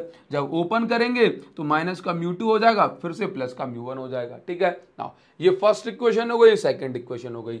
अभी हम क्या करेंगे? फ़र्स्ट और सेकेंड इक्वेशन को ऐड कर देंगे। तो जब हम फ़र्स्ट और सेकेंड इक्वेशन को ऐड करेंगे तो आप यहाँ से देख पाएँगे कि देखो जब हम फ़र्स्ट और सेकंड इक्वेशन को ऐड करेंगे तो आप यहाँ से देख पाओगे कि mu two upon v dash यहाँ पे पॉजिटिव है और mu two upon v dash यहाँ पे नेगेटिव है। तो सिर्फ़ क्या बचेगा? Mu one upon v minus mu one upon u देखिए जरा, क्या बचेगा? ये सब हटा देता हूँ, मैंने आपको बताया ना? देखो जरा, क्या बचेगा? ध्यान से देख लेते हैं। देखो mu two upon v dash और ये कैंसिल हो गया। यहाँ पर भी ऐड करा। अब यहाँ पे ऐड तो करा है, लेकिन सेकंड वाले के सामने माइनस साइन लगा तो बीच में माइनस हो गया। तो यहाँ पे बचा mu one upon v minus mu one upon u यहाँ पे mu two upon mu one को कॉमन ले लिया और ये बाहर निकल के क्या आ गया? वन अपॉन आर वन और one upon r two minus का। बताओ, कोई प्रॉब्लम इसमें नहीं है सर इसके बाद देखो, यहाँ पर म्यू वन बाहर आ गया, यहाँ पे सिंपल क्या बचा? One upon v minus one upon u यहाँ पे क्या है? Mu two minus mu one और ये क्या है? One upon r one minus one upon r two as it is रखा। अब देखो म्यू वन की जगह पे, अब ये जो म्यू वन है, ये यहाँ पे इंटू में, यहाँ पे पहुँचा दिया डिवाइड में चला गया। ये देखो डिवाइड में चला गया। तो म्यू टू के नीचे भी गया म्यू वन ठीक है? और म्यू वन के नीचे भी गया म्यू वन तो म्यू वन से म्यू वन कटा तो वन बचा। ठीक म्यू टू से म्यू वन नहीं कट पाया तो एज इट इज़ लिख दिया। बताओ जरा क्लियर है? क्लियर है ठीक है याद रखेंगे अच्छा और यहाँ पे जो वन अपॉन एफ़ जो है वन अपॉन एफ़ जो है sorry one upon v minus one upon u की जगह हमने क्या लिखा वन अपॉन एफ़ आप पढ़ेंगे इसको जैसे आपने मिरर्स में पढ़ा था ना कि फोकल लेंथ का फॉर्मूला होता है one upon f is equal to one upon u plus one upon v लेकिन लेंस में होता है one upon f is equal to one upon v minus one upon u इसको अपन लेंस फॉर्मूला बोलते हैं ये जो डिराइव कर रहे हैं, वो लेंस मेकर फॉर्मूला है। और जो यूवी और एफ़ के बीच में रिलेशन देता है, उसको अपन लेंस फॉर्मूला कहते हैं। ठीक है तो देखो जरा लेंस फॉर्मूला क्या निकल के आया? One upon f is equal to mu two upon mu one minus one ठीक? और यहाँ पे क्या है? One upon r one minus one upon r two ध्यान से देखना। इसके बाद देखो, ये तो अपने पास फॉर्मूला बन गया लेकिन क्या होता है, ये mu two upon mu one ये बड़ा सा फॉर्मूला यही अगर आप याद रखोगे तो बच्चों, आपको कभी कोई दिक्कत नहीं होने वाली है इसके अंदर, ठीक? लेकिन अगर आप शॉर्टकट की ओर जाना चाहते हैं तो आपको कभी कभी फिर ओपन करना पड़ेगा, जैसे कि म्यू टू को, अगर आप म्यू मान ले, क्या मान ले? म्यू जैसे मान के चलो कि लाइट जो है एयर से ग्लास में जा रही है नॉर्मली लाइट हवा से ग्लास में जाती है ना एयर से ग्लास में तो अगर आपने म्यू टू को मान लिया म्यू और म्यू वन को मान लिया एयर के लिए वन तो फाइनल जो आपका फॉर्मूला बनेगा म्यू इसकी जगह वन माइनस वन तो देखो फाइनल फॉर्मूला बनेगा mu minus one one upon r one minus one upon r two one upon r one minus one upon r two लेकिन मैं कहूँगा, ये तो हो गया सिंपल एयर के लिए. एयर और ग्लास या एयर और वाटर या किसी की चीज़ के लिए. ठीक है मतलब एयर के लिए है वो. ठीक, अब ये किसी भी मीडियम के लिए जो है आपके लिए एप्लीकेबल हो सकता है. ठीक है, जैसे मान के चलिए कि मैं आपसे कहता हूँ कि लाइट जो है ये कहाँ से कहाँ जा रही है? वाटर से, जैसे मान के चलो कि आपका जो लेंस है, आपसे क्वेश्चन जो है पूछे जाते हैं कि लेंस जो है, कहाँ से कहाँ रखा है? तो हमने कहा, सर, अगर लेंस रखा हुआ है हमारा, मान के चलो वाटर में, कहाँ रखा है? वाटर में। तो अब मुझे आप ये बताओ कि लाइट कहाँ से कहाँ जाएगी? लाइट वाटर में घुसेगी पहले और फिर ग्लास में जाएगी ना? इसका मतलब है लाइट जा रही है वाटर से ग्लास में वाटर टू ग्लास तो सर, ऐसे केस में हम रिफ्रैक्टिव इंडेक्स को क्या लिखते हैं? तो मैंने कहा रिफ्रैक्टिव इंडेक्स को लिखते हैं रिफ्रैक्टिव इंडेक्स को लिखते हैं रिफ्रैक्टिव इंडेक्स ऑफ़ किसमें लाइट घुस रही है बाद में? तो लाइट घुस रही है ग्लास में और कहाँ से जा रही है? वाटर से। तो देखो, वाटर से ग्लास में लाइट जा रही है। ऐसे लिखते हैं। तो इसको क्या लिखा जाएगा? फॉर्मूला क्या बनेगा? म्यू जी अपॉन म्यू डब्ल्यू। ठीक है? बस ये बात आप याद रखो। अच्छा तो फाइनल अपना फॉर्मूला कुछ ये था ना। One upon f is equal to mu two upon mu one minus one और ये one upon r one minus one upon r two. ये बात आप याद रखेंगे। अच्छा one upon f is equal to अब देख रहे ना लाइट पहले किसमें थी? वाटर में। तो म्यू वन की जगह मैं लिख दिया म्यू वाटर और फिर किसमें चली गई? ग्लास में। माइनस वन बस अपन इसको यूज़ करें। One upon r one minus one upon r two अपन ये लगाएँगे। अच्छा एक बात का बहुत ध्यान रखना है आपको। क्या एक चीज़ बहुत ज़्यादा ही इंपॉर्टेंट है? वो ये है कि अगर दोनों lenses same radius of curvature है, क्या है? सेम रेडियस ऑफ़ कर्वेचर मतलब इसमें आपसे कहा जाएगा बाई। बाई मतलब दोनों, दो। बाई कॉन्वेक्स लेंस दोनों साइड से कॉन्वेक्स है। बाई कॉन्वेक्स लेंस ऐसी कंडीशन है। ऐसी कंडीशन में दोनों की रेडियस ऑफ़ कर्वेचर सेम रहेगी। तो देखो जरा, इसकी रेडियस अगर आर वन है तो इसकी रेडियस भी आर वन होगी। या मैं कहूँ, इसकी रेडियस अगर आर है तो इसकी रेडियस भी आर होगी। लेकिन याद रखो याद रखो, यहाँ पे देखो, ये पहली वाली सरफेस है फ़र्स्ट वाली सरफेस और ये सेकंड वाली सरफेस है। तो आप भी देखो, ये जो पहली वाली सरफेस की जो रेडियस है, ये राइट में जा रही है ना तो हम आर वन की जगह प्लस आर लेंगे। और दूसरी वाली सरफेस की जो रेडियस है, वो लेफ़्ट में जा रही है तो हम उसकी जगह माइनस आर लेंगे। याद रखिए, तब जाकर के आपका होगा न्यूमेरिकल तो याद रखना, क्या होगा फिर जाकर के न्यूमेरिकल ठीक है? One upon r one minus one upon r two करना है ना अदरवाइज़ आंसर ज़ीरो आएगा और सबकी फोकल लेंथ अगर अपन ऐसा ना करें तो सबकी फोकल लेंथ फिर क्या आएगी? फिर ज़ीरो ही निकल गया, लेकिन ऐसा नहीं होता ना तो इसलिए अपन साइन कन्वेंशन का रेडियस ऑफ़ कर्वेचर में ध्यान रखेंगे। हो सकता है मैंने ध्यान ना कर पाया तो स्क्रीन थोड़ी स्क्रीन ब्लर हो रही हो थोड़ी सी। ठीक है? चलो, अभी नहीं होगी। ये चीज़ आपको समझ में आई?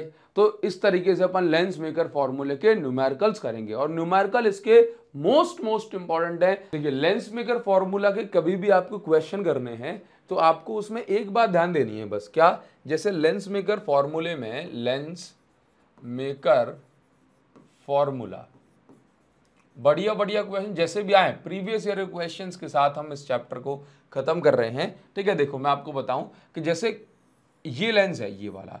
लेंस वैसे बहुत सारे टाइप के होते हैं। लेकिन जैसे एक लेंस होता है, ये प्लेन है और एक एंड से कॉन्वेक्स है। तो हम इसको प्लेनो कॉन्वेक्स कहते हैं। क्या कहते हैं? प्लेनो कॉन्वेक्स अगर आप ये बात समझ गए ना तो आप आराम से सारी चीज़ समझ जाओगे। ठीक, इसी प्रकार से, ध्यान दीजिए जरा, इसी प्रकार से ऐसा भी हो सकता है कि एक लेंस है क्या? ये तो जनरली हम इसकी बात करते हैं। तो दोनों साइड से कॉन्वेक्स है तो हम इसको बोलते हैं बाय कॉन्वेक्स लेंस। क्या बोलते हैं? Biconvex lens. ठीक है? अच्छा अब एक लेंस क्या है? बाय मतलब दोनों साइड से कॉन्वेक्स है। ये लेंस ऐसा है। ठीक? ये देखो, ऐसा। अब ये दोनों साइड से इसकी केव बन रही है तो दोनों साइड से कैसा है? ये बाय कॉनकेव ठीक है? अच्छा इसके बाद देखिए जरा, एक लेंस क्या है? ऐसा भी हो सकता है। इसको बोलते हैं प्लेनो कॉनकेव प्लेनो यानी कि एक साइड से प्लेन है और ये हो गया प्लेनो कॉनकेव ठीक है? चलिए, हम ये मान के चलते हैं, ये हम अज्यूम करके चलते हैं कि इस वाली लेफ़्ट वाली सरफेस को आप सरफेस वन नाम देंगे और इस वाली सरफेस को सरफेस टू नाम देंगे। अब देखो, ये प्लेन सरफेस है तो इसकी कोई रेडियस तो है नहीं। है ना? तो प्लेन सरफेस की रेडियस ऑफ़ कर्वेचर क्या ले लेंगे? इस साइड की रेडियस ऑफ़ कर्वेचर ये देखो, ये अगर इस साइड वाली मतलब इस साइड वाली सरफेस को आपने वन ही माना है तो देखो आर वन की वैल्यू इसकी रेडियस ऑफ़ कर्वेचर क्या है? बोला कुछ नहीं तो इसकी रेडियस ऑफ़ कर्वेचर को इनफाइनाइट मानेंगे क्यों? अगर हम इस प्लेन का सर्कल बनाएँगे, अगर इसको ऐसे मानते हो तो बहुत बड़ा सर्कल बनेगा।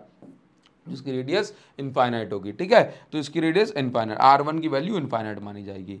अच्छा अब आर टू की वैल्यू लेट से इसकी रेडियस आर है तो अब इसकी रेडियस तो अगर हम इस वाले सर्कल को कंप्लीट करेंगे तो इसकी रेडियस इसी साइड आएगी ना लेफ़्ट में। तो हमने इसको कैसा साइन माना? माइनस साइन तो इसको हम लिया माइनस आर अब आप समझदार बच्चों सारे, अब देखना। यहाँ पे ये फ़र्स्ट सरफेस है और ये सेकंड सरफेस है, ठीक है? तो अब आर वन इसकी रेडियस कहाँ होगी? राइट साइड होगी तो हमने इसको पॉजिटिव आर मान लेंगे या पॉजिटिव आर वन ले लेंगे। ठीक है? और यहाँ पर देखो आर टू की जगह आर टू की जगह, ये आर टू जैसे लेफ़्ट में है आर टू की रेडियस कहाँ जाएगी? ये रेडियस लेफ़्ट में जाएगी तो हमने इसको क्या माना? माइनस आर ले लिया। अगर इनकी रेडियस सेम है और अगर अलग अलग है या हमसे कुछ कहा नहीं जा रहा है तो हम आर वन आर टू ही कंसीडर करेंगे। इसी प्रकार से आप समझ गए कि यहाँ पे फ़र्स्ट सरफेस देखो, ये कॉन्केव है। फ़र्स्ट सरफेस की रेडियस लेफ़्ट में होगी ना लेफ़्ट में तो यहाँ पे आर वन की वैल्यू भी हमने क्या ली? नेगेटिव ली। ठीक है? आर टू की वैल्यू यहाँ पे देखो आर टू की, इसकी रेडियस इस साइड होगी तो ये वैल्यू हमने पॉजिटिव ली। ठीक? इस तरीके से किसकी रेडियस का मतलब किसका मुँह, किस साइड को खुल रहा है, वो डिसाइड करता है। ठीक है? कि रेडियस पॉजिटिव लेनी है कि नेगेटिव ठीक? यहाँ पे आर टू बताओ जरा कैसा होगा? पॉजिटिव नेगेटिव आंसर है पॉजिटिव बस आप ये बात याद रखेंगे और इसके अब आप सारे क्वेश्चंस को आसानी से कर सकते हैं। ठीक है? देखो, अब मैं आपको बढ़िया बढ़िया इसके क्वेश्चंस बताता हूँ। ठीक? जो कि एग्ज़ाम में पूछे जाते हैं। ठीक? देखिए ज़रा क्वेश्चन क्या दिया जा रहा है? ध्यान से पढ़ेंगे, अच्छे सॉल्व करेंगे। The radius of curvature of the lens sorry the radius of curvature of faces of double convex lens double convex lens मतलब दोनों साइड से कॉन्वेक्स है।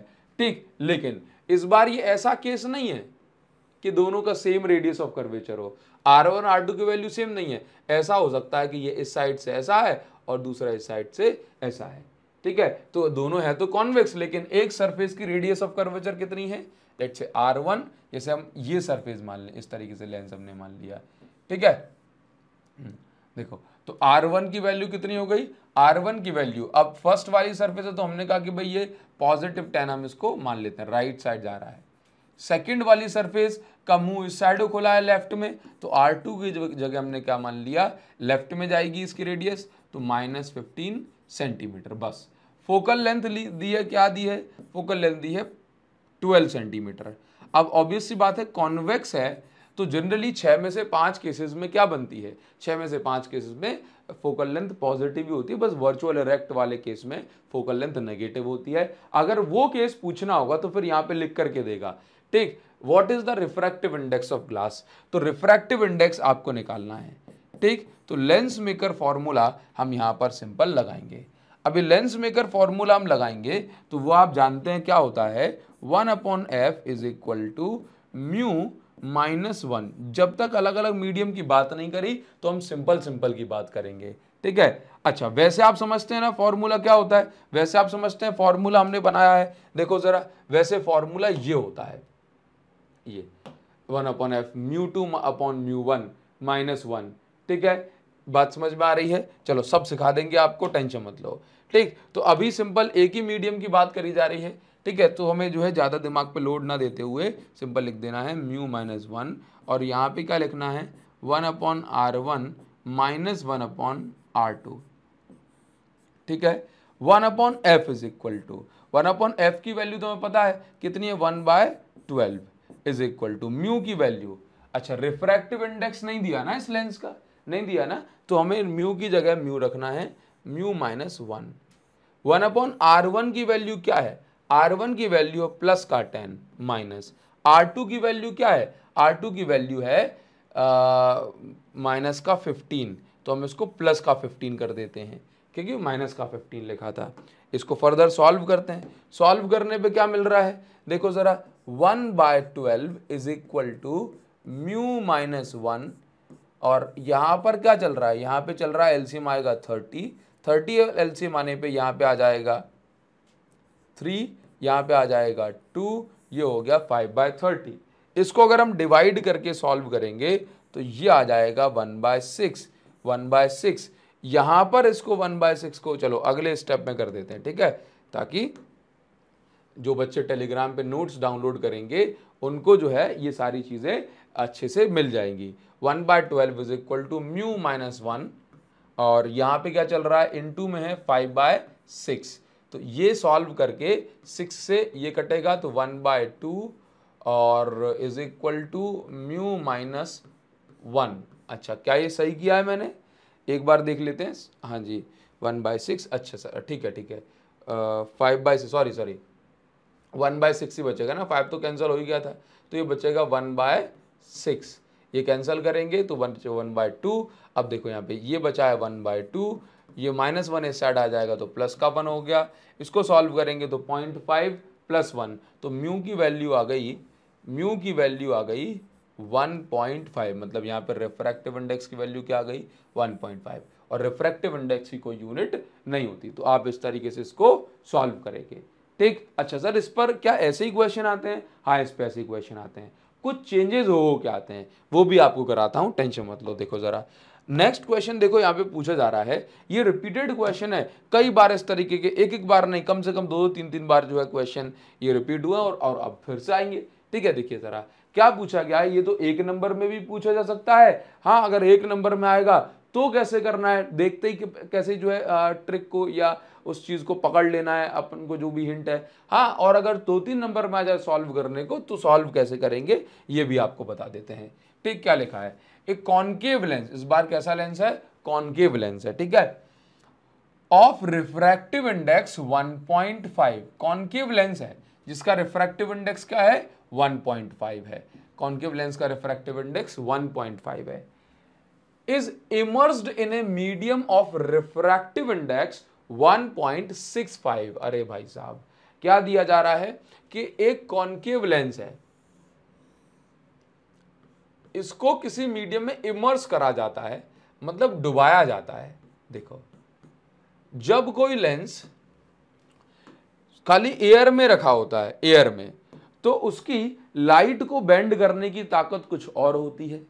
हाँ और मीडियम में जैसे लिक्विड में दूध में पानी में कैरोसिन में आप डुबा दें उसको तो उसकी लाइट को बेंड करने की ताकत कुछ और हो जाती है। मतलब उसकी लाइट को फोकस करने की जो ताकत है कैपेसिटी है वो बदल जाती है।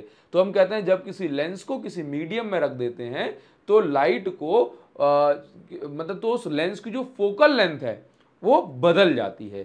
ठीक है? वो फोकल लेंथ कितनी हो जाती है? हाँ फोकल लेंथ बदल जाती है इसका मतलब है अब वो लाइट को हो सकता है डाइवर्ज करने की जगह कन्वर्ज करे, है ना? या कन्वर्ज करने की जगह डाइवर्ज करे, या कोई चेंज ना आए, है ना? तो ये चीज़ें समझनी हमें। तो यहाँ पर जो मेन बात कही जा रही वो ये है कि कॉन्वेक्स लेंस को इस तरीके से किसी मीडियम में, हमें नहीं पता कौन सा मीडियम है, बस उस मीडियम में डुबा दिया गया। ठीक है? तो पूछ रहा है, क्या ये कॉन्केव लेंस अभी भी कॉन्केव लेंस की तरह ही बिहेव करेगा? है ना? या कॉन्वेक्स लेंस बन जाएगा या कुछ और बन जाएगा तो हमें बताना है नेचर ऑफ़ लेंस ठीक है? तो देखिए, ऐसे केस में आप समझिए कि लाइट जो है, अब जो आएगी, वो कहाँ से कहाँ जाएगी? कहाँ से कहाँ जाएगी? लाइट जाएगी इस बार मीडियम से। लाइट कहाँ से जाएगी? लाइट जाएगी इस बार लाइट कहाँ से कहाँ जाएगी? मीडियम से जाएगी लेंस में। तो लाइट जाएगी मीडियम से मीडियम से लेंस में।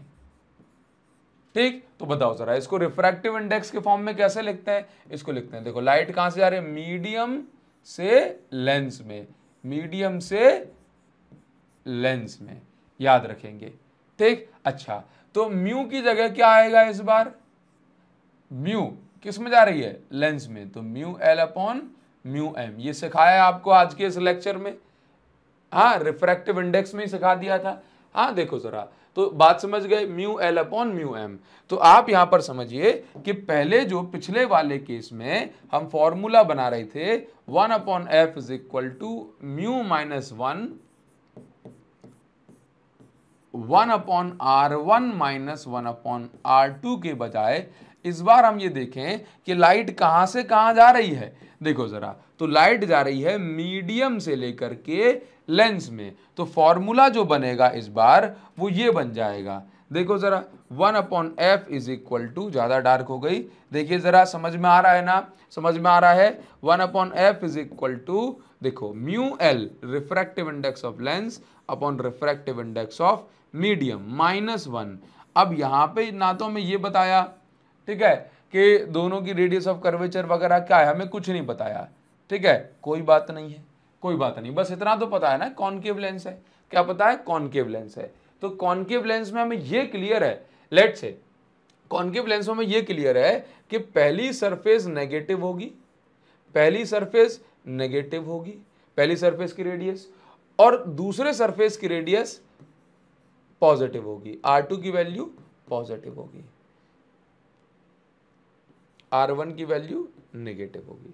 ठीक है? से से यहाँ पे देख लो। हम ये अज्यूम कर लेते हैं कि अगर आर वन और आर टू बराबर है, ठीक है? R one is equal to let say minus R R two is equal to let say plus R सिर्फ़ ये आपको कॉन्सेप्ट बताने के लिए कर रहा हूँ अदरवाइज़ डायरेक्ट हो जाएगा। देखो तो one upon F is equal to आप यहाँ पर देखें mu L upon mu M तो म्यू एल लेंस का रिफ्रैक्टिव इंडेक्स क्या है?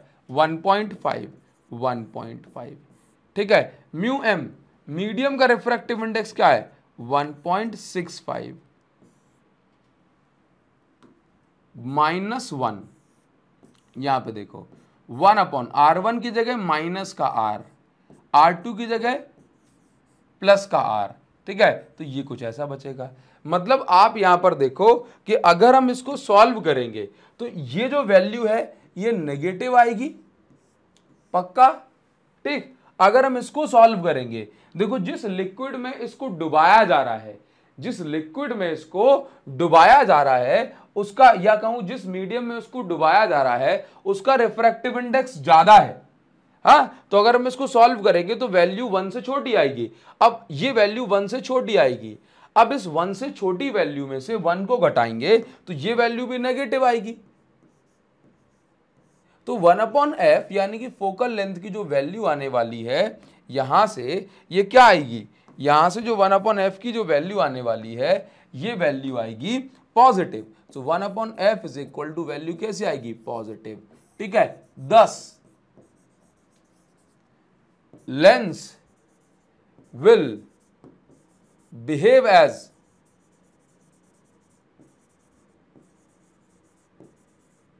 convex lens क्योंकि फोकल लेंथ पॉजिटिव किसकी होती है? कॉन्वेक्स लेंस की होती है। ठीक है? तो आप इसको देखते ही पहचान जाएँगे। आप इसको देखते ही पहचान जाएँगे। क्लियर है? कैसे पहचानेंगे? देखो, अगर हमें ये पता है कॉनकेव है तो ये वैल्यू नेगेटिव होने वाली है। कॉनकेव है? तो ये वैल्यू नेगेटिव होगी, ये वाला टर्म नेगेटिव होगा।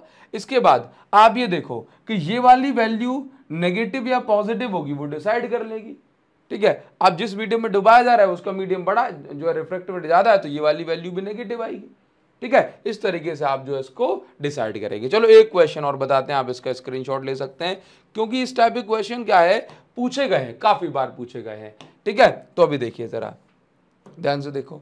तो अभी आप ये देखो, इस क्वेश्चन में क्या दिया जा रहा है कि बाय कॉन्वेक्स लेंस है made of transparent material of refractive index mu is equal to 1.25 मतलब यहाँ पर जो रिफ्रैक्टिव इंडेक्स किसका दिया है? लेंस का रिफ्रैक्टिव इंडेक्स 1.25 है। ठीक है? इसके बाद is immersed in water water में इस लेंस को डुबा दिया गया। और वाटर का रिफ्रैक्टिव इंडेक्स है 1.33 कितना है? 1.33 कह रहा है will the lens behave as converging और डाइवर्जिंग लेंस कैसे बिहेव करेगा? कन्वर्ज करेगा लाइट को, यानी कॉन्वेक्स या डाइवर्ज करेगा, यानी कॉन्केव ठीक है? गिव रीजन रीजन के साथ आपको बताना है। तो कंडीशन ये देखिए। लेंस को किसमें डुबाया गया? लेंस को डुबाया गया पानी में। और आज यहाँ पर ये कहावत जो है सही हो गई कि आज ब्लू है पानी पानी पानी रे। ठीक है? देखो जरा। बात क्लियर है? देखिए। तो ये कौन से लेंस को डुबाया जा रहा है? कौन से लेंस को? Convex bi convex lens bi convex कह रहा है, ठीक है? हम यहाँ पर क्योंकि बाय कॉन्वेक्स लेंस है, दोनों की रेडियस ऑफ़ कर्वेचर यहाँ पर हम सेम मान के चलेंगे। ठीक? देखो कॉन्वेक्स लेंस को पानी में डुबाया। अगर रेडियस ऑफ़ कर्वेचर नहीं दी है हमें तो। देखिए, अब यहाँ पर ऐसे केस में देखो लाइट कहाँ से जा रही है? वाटर से लेंस में। लाइट कहाँ से जा रही है? लाइट जा रही है वाटर से लेंस में। तो सीधी सीधी बात है कि यहाँ पर लाइट जा रही है वाटर से से लेंस में। तो यहाँ पर बस सिंपल क्या लिखना है? लेंस में जा रही है ना? तो लेंस में। कहाँ से? वाटर से। कैसे बनाया सर? देखो लाइट जा रही है वाटर से लेंस में। तो जिसमें जा रही है उसको ऊपर रखते हैं, जहाँ से आ रही है उसको नीचे रखते हैं। ठीक है? ठीक तो फॉर्मूला क्या बनेगा? One upon F is equal to mu, कहाँ से लाइट आ रही? है सिंपल लिख देता हूँ, mu L upon mu W minus one, ठीक? इंटू में क्या है? One upon R one minus one upon R two. यहाँ पर कुछ दिया है क्या? कुछ नहीं दिया। अब इतना तो हम समझते हैं कि कॉन्वेक्स लेंस है, bi convex for bi convex convex lens है तो आप ये देखो यहाँ पर। आर वन की वैल्यू क्या होगी? लेट लेट से ये प्लस में जाएगी तो प्लस आर हो गई। आर टू की वैल्यू क्या हो गई? माइनस आर हो गई, क्योंकि आर टू इस साइड जाएगी इसकी रेडियस तो सिंपल सी बात है, मुझे यहाँ से ये पता पड़ रहा है कि ये वाला टर्म पॉजिटिव होने वाला है। कैसे सर ये देखो one upon R R two की वैल्यू माइनस का है तो ये प्लस का आर हो गई। तो ये वाला टर्म तो पॉजिटिव आएगा। ये वाला टर्म देख लेते हैं। लेंस का रिफ्रैक्टिव इंडेक्स कितना है? 1.25 और इसका रिफ्रैक्टिव इंडेक्स कितना है? वाटर का 1.33 ठीक है? माइनस का वन वन अपॉन एफ़ देखिए ज़रा वन अपॉन एफ़ और 1.25 ये वैल्यू क्या आएगी? ये वैल्यू आएगी नेगेटिव क्योंकि इसका डायमीटर जो है बड़ा है और ये छोटा है न्यूमरेटर ये वैल्यू नेगेटिव आई। ये वैल्यू क्या आई? पॉजिटिव तो one upon F is equal to answer क्या आएगा? फोकल लेंथ नेगेटिव और नेगेटिव फोकल लेंथ किसकी होती है? नेगेटिव फोकल लेंथ होती है कन्वर्जिंग लेंस की। किसकी होती है? कन्वर्जिंग लेंस की। अच्छा यहाँ पर आप याद रखिए, जिसको हम भी, अभी हम आगे पढ़ने भी वाले हैं, कि वन अपॉन एफ़ जो है, ये पावर ऑफ़ लेंस का फॉर्मूला है। पावर ऑफ़ लेंस तो अगर आपसे पूछ ली जाए पावर ऑफ़ लेंस क्या होगी तो वन अपॉन एफ़ की वैल्यू निकाल के जो भी निकल के आएगा, आप उसको पावर ऑफ़ लेंस बताएँगे और इसकी जो यूनिट होती है, वो होती है डायोप्टर ठीक है? आगे हम इस पर डिस्कस करने वाले हैं कि पावर ऑफ़ लेंस एक्चुअल में क्या होता है। तो इस तरीके से आपसे पूछा जा सकता है कि देखो तो आप गिव रीजन में क्या लिखेंगे? The focal length of lens in water becomes negative in this case hence negative focal length belongs to concave sorry negative focal length यहाँ पे diverging sorry sorry sorry sorry sorry sorry sorry sorry sorry sorry sorry क्योंकि यहाँ पर अभी जो है ये कौन सा लेंस हो गया देन डाइवर्जिंग लेंस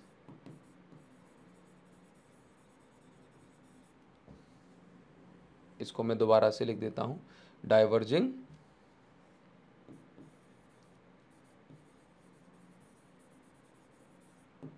लेंस ठीक है तो आप यहाँ पर देखेंगे डाइवर्जिंग लेंस हो गया।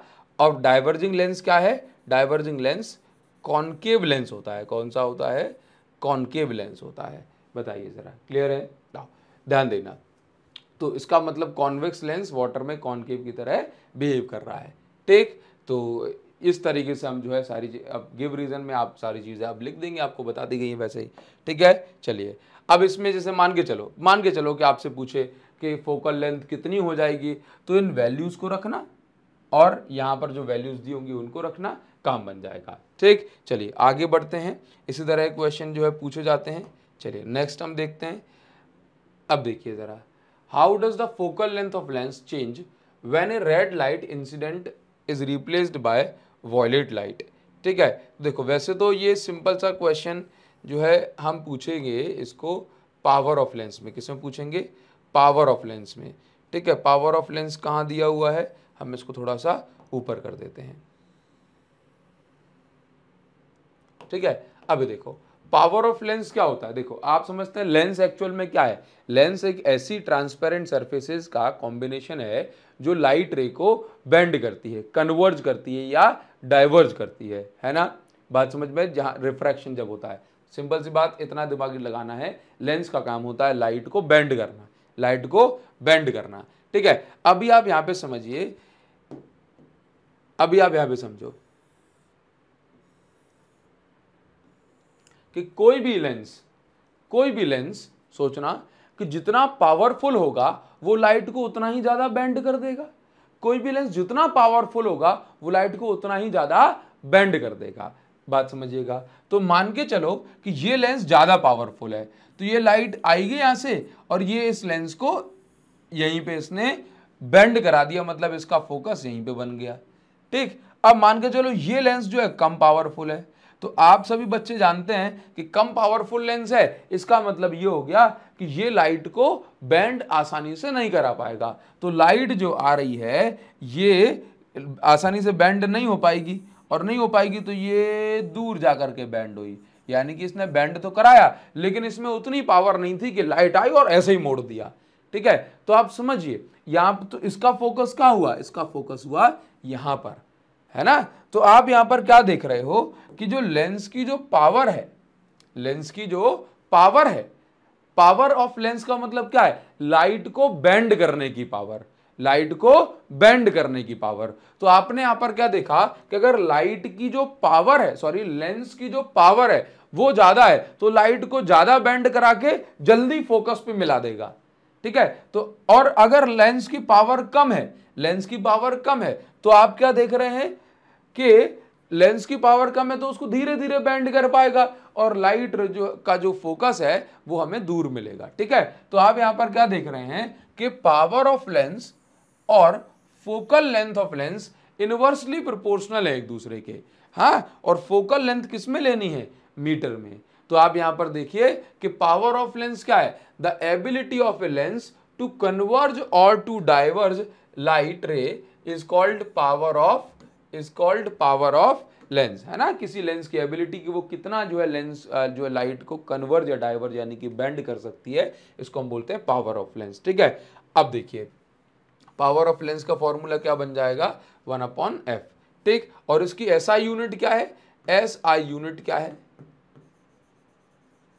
ऐसा यूनिट है डायोप्टर क्या है? डायोप्टर तो जैसे हमारी जो आँख का जो नंबर होता है चश्मे का, वो जैसे आपको दिया होता है plus two dioptre minus two dioptre तो अब आप समझ गए। यहाँ पे ध्यान से देखना। अगर पावर नेगेटिव है पावर नेगेटिव है तो उसका मतलब कौन सा लेंस है? कॉन्केव लेंस है। कौन सा लेंस है? कॉन्केव लेंस है। ठीक है? और अगर पावर पॉजिटिव है, क्योंकि देखो कॉन्केव लेंस की फोकल लेंथ पॉजिटिव होती है और वन अपॉन एफ़, वो भी तो जो है आप समझें कि ये देखो, फोकल लेंथ पॉजिटिव तो फिर पावर ही पॉजिटिव ठीक, ये ये इतना हो गया।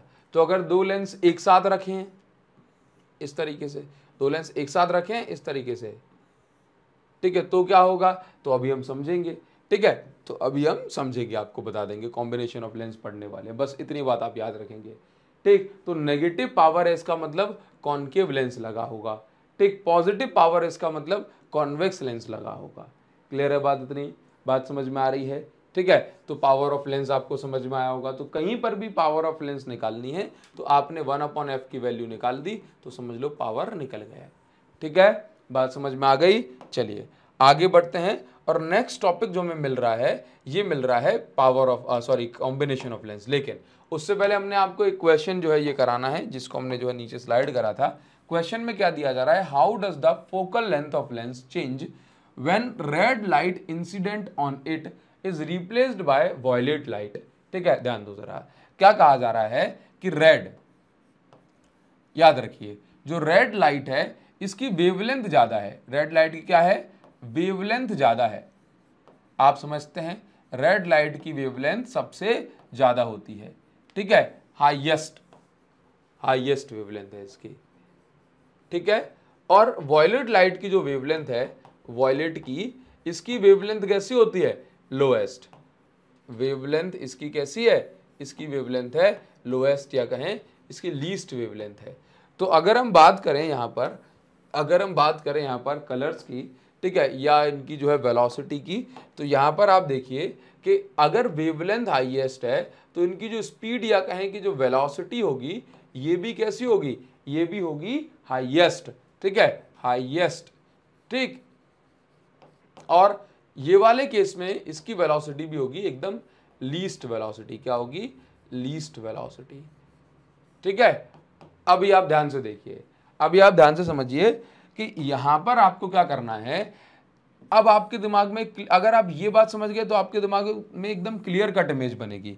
एकदम क्लियर कट इमेज कैसी इमेज देखो, बताता हूँ। मान के चलो कि यहाँ से कौन सी लाइट आई? यहाँ से आई लेट से ये कौन सी लाइट आ रही है? रेड लाइट आ रही थी ना? ठीक है।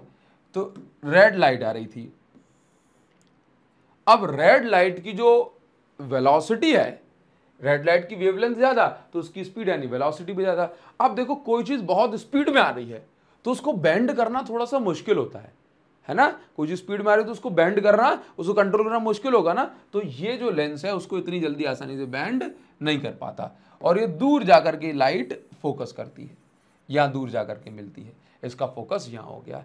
ठीक है सिमिलरली अगर इस कह रहा है कि अगर हम इस रेड लाइट को जो है रिप्लेस कर दें कौन सी लाइट से? अगर हम इस रेड लाइट को रिप्लेस कर दें ब्लू लाइट से। कौन सी लाइट से? ब्लू ब्लू कह रहा है वॉलेट कह रहा है। ठीक है वॉलेट तो यहाँ पर समझिए। चलो, ये आपको हल्का सा वॉलेट कलर देखने को मिल जाएगा। अगर इसको हमने वॉलेट लाइट से जो है रिप्लेस करा, मान के चलना, ये वॉलेट है। तो अभी क्या होगा? हालाँकि वॉलेट तो नहीं है, लेकिन हम मान लेते हैं वॉलेट दिखेगा भी नहीं वाइट पे। ठीक है? तो अभी आप समझिए कि अगर हम इसको वॉलेट से रिप्लेस कर देते हैं। तो अभी क्या होगा? वॉलेट की जो स्पीड यानी जो वेलोसिटी है वो कम है। अब धीमे धीमे आ रही धीमे धीमे तो लेंस को इसको बेंड कराना थोड़ा सा आसान होगा। तो लेंस पकड़ के इसको यहीं मोड़ देता है। तो यहाँ पे फोकस बन जाता है। तो आप यहाँ पर देखिए कि अगर ऐसा वाला केस बनता है तो यहाँ पे फोकल लेंथ क्या है? फोकल लेंथ कैसी है? फोकल लेंथ ज़्यादा है। तो पावर लेंस की कैसी हुई? रेड वाले केस में पावर कम हुई।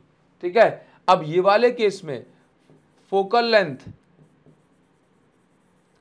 डिक्रीज हो गई डिक्रीज हो गई। और पावर क्या हो गई? पावर इंक्रीज हो गई। तो ये आपको समझना है। तो ये कौन सी लाइट हुई? ये तो रेड हो गई। और ये इसको हमने कौन सी माना? इसको हमने वॉयलेट लाइट माना। बात क्लियर हो गई? ठीक है, आप इसको याद रखेंगे। अच्छा काफ़ी कॉन्सेप्चुअल सा क्वेश्चन है और ये पूछे गए हैं सीबीएसई e में। ठीक है, याद रखेंगे इनको। वन मार्क क्वेश्चन के स्टडी क्वेश्चन को कुछ में भी जो है पूछा जा सकता है। ठीक है, आगे बढ़ जाते हैं और नेक्स्ट हम बात कर रहे थे किसकी? कॉम्बिनेशन ऑफ़ लेंस की। ठीक है, इसमें भी आपको अच्छे क्वेश्चन करके दिखाएँगे। कॉम्बिनेशन ऑफ़ लेंस क्या होता है? देखो, अभी आप इतनी बात तो समझते हैं कि लेंस क्या है लेंस मेकर फॉर्मूला क्या है, सारी बातें। ठीक कॉम्बिनेशन ऑफ़ लेंस में आपसे कहा जा रहा है कि अगर हम जैसे एक कॉन्वेक्स लेंस इमेज बनाते हैं तो वो यहाँ बन जाती है, मान के चलो ऐसी इमेज बनती है। ठीक, अब अगर हम मान के चलो कि दो लेंसेज को एक साथ चिपका करके रख दें तो इमेज का फॉर्मेशन किस प्रकार से होगा? ये हमें समझना है।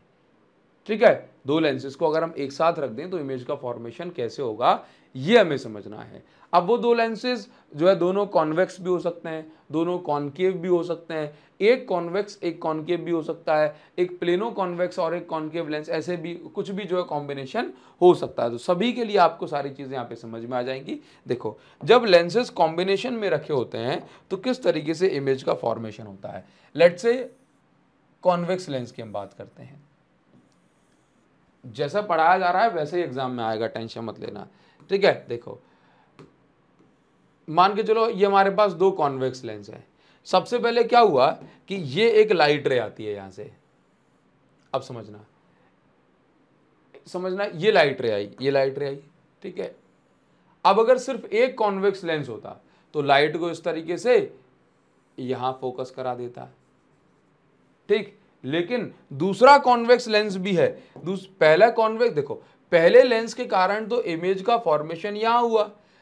लेकिन ये तो क्या कहलाएगा? ये वाला पॉइंट क्या कहलाएगा? क्या फाइनली यहाँ पे इमेज बनी? नहीं। यहाँ पर इमेज बनती अगर एक ही लेंस होता तो। बन गया लेंस मेकर फॉर्मूला ऐसा केस बन रहा है। तो देखो, ये क्या है? ये पहले लेंस के लिए इमेज है। ये क्या है? Image for image for first lens image for first lens ये पहले लेंस के लिए इमेज है।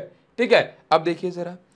अब यहाँ पर एक्चुअल में क्या हुआ कि ये जो लेंस है, ये इमेज यहाँ पे बनती अगर सिर्फ़ एक लेंस होता, लेकिन दूसरा लेंस भी है तो दूसरा लेंस भी तो इसको बेंड करेगा। दूसरे लेंस ने इसको यहाँ से ऐसे बेंड कर दिया। तो फाइनल इमेज जो है, वो यहाँ पे बन रही है। यहाँ पे सॉरी फाइनल इमेज यहाँ पे बन रही है। तो इसको हमने नाम दे दिया आई और ये डिस्टेंस क्या हो गई? वी और ये डिस्टेंस क्या हो जाएगी? वी डैश बात समझ में आ रही है। ये डिस्टेंस क्या हो जाएगी? ये फाइनल इमेज नहीं बनी। बनती तो हमने कहा कि भाई ये बी नहीं है, ये बी डैश है। तो आप ये देखो, ये जो आई डैश जो है, ये पहले लेंस के लिए तो इमेज है। लेकिन दूसरे लेंस ने क्या करा? इसी इमेज को खिसका के यहाँ बना दिया। तो दूसरे लेंस के लिए जो आई डैश है, ये क्या है? ऑब्जेक्ट है। क्या है? Object for second lens object object for second lens ठीक है? याद रखेंगे, क्योंकि मैंने आपको पहले भी बताया था लेंस मेकर वाले केस में, अभी भी बता रहा हूँ। क्या बता रहा हूँ? जैसे ये आपके पास, आपको याद आ जाए कि हाँ सर, आपने बताया था, ये आपके पास एक ऑब्जेक्ट है, ये आपके पास एक मिरर रखा है, इस तरीके से। ठीक? और यहाँ पर भी आपके पास एक ये मिरर रखा है। तो आप ये देखो कि इसकी इमेज जैसे आप ये देखो, ये लेंस वन है, या सॉरी ये मिरर वन है। ठीक है? तो आप यहाँ पर क्या देख रहे हैं? कि मिरर वन के लिए तो ऑब्जेक्ट ये है। अब मिरर टू के अंदर भी इसकी इमेज बन रही है यहाँ पे तो बताओ जरा। मिरर टू ने सीधा इसको तो देखा नहीं है। मिरर टू ने तो इसको देखा है ना, इसमें जो इमेज बन रही थी। तो जो मिरर वन के लिए इमेज है, वो मिरर टू के लिए ऑब्जेक्ट का काम करेगा। है ना? तो जो लेंस वन के लिए जो इमेज है, वो लेंस टू के लिए ऑब्जेक्ट का काम करेगा। है ना? यही बात हमें ध्यान रखनी है। क्लियर है? है ना? उम्मीद करूँगा आपको सब समझ में आ रहा होगा। ठीक है? तो देखिए ज़रा, यहाँ पर फिर से, यहाँ पर फिर से देखो ज़रा। अब, क्योंकि जैसे हमने लेंस मेकर फॉर्मूले में समझा था, जैसे हमने किसमें समझा था? लेंस मेकर फॉर्मूले में समझा था। ठीक है? कि लेंस मेकर फॉर्मूला बना था रिफ्रैक्शन फॉर्मूले से। और रिफ्रैक्शन फॉर्मूले में हमने ऑलरेडी साइन कन्वेंशन का यूज़ कर लिया था। यू वी के साथ, है ना? तो फिर अपन ने लेंस मेकर फॉर्मूले में साइन कन्वेंशन का यूज़ नहीं करा, ठीक है? कॉम्बिनेशन ऑफ़ लेंस बना है ये लेंस फॉर्मूले से। और लेंस फॉर्मूला जो डिराइव करते समय हमने साइन कन्वेंशन का यूज़ ऑलरेडी कर लिया था तो रिपीटेड साइन कन्वेंशन का हम यहाँ पर यूज़ नहीं करेंगे। मतलब यू वी के लिए साइन कन्वेंशन का यूज़ नहीं करेंगे, सब कुछ पॉजिटिव ही लेंगे। बुक्स में मैंने आपको पहले ही बताया कि हर चीज़ ऑलरेडी मेंशन है तो साइन कन्वेंशन को लेकर के प्रॉब्लम में मत आना। जो बता रहा हूँ बस उस पर आँखें बंद करके आप विश्वास कर सकते हो। आँखें बंद करके विश्वास नहीं करना तो आपकी मर्ज़ी आप जहाँ से विश्वास करो वहाँ से कर लेना। ठीक है? देखिए ज़रा बस आ, मैं उन बच्चों को अश्योर कराना चाहता हूँ हमेशा जो उम्मीद करते हैं ट्रस्ट करते हैं। ठीक है? हालाँकि आप सारे बच्चे अच्छे बच्चे हो लेकिन कभी कभी कुछ बच्चों के मन में डाउट आ जाता है तो उसको लेकर के मैं ये बता रहा हूँ आपको, ठीक है? तो पहली इमेज का फॉर्मेशन होता कुछ यहाँ पे और दूसरी इमेज का फॉर्मेशन हुआ यहाँ पे। आप बीच में से इसको जो है ऐसे बेंड करा दिया करें, ठीक है? अच्छा इस लाइट रे को आप डैश डैश करके दिखाएँ यहाँ से। डैश डैश का मतलब है कि इमेज बन थी लेकिन बन नहीं पाई भाई साहब, बड़ी दुख की बात है, ठीक है? तो देखो ज़रा, तब यहाँ पर आप कॉम्बिनेशन ऑफ़ लेंस में हम बात करते हैं। तो फॉर्मूला कौन सा यूज़ करना है? वन अपॉन वी मतलब image distance minus one upon U मतलब ऑब्जेक्ट डिस्टेंस अब इमेज डिस्टेंस और ऑब्जेक्ट डिस्टेंस हमने करके क्यों लिखा है? क्योंकि आप यू वी में कंफ्यूज ना हो जाए।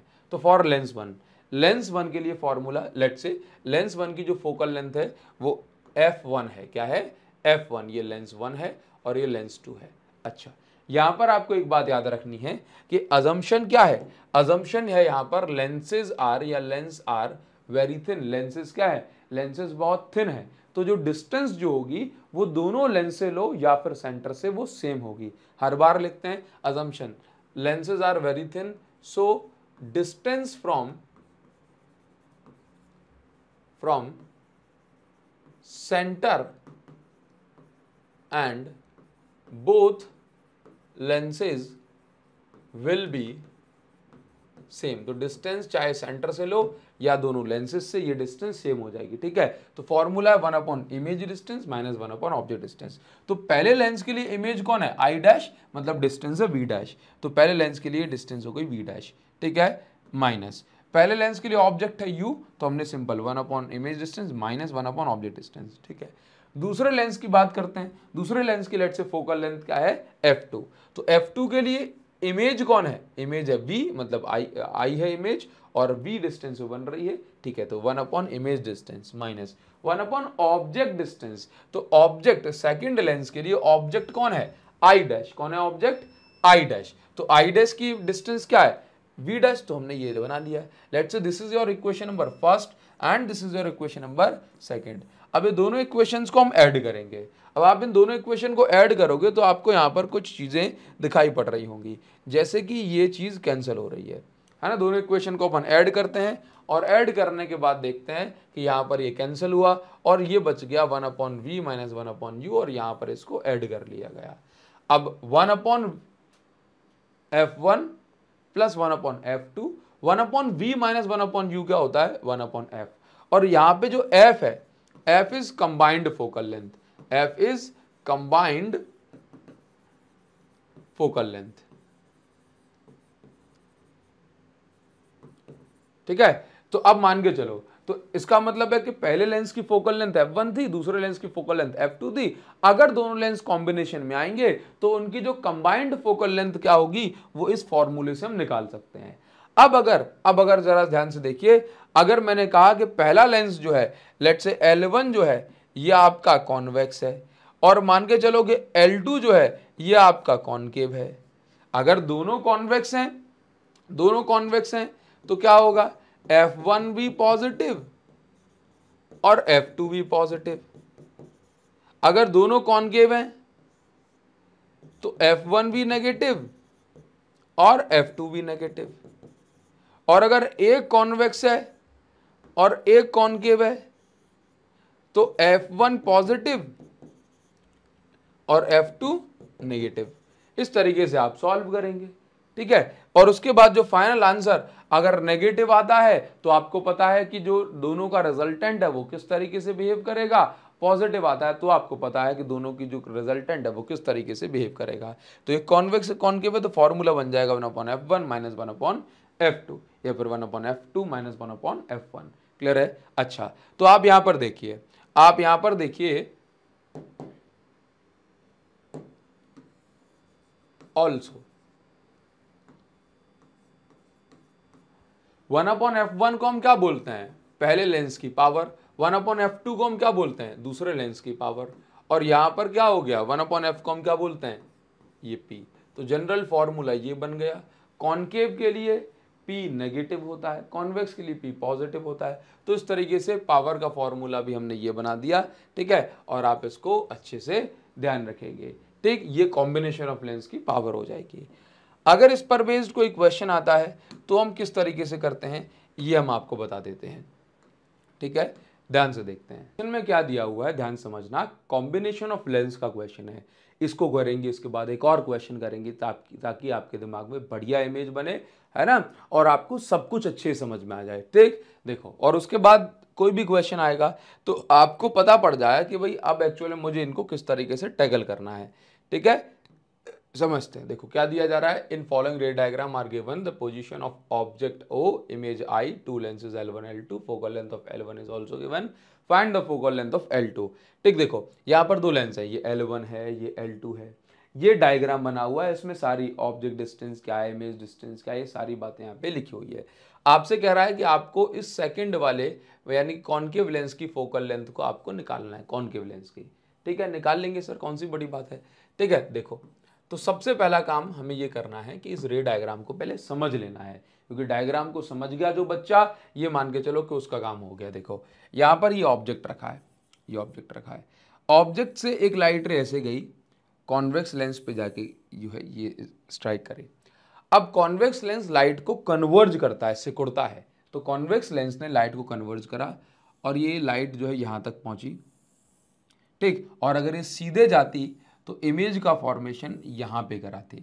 देख रहे हो? इस तरीके से यहाँ पे इमेज का फॉर्मेशन हो जाता है। लेकिन, और यहाँ पे जो है इसकी इमेज बन जाती। तो कॉन्वेक्स लेंस के लिए यहाँ पे इमेज बन जाती। ठीक है? हमें नहीं पता ये डिस्टेंस कितनी है, क्योंकि हमें डायग्राम में नहीं दी। डायग्राम में ये यहाँ तक की डिस्टेंस दी है यहाँ तक की। ये डिस्टेंस कितनी हमें नहीं पता।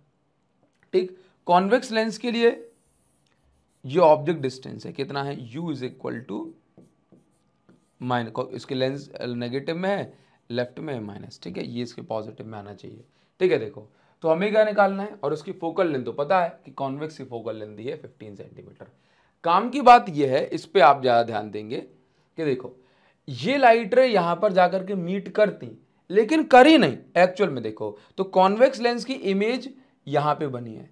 कॉन्वेक्स लेंस की इमेज यहाँ बनी है। देखो आई डैश लिखा है। यानी कि ये इमेज यहाँ पे बनती लेकिन कॉन्केव लेंस के बीच में आने से इमेज यहाँ पर नहीं बनी।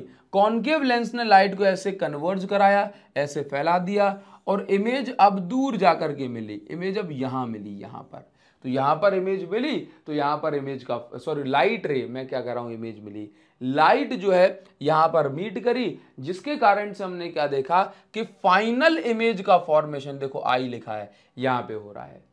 बात समझ में आ रही है? ठीक है? तो आप ये देखेंगे सेकंड वाले केस में सेकंड कॉन्केव के लिए जो इमेज है कॉन्केव के लिए जो इमेज है, वो देखो कहाँ बन रही है? ये डिस्टेंस लिख करके दी है थर्टी सेंटीमीटर प्लस का थर्टी सेंटीमीटर ठीक है? ध्यान रखेंगे। अब देखो, आप सभी समझते हैं कि कॉन्वेक्स के लिए इमेज ये बनी, लेकिन कॉन्केव ने क्या करा? इस इमेज को यहाँ खिसका दिया। मतलब ये जो डिस्टेंस आप देख रहे हो आप ये देखो, ये क्या है? आप ध्यान से देखना।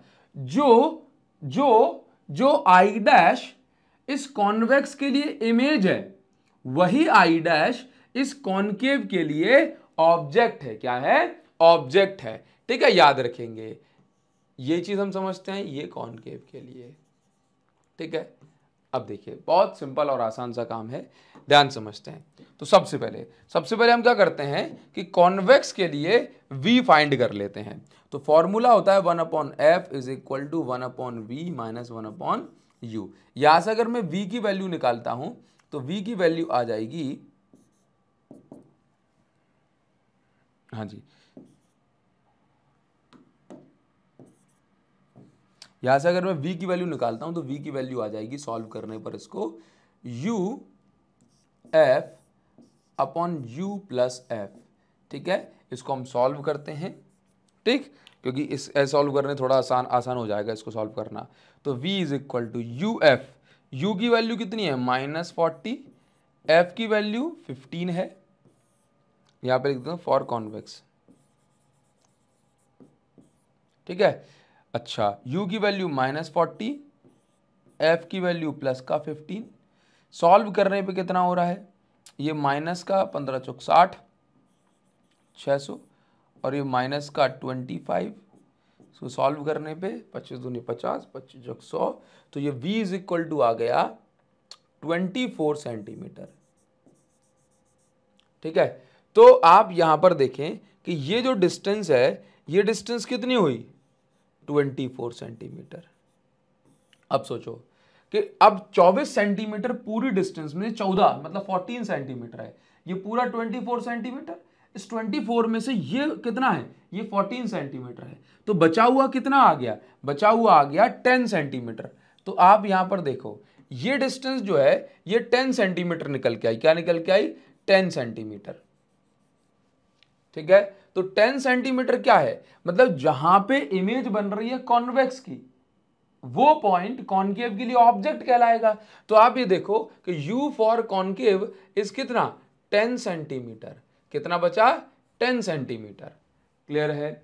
24 में से कितना चला गया? 24 में से 14 चला गया। तो आप यहाँ पे लिख सकते हैं 24 four minus fourteen is equal to ten centimetre. बस। ये बात आपको यहाँ पर ध्यान रखनी है। तो लगा दो इस बार फॉर कॉन्केव फॉर कॉन्केव के लिए आपको फोकल लेंथ निकालनी है। One upon f is equal to concave के लिए one upon v minus one upon u अब देखो वन अपॉन एफ़ ये निकालना है। कॉन्केव के लिए जो इमेज बन रही है, वो कहाँ बन रही है? फाइनल थर्टी सेंटीमीटर पे राइट साइड है, ठीक है? माइनस इसके लिए इमेज कहाँ बन रही है? टेन सेंटीमीटर पे। कहाँ बन रही है? टेन सेंटीमीटर पे। ठीक है? ठीक चलिए। अच्छा एक चीज़ आप यहाँ पर ध्यान दे सकते हैं। ये चीज़ समझ के चलो अदरवाइज़ साइन कन्वेंशन में ज़्यादा दिमाग लगाने की इसमें ज़रूरत नहीं है। इतनी बात याद रखना, कॉन्केव है तो नेगेटिव आंसर आना चाहिए। कॉन्केव है तो नेगेटिव आंसर आना चाहिए। One upon f is equal to one upon LCM लेंगे, कितना आएगा? थर्टी आएगा। ठीक है? अब देखिए, यहाँ पे बचा वन, यहाँ पे बचा माइनस का थ्री। तो कितना हो गया? माइनस का टू बाय थर्टी। ठीक है, एक बार और चेक कर लेते हैं। वी की वैल्यू चलो ठीक है, प्लस थर्टी हो रही है। ठीक यू की वैल्यू टेन सेंटीमीटर हो रही है। तो थर्टी और टेन एल सी में इतना आ गया। One minus three minus two by three. Thirty तो one upon f is equal to कितना आ गया? ये आ गया माइनस का वन बाय फिफ्टीन। तो एफ़ इज़ इक्वल टू आ गया माइनस का फिफ्टीन सेंटीमीटर मतलब कॉन्केव लेंस और कॉन्वेक्स लेंस दोनों की फोकल लेंथ सेम निकल के आ रही है। चलिए, आगे बढ़ जाते हैं, आप इसका स्क्रीनशॉट ले सकते हैं। उम्मीद करता हूँ ये जो तरीका है आपको समझ में आया होगा। अभी मैं आपको नेक्स्ट क्वेश्चन पे ले जाता हूँ और इसमें हम समझते हैं किस तरीके से क्वेश्चन को सॉल्व करना है। ठीक है? देखो ज़रा इस क्वेश्चन में क्या बताया जा रहा है? ध्यान समझेंगे। अब मुझे उम्मीद है आपको समझ में आ रहा होगा, ठीक है, कि रे डायग्राम कैसे स्टडी करना है। From the ray diagram show rim जो जो रे डायग्राम आपको बताया जा रहा है ray diagram shown calculate the focal length of concave lens मतलब इस बार भी आपको इस कॉन्केव लेंस की फोकल लेंथ बतानी है तो यहाँ पर जो गिवन है, ये गिवन है focal length of convex lens ठीक है? देखो, ये ऑब्जेक्ट रखा हुआ है इस ऑब्जेक्ट से लाइट कुछ इस तरीके से जाती है मतलब ऐसे ऐसे मान के चलो, ये ऑब्जेक्ट से लाइट रह जा रही है। कॉन्वेक्स लेंस पे टकराई ऑब्वियस सी बात है कॉन्वेक्स लेंस कन्वर्ज करेगा। तो कॉन्वेक्स लेंस ने कन्वर्ज करा, और आप यहाँ पर देखो कि कॉन्वेक्स लेंस कन्वर्ज करता, और लाइट की इमेज फॉर्मेशन होती है यहाँ पे। अब यहाँ पे आई डैश नहीं सिंपल आई लिखा हुआ है समझना ठीक है? तो यहाँ पे जो इमेज फॉर्म होती है, वो यहाँ पे होती है। कॉन्वेक्स लेंस ने कन्वर्ज करा, ठीक है? और यहाँ पे इमेज का फॉर्मेशन होता। लेकिन कॉन्केव लेंस ने लाइट को फैला दिया और इस बार कॉन्केव लेंस ने लाइट को ज़्यादा फैलाया। और फैला करके ये जो लाइट जो ऐसे आ रही थी, ये ऐसे आ रही थी, इनको ऐसे फैला के कॉन्केव लेंस ने इनको ऐसे फैला दिया, ऐसे फैला दिया। लाइट ऐसे आ रही थी, है ना? इनको फैला के क्या बना दिया? पैरल बना दिया। क्या बना दिया? पैरल पैरल बना दिया। तो ज़रा सोचो, यहाँ पे समझना, यहाँ पे समझना, जो बच्चा इसका सही आंसर खुद से दे देगा, वो अपनी साइड से, यानी मेरी साइड से एक एक टॉफी खा ले। ठीक है? बात समझना। ये इसका करेक्ट आंसर आपको देना है। ठीक वीडियो को पॉज करके थोड़ा सोच के देखो किस तरीके से ये बनेगा। ध्यान से देखना। ये कॉन्वेक्स के लिए फॉर कॉन्वेक्स ध्यान समझना? कॉन्वेक्स के लिए जो ऑब्जेक्ट डिस्टेंस है वो क्या है? यह माइनस सिक्सटी ठीक? यहाँ पे मान के चलना लेंसेस थिन है। लेंस कैसे हैं? थिन है। ठीक है? ये यू की वैल्यू कितनी है? माइनस सिक्सटी अच्छा कॉन्वेक्स के लिए फोकल लेंथ प्लस का ट्वेंटी सेंटीमीटर होगा। कॉन्वेक्स के लिए इमेज कहाँ बन रही है, नहीं पता तो फिर से निकाल। लो v is equal to u f upon u plus f u की वैल्यू माइनस सिक्सटी एफ़ की वैल्यू प्लस का ट्वेंटी यू की वैल्यू माइनस सिक्सटी एफ़ की वैल्यू प्लस का twenty minus twelve hundred divided by minus का forty answer आ जाएगा plus का thirty centimetre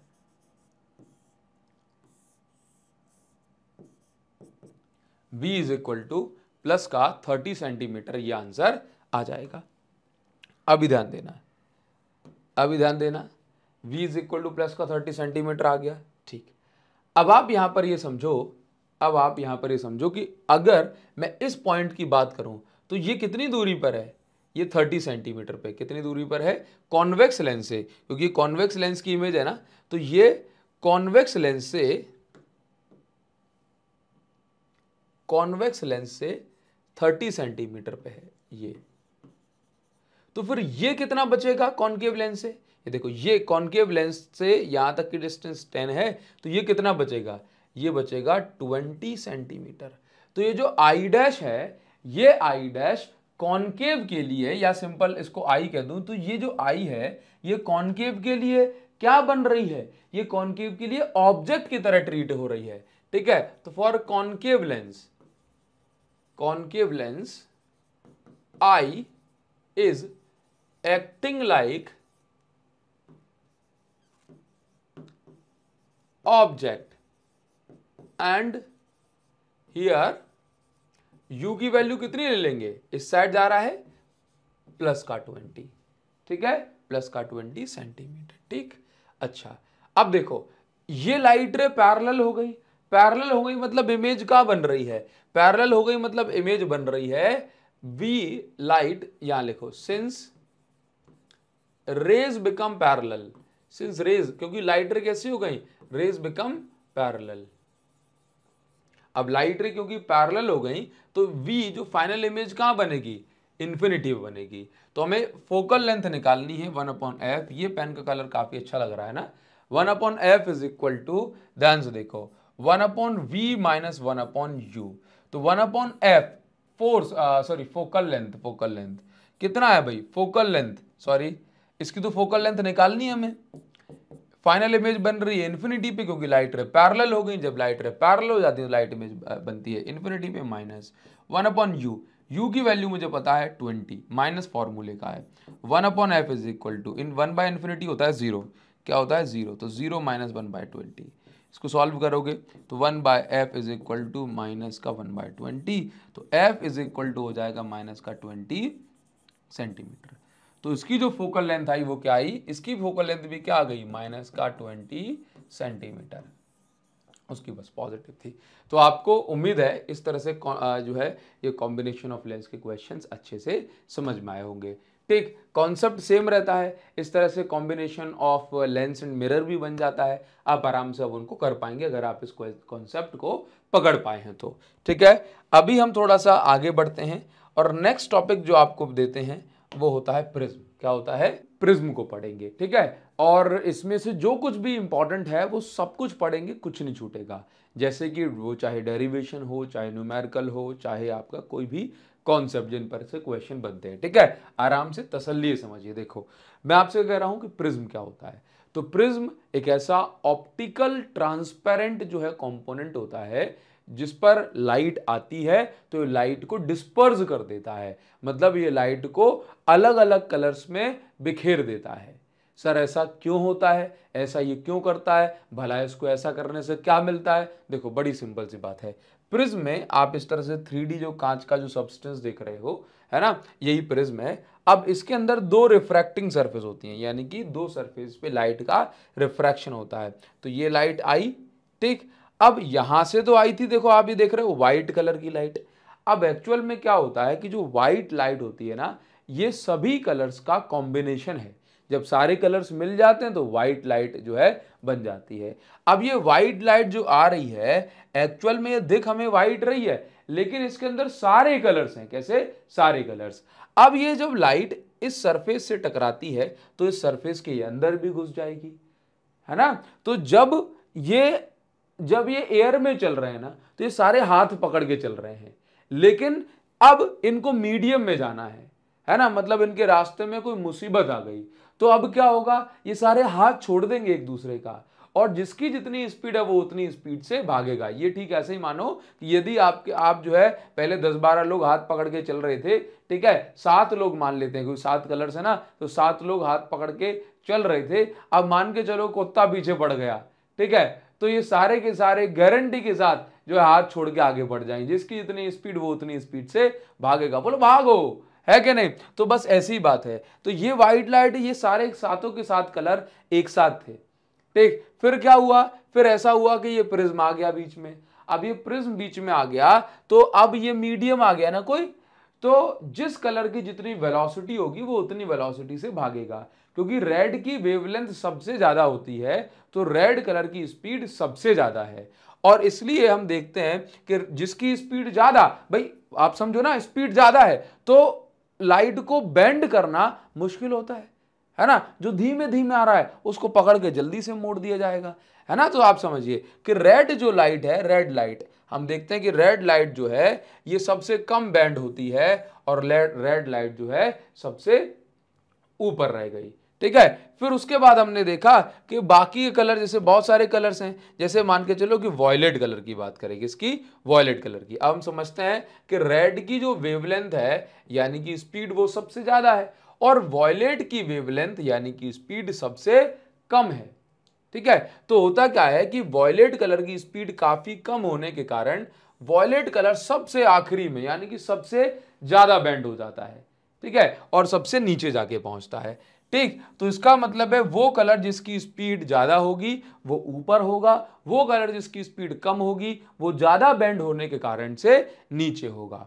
और इस तरह से जो वाइट लाइट थी, ये सारे कलर्स में सेवन कलर्स में डिस्पर्स हो गई, यानी बिखर गई, और इसी को हम बोलते हैं डिस्पर्जन ऑफ़ लाइट ठीक है तो अगर मैं आपसे पूछता हूँ कि प्रिज्म में डिस्पर्जन ऑफ़ लाइट का कॉज यानी कि कारण क्या है तो आप क्या बोलोगे? Different speed of light in medium is the cause of dispersion ठीक है? बात समझ में आई? क्लियर है? ठीक? तो ये आपका प्रिज्म हुआ।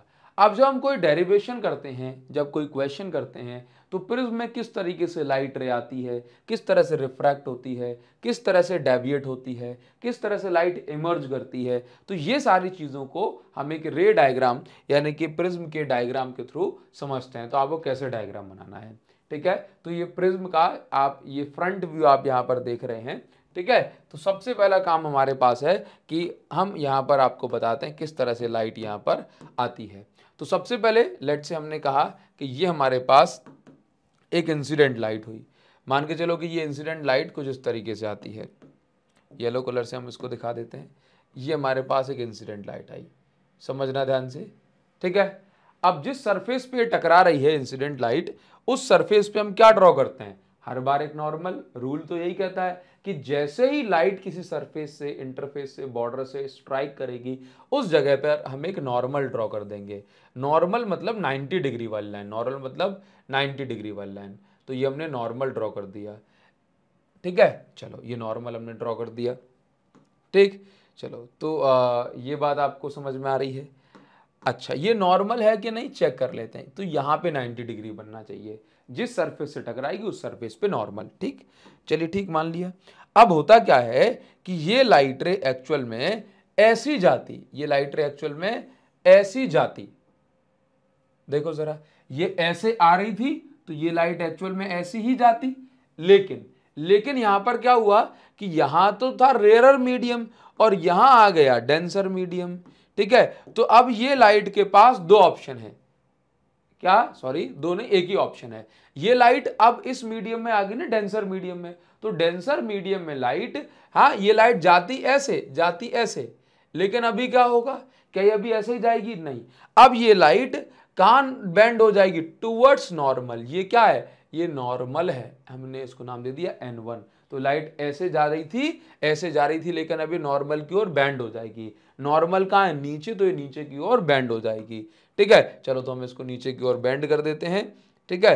तो हमने क्या करा कि यहाँ पर जो है इसको नीचे की साइड बैंड करा और ये लाइट जो है अब सीधे चली गई, ठीक है? ये बैंड होकर के कहाँ गई? सीधे गई, ठीक? अच्छा इसके बाद आप ये देखिए। अब जिस जगह पे यहाँ पे आकर ये टकरा रही है, उस जगह पर भी हम एक नॉर्मल ड्रॉ करते हैं। नॉर्मल मतलब 90 डिग्री वाली लाइन तो ये नॉर्मल कहाँ जाएगा? सर, ये नॉर्मल जो है कुछ इस तरीके से यहाँ जाएगा, ठीक है? देखो ज़रा, ये क्या बना दिया हमने? ये हमने नॉर्मल बना दिया है। चलो इन दोनों को यहीं मीट करा देते हैं। ठीक?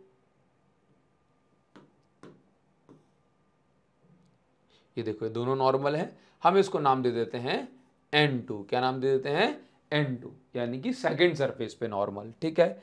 अच्छा अभी देखिए। अब ये लाइट जो है, यहाँ पर, समझना? अब ये लाइट सेकंड अब ये डेंसर से वापस से रेयरर में जाएगी। तो रेयरर मीडियम में तो light away from normal normal से दूर भागती है, ठीक है? तो आप समझिए कि ये ये जा रही थी सीधे। लेकिन अब नॉर्मल है ऊपर तो। अब ये नॉर्मल से दूर भागेगी मतलब नीचे की साइड बैंड होगी। नीचे की साइड बैंड होगी तो हम इसको कुछ इस तरीके से दिखा देंगे कि ये लाइट जो है, ये इस तरह से नीचे की साइड ये बैंड हो गई, ठीक है?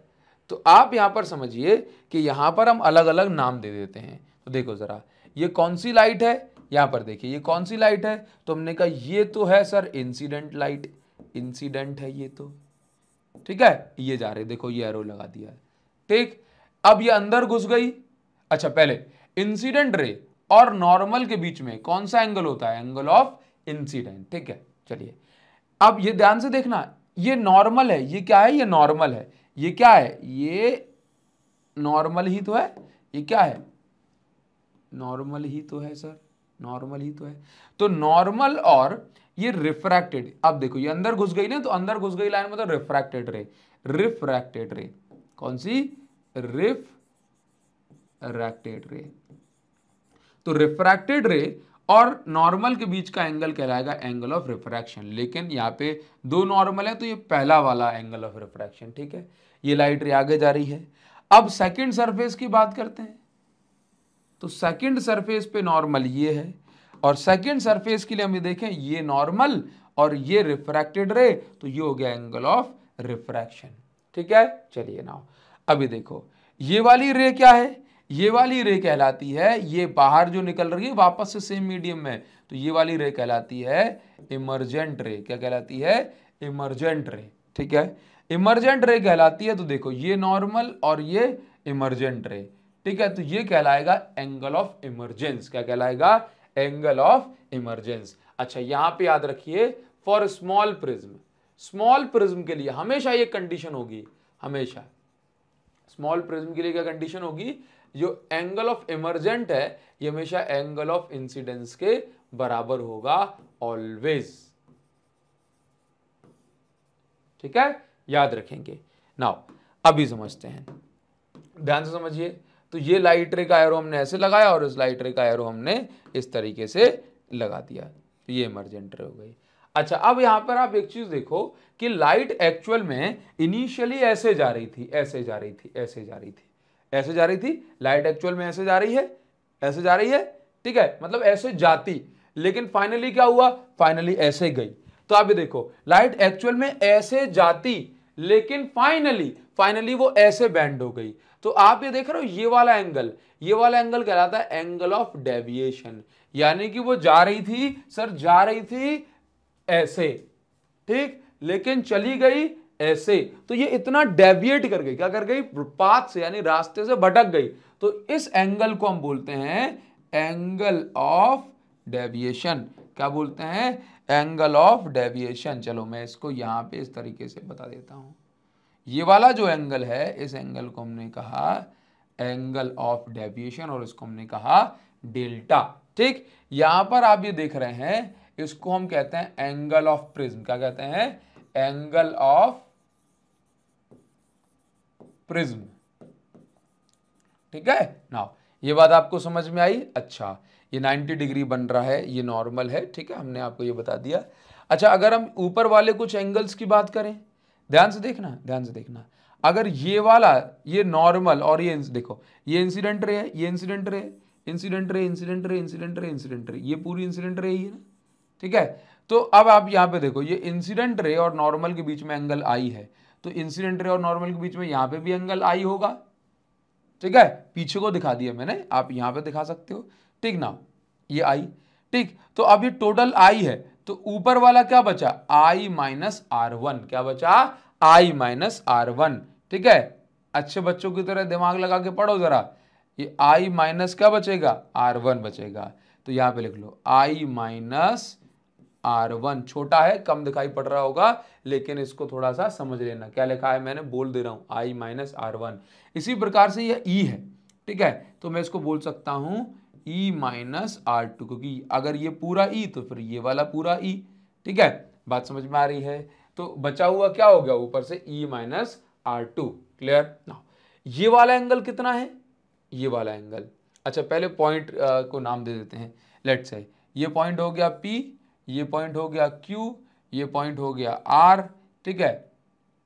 पी हम्म, क्यू एक काम करते हैं।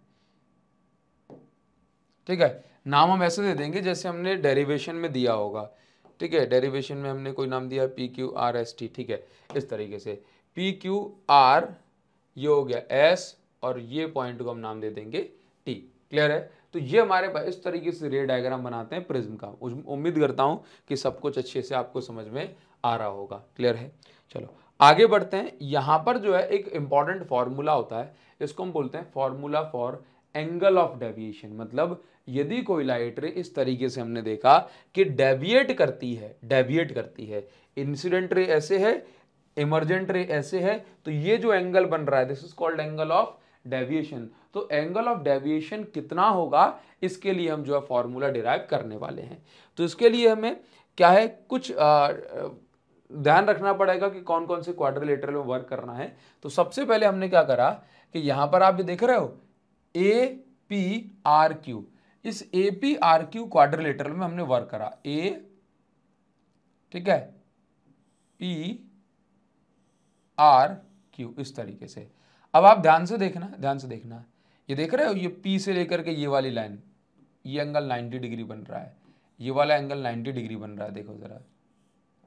ये वाला angle of angle of prism कहलाता है। ये वाला एंगल हमें पता नहीं है।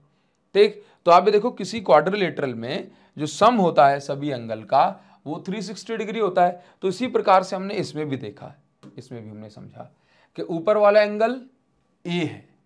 ये वाला एंगल 90 डिग्री है 90 लिखा। ये वाला एंगल हमें, एंगल आर हमें नहीं पता। तो हम लिख दिया आर नहीं पता ना तो आर बीच में आएगा।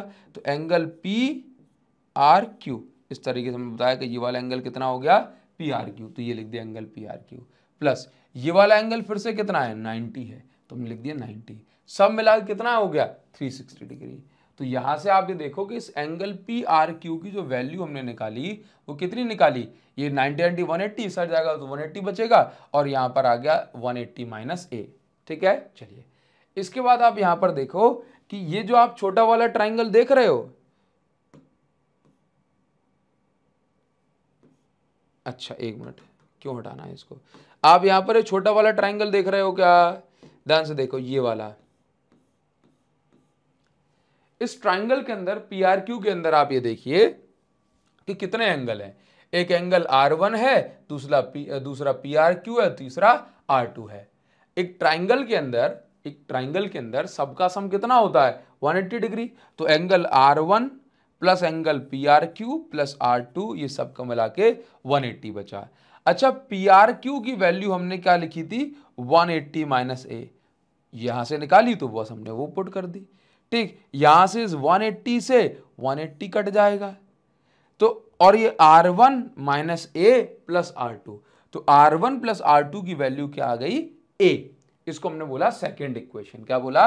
सेकेंड इक्वेशन अब ऊपर वाले इस इस इक्वेशन में हम वर्क कर, ऊपर वाले ट्राइंगल में हम वर्क करेंगे, ठीक है? चलिए।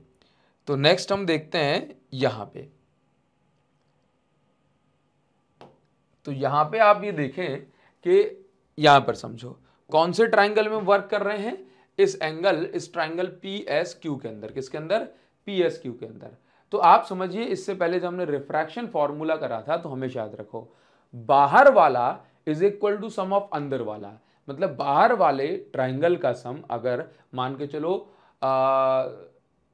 एक्स है तो एक्स इज़ इक्वल टू अंदर वाले ट्राइंगल का सम ठीक है, समझो। हमेशा ट्राइंगल्स का रूल क्या होता है? कि बाहर वाला जो एंगल है, वो अंदर वाले दोनों एंगल के बराबर होगा। बस, इतनी सी बात है। तो ऊपर वाले ट्राइंगल आप पी एस क्यू में वर्क कर रहे हैं। पी एस क्यू इस वाले ट्राइंगल में। ठीक है? पी एस क्यू में हम वर्क कर रहे हैं, इसमें। ऊपर वाले ट्राइंगल पी एस क्यू में हम वर्क कर रहे हैं। तो ध्यान से देखिए। इस पी एस क्यू में आप ये देखें तो इसमें फिर से तीन ट्राइंगल है सॉरी तीन एंगल बन रहे हैं। कौन कौन से? ध्यान से देखो। तीन तो बन रहे हैं, लेकिन यहाँ पर ये देखिए, बाहर वाला एंगल कौन सा है? बाहर वाला एंगल है डेल्टा तो exterior angle is equal to sum of interior angle बाहर वाला एंगल इज़ इक्वल टू दोनों अंदर वाले एंगल का सम तो बाहर वाला एंगल कितना है? डेल्टा और अंदर वाला एंगल कितना है इसमें? आई माइनस आर वन और यहाँ पे ई माइनस आर टू, ये बताया था आपको? तो i minus r one plus e minus r two अच्छा। यहाँ पे हमने आर वन, आर टू को अलग कर दिया और आई और ई e को अलग कर दिया। तो i plus e minus r one plus r two. पिछले ही स्लाइड पे हमने r one plus r two की वैल्यू को क्या निकाला था? ए निकाला था। क्या निकाला था? ए। तो हमने क्या रखा कि इस r one plus r two की वैल्यू को हमने ए लिख दिया। तो आई प्लस ई माइनस ए, यही क्या बन गया? यही अब देखो, दोनों के बीच में जैसे कभी रिलेशन की ज़रूरत पड़ जाए तो ये बन गया आपके पास अदरवाइज़ अदरवाइज़ आप याद रखें कि जो फाइनल जो रिलेशन हमारे सामने बन रहा है, वो ये है। डेविएशन कितना होगा? दोनों इंसिडेंट एंगल और इमरजेंट एंगल में से एंगल ऑफ़ प्रिज्म अगर आप घटा देंगे तो हमें टोटल डेविएशन जो है लाइट रे का मिल जाएगा। क्लियर है? चलिए। ये बहुत इंपॉर्टेंट डेरिवेशन है और इससे ज़्यादा, कई गुना ज़्यादा इंपॉर्टेंट है अभी जो हम पढ़ने वाले हैं। यहाँ पर क्या लिखा जा रहा है? क्वेश्चन दिया गया है। काफ़ी इंपॉर्टेंट क्वेश्चन है। Relation between refractive index and angle of minimum deviation अच्छा यहाँ पर आप ये देखो, एक चीज़ हमेशा याद रखो। थिन प्रिज्म जब भी होता है तो मिनिमम डेविएशन का केस बनेगा। तो कभी भी जब मिनिमम डेविएशन की बात करी जाए मतलब जैसे एंगल ऑफ़ डेविएशन आप समझते हो? तो जब एंगल ऑफ़ डेविएशन मिनिमम होगा, यानी कि इंसिडेंट रे की डायरेक्शन और इमरजेंट रे की डायरेक्शन जब कम से कम होगी तो ऐसे केस में आपको याद रखना है कि एंगल ऑफ़ इंसिडेंस हमेशा बराबर होगा एंगल ऑफ़ इमरजेंस के। R1 और R2 जो दोनों एंगल ऑफ़ रिफ्रैक्शन है, ये दोनों एंगल ऑफ़ रिफ्रैक्शन है, ये दोनों बराबर होंगे। और आपने यहाँ पर इनकी इक्वेशन पढ़ी है। अभी देखो r one plus r two is equal to a होता है। अगर ये दोनों बराबर हो गए तो R plus r is equal to a बनेंगे और इस हिसाब से two r is equal to a बनेंगे। और ज़रूरत पड़ने पर हम R की वैल्यू को then a by two put कर सकते हैं। है ना? ये आप याद रखेंगे बस इतनी सी बात है। तो जस्ट अभी अभी हमने ये देखा था, अभी अभी हमने ये देखा था कि I plus e minus r one plus r two is equal to delta होता है। अगर आप चीज़ों को आसान रखना चाहते हैं तो अभी हमने ये देखा था। एक मिनट सॉरी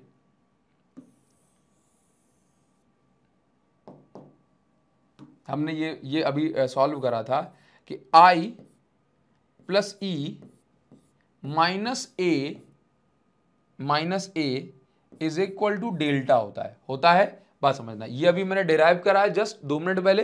ठीक तो आप ये देखो, जब नॉर्मल डेविएशन है तो हमने ये लिखा, लेकिन जब डेविएशन मिनिमम हो गई, जब डेविएशन मिनिमम हो गई तो angle of emergence angle of incidence के बराबर हो गया। यहाँ तक कि जो ए है, जो ए है, वो किसके बराबर हो गया? टू आर के बराबर हो गया, टू आर के बराबर हो गया। तो आप यहाँ पर समझें कि आई प्लस आई क्या होता है? टू आई माइनस ये क्या होगा? टू आर और देखो ये नॉर्मल डेविएशन या मिनिमम डेविएशन मिनिमम डेविएशन वाले केस में ये ई e जो है आई के बराबर हो गया। तो आप यहाँ पर देखें कि two i minus two r की जगह हम क्या लिख सकते हैं? अरे भाई साहब, वैसे लिखने की ज़रूरत ही नहीं है आपको, लेकिन फिर भी। ठीक, अपन ने ए लिख रखा है ना तो यहाँ पर ये लिखने की ज़रूरत नहीं है। ठीक है तो डायरेक्ट आप ए से ही काम चलाएँ ए से ही काम चलाओ। ठीक है तो यहाँ पर जो फाइनल फॉर्मूला बन रहा है, वो ये बन रहा है। आई का फॉर्मूला क्या बना? आई का फॉर्मूला कुछ ये बन जाएगा डेल मिनिमम प्लस ए ठीक है? और ये कुछ इतना बन गया। तो आई का फॉर्मूला क्या बना? Del minimum plus a by two अच्छा अब आर की ज़रूरत पड़ेगी हमें, क्योंकि देखो रिफ्रैक्टिव इंडेक्स का फॉर्मूला तो क्या होता है? Sine i upon sine r sine i की वैल्यू मुझे पता पड़ गई, देखो साइन आई की वैल्यू मुझे पता पड़ गई प्लस साइन आर की वैल्यू क्या है? तो ये हमने निकाल रखा है आर की वैल्यू ए बाई टू वो यहाँ पे हम यूज़ कर लेंगे। तो देखिए जरा तो रिफ्रैक्टिव इंडेक्स ऑफ़ प्रिज्म का जो फॉर्मूला है, वो सिंपल सा ये बन गया। Sine i upon sine r से आई की वैल्यू हमने ये निकाली आर की वैल्यू हमने ये निकाली, ठीक है? तो इस तरीके से आप ऐसे कर सकते हैं, ठीक? नाउ तो आप यहाँ पर ये भी लिख सकते हैं वी नो दैट आप क्या लिख सकते हो? We know that we know that deviation in prism deviation in prism ठीक है? और इसके बाद जो है, आप इस वाली लाइन को जो है, इसके अंदर लिख दें। टेलीग्राम पे जाकर के मैं जब इसको सेंड करूँगा तो पूरा प्रॉपर जैसे लिखना चाहिए आपको एग्ज़ाम में, वैसे लिख दूँगा। क्लियर है? तो ये हमने एक इंपॉर्टेंट जो फॉर डेरिवेशन है, वो करा इसमें रिफ्रैक्टिव इंडेक्स ऑफ़ प्रिज्म कैसे निकाला जाता है। रिफ्रैक्टिव इंडेक्स ऑफ़ प्रिज्म निकालने के लिए sine i upon sine r की ज़रूरत होती है। इसके लिए हमें आई हमने निकाला, कुछ इस प्रकार से आर हमने निकाला, कुछ इस प्रकार से, और अपना काम जो है, हो जाएगा। तो ये जो रिलेशन है, किसका है? या कहूँ कि डेरिवेशन किसका है? रिफ्रैक्टिव इंडेक्स ऑफ़ प्रिज्म का। यहाँ पे ये रिफ्रैक्टिव इंडेक्स है, ये एंगल ऑफ़ मिनिमम डेविएशन है। क्लियर है? हाँ। तो अभी देखिए, ज़रा आप यहाँ पे अब देखिए। अभी क्या होता है कि एंगल ऑफ़ डेविएशन इसमें आपको अलग अलग चीज़ों की ज़रूरत पड़ती है। वो जो फॉर्मूला हमने लिखा लिखा, वो काफ़ी इंपॉर्टेंट था। लेकिन ये भी आप यहाँ पर देख लो। एंगल ऑफ़ डेविएशन को, यानी कि डेल्टा को, ठीक है? हम रिफ्रैक्टिव इंडेक्स के फॉर्म में किस तरीके से लिखते हैं? ये भी हम बता देते हैं। डायरेक्ट अगर कोई क्वेश्चन आ जाए तो छोटा मोटे फॉर्मूले के फॉर्म में कैसे लिखेंगे? तो देखो, हम जानते हैं कि साइन फॉर स्मॉल प्रिज्म लिखा है। क्या लिखा है? स्मॉल प्रिज्म छोटे प्रिज्म की जब हम बात कर रहे हैं। ठीक है तो देखो तो साइन ये कुछ नहीं है। Sine delta minimum plus A upon two ये फॉर्मूला होता है, अभी हमने निकाला है। जब एंगल बहुत छोटा होता है, जब एंगल जैसे स्मॉल प्रिज्म की बात करी जा रही है तो जब एंगल बहुत छोटा है तो हम साइन थीटा को साइन एंगल अप्रोक्सीमेशन से थीटा मानते हैं। क्या मानते हैं? थीटा। तो ये जो अगर छोटे प्रिज्म की बात कर रहे हैं तो सभी एंगल आई और आई, आर जो है, ई बराबर है। इसी प्रकार से साइन थीटा बराबर होता है थीटा के। तो अगर साइन थीटा लिखा है तो उसके थीटा लिख सकते हैं। तो लिखा है sine del min minimum plus A by two. तो आप इसमें साइन, ये साइन है और ये थीटा है। तो सिर्फ़ आपने क्या बचने दिए? थीटा और नीचे भी क्या बचने दिया? थीटा है। साइन साइन कैंसिल नहीं हुआ है। बस यहाँ पर साइन एंगल अप्रॉक्सीमेशन लगा है। ठीक है? जो ये कहता है कि अगर बहुत छोटा एंगल है तो थीटा को आप टेन थीटा मान सकते हैं। हाँ? और अगर साइन थीटा लिखा है तो आप उसको थीटा मान सकते हैं। ठीक? तो फॉर्मूला आपके पास कुछ ये बन गया। अब ये ए बाई टू ऊपर जाएगा तो टू बाई ए बन जाएगा। ठीक है? इसके अलावा आप ये देखें टू बाई ए बनेगा तो टू से टू कटेगा। तो फाइनल जो रिफ्रैक्टिव इंडेक्स का फॉर्मूला ये बन रहा है। ए को क्रॉस मल्टीप्लाई कराया तो फाइनल फॉर्मूला ये बन गया तो mu minus one it is equal to del minimum अगर हम बात करें यहाँ पर एक इंपॉर्टेंट ग्राफ की तो आप यहाँ पर देखें कि इस साइड क्या लिखा है? एंगल ऑफ़ डेविएशन जिसको हम डेल्टा से रिप्रेजेंट करते हैं, और इस साइड एंगल ऑफ़ इंसिडेंस तो आप ये देखो कि डेविएशन ध्यान से समझो, ये क्या है? इस साइड क्या है? डेविएशन तो अगर आप नीचे आ रहे हो, नीचे आ रहे हो, नीचे आ रहे हो नीचे आ गए आप। तो नीचे आ रहे हो, उसका मतलब डेविएशन कम हो रही है। क्या कम हो रही है? डेविएशन ठीक है? क्या कम हो रही है? डेविएशन ठीक? और ऊपर जा रहे हो तो डेविएशन बढ़ रही है। ठीक? तो आप ये देखो कि इस जगह पे, इस जगह पे मिनिमम डेविएशन है मिनिमम डेविएशन तो मिनिमम डेविएशन वाले केस में ये जो एंगल ऑफ़ इंसिडेंस है, ये एंगल ऑफ़ इमरजेंस के बराबर होता है। ये ग्राफ हमें ये बताने की कोशिश कर रहा है। ठीक है?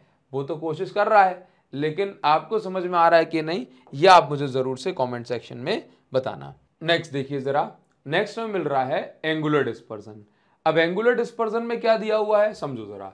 एक्चुअल में क्या होता है, जैसे मान के चलो, ये मेरे पास एक प्रिज्म है। ठीक है? ध्यान समझना, ये मेरे पास एक प्रिज्म है। अब इस पर आई व्हाइट लाइट क्या आई? व्हाइट लाइट अब ये व्हाइट लाइट जो है, इस तरीके से ये रिफ्रैक्ट हुई तो अलग अलग कलर में डिस्पर्स हो गई। ये रेड कलर है और नीचे पहुंचेगा वॉयलेट कलर तो आप ये देखो कि एक्चुअल में एंगुलर डिस्पर्सन क्या होता है? ये हमें बताता है कि वॉयलेट और रेड ये एक्सट्रीम कलर कहलाते हैं। बिल्कुल एंड वाले। एक रेड कलर है जो अपर एंड पे और एक वॉयलेट कलर है जो बॉटम एंड पे, ठीक है? तो ये जो एक्सट्रीम कलर्स आप देख रहे हैं, इनके बीच में कितनी एंगुलर सेपरेशन है? इसको हम बोलते हैं एंगुलर डिस्पर्सन जैसे कि ये इंसिडेंट रे है। अब ये इंसिडेंट रे कुछ इस तरीके जा रही थी। अब दोनों के बीच में सेपरेशन बताने के लिए किसी को तो हमें एक रेफरेंस मानना पड़ेगा। तो हमने कहा, ये जो आप ये लाइट जो देख रहे हैं, ये क्या है? ये रेड लाइट का डेविएशन है। क्या है? रेड लाइट का डेविएशन और ये जो आप देख रहे हैं, ये क्या है? ये वॉयलेट कलर का डेविएशन है। किसका? वॉयलेट का। हाँ तो हम यहाँ पर जो एंगुलर डिस्पर्सन जो देखते हैं, इन दोनों का क्या है? डिफरेंस है। ठीक है? दोनों के बीच की सेपरेशन तो हमने क्या करा? Delta B minus delta R तो आप डेल बी की वैल्यू क्या रखेंगे डेल्टा की? देखो, अभी आपने जस्ट निकाली है। क्या निकाली है value? Mu minus one A is equal to del minimum, यानी कि डेल्टा। ठीक है, देखो तो ये वैल्यू हमने निकाली है। हाँ थिन प्रिज्म के लिए बात कर रहे हैं मिनिमम डेविएशन के लिए बात कर रहे हैं। ठीक, देखिए तो A is equal to mu V minus one हमने रखा। और रेड के लिए हमने म्यू आर माइनस वन रखा। जिसको हम सॉल्व कर करके आए तो हमें ये मिल गया mu V minus mu R into one ये एंगुलर डिस्पर्सन होता है तो अगर आपसे पूछा जाए एंगुलर डिस्पर्सन कैसे निकालना है, दो कलर के बीच में तो आप इस तरीके से कोई भी दो कलर के बीच में निकाल सकते हैं। हालाँकि एंगुलर डिस्पर्सन दो एक्सट्रीम कलर्स के बीच का जो है एंगुलर सेपरेशन होता है। हाँ और इसको मेज़र करने के लिए ऐसे नहीं बताते हैं, है ना? इसको बिल्कुल एंगल ऑफ़ डेविएशन के टर्म में बताया जाता है कि वॉयलेट एक्चुअल में कितना डेविएट करा रेड कितना डेविएट करा। ठीक है? चलिए। तो नेक्स्ट जो होता है आपके पास, वो होता है डिस्पर्सिव पावर डिस्पर्सिव पावर का मतलब है कि एक्चुअल में प्रिज्म जो है, कितना उसको किसी भी लाइट को डिस्पर्स करा सकता है।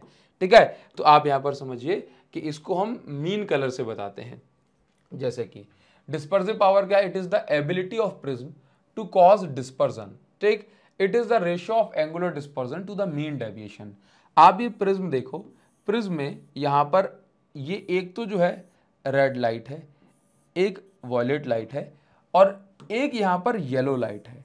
येलो लाइट को आप कहते हैं मीन लाइट क्या कहते हो? इसको आप कहते हो मीन लाइट ठीक है?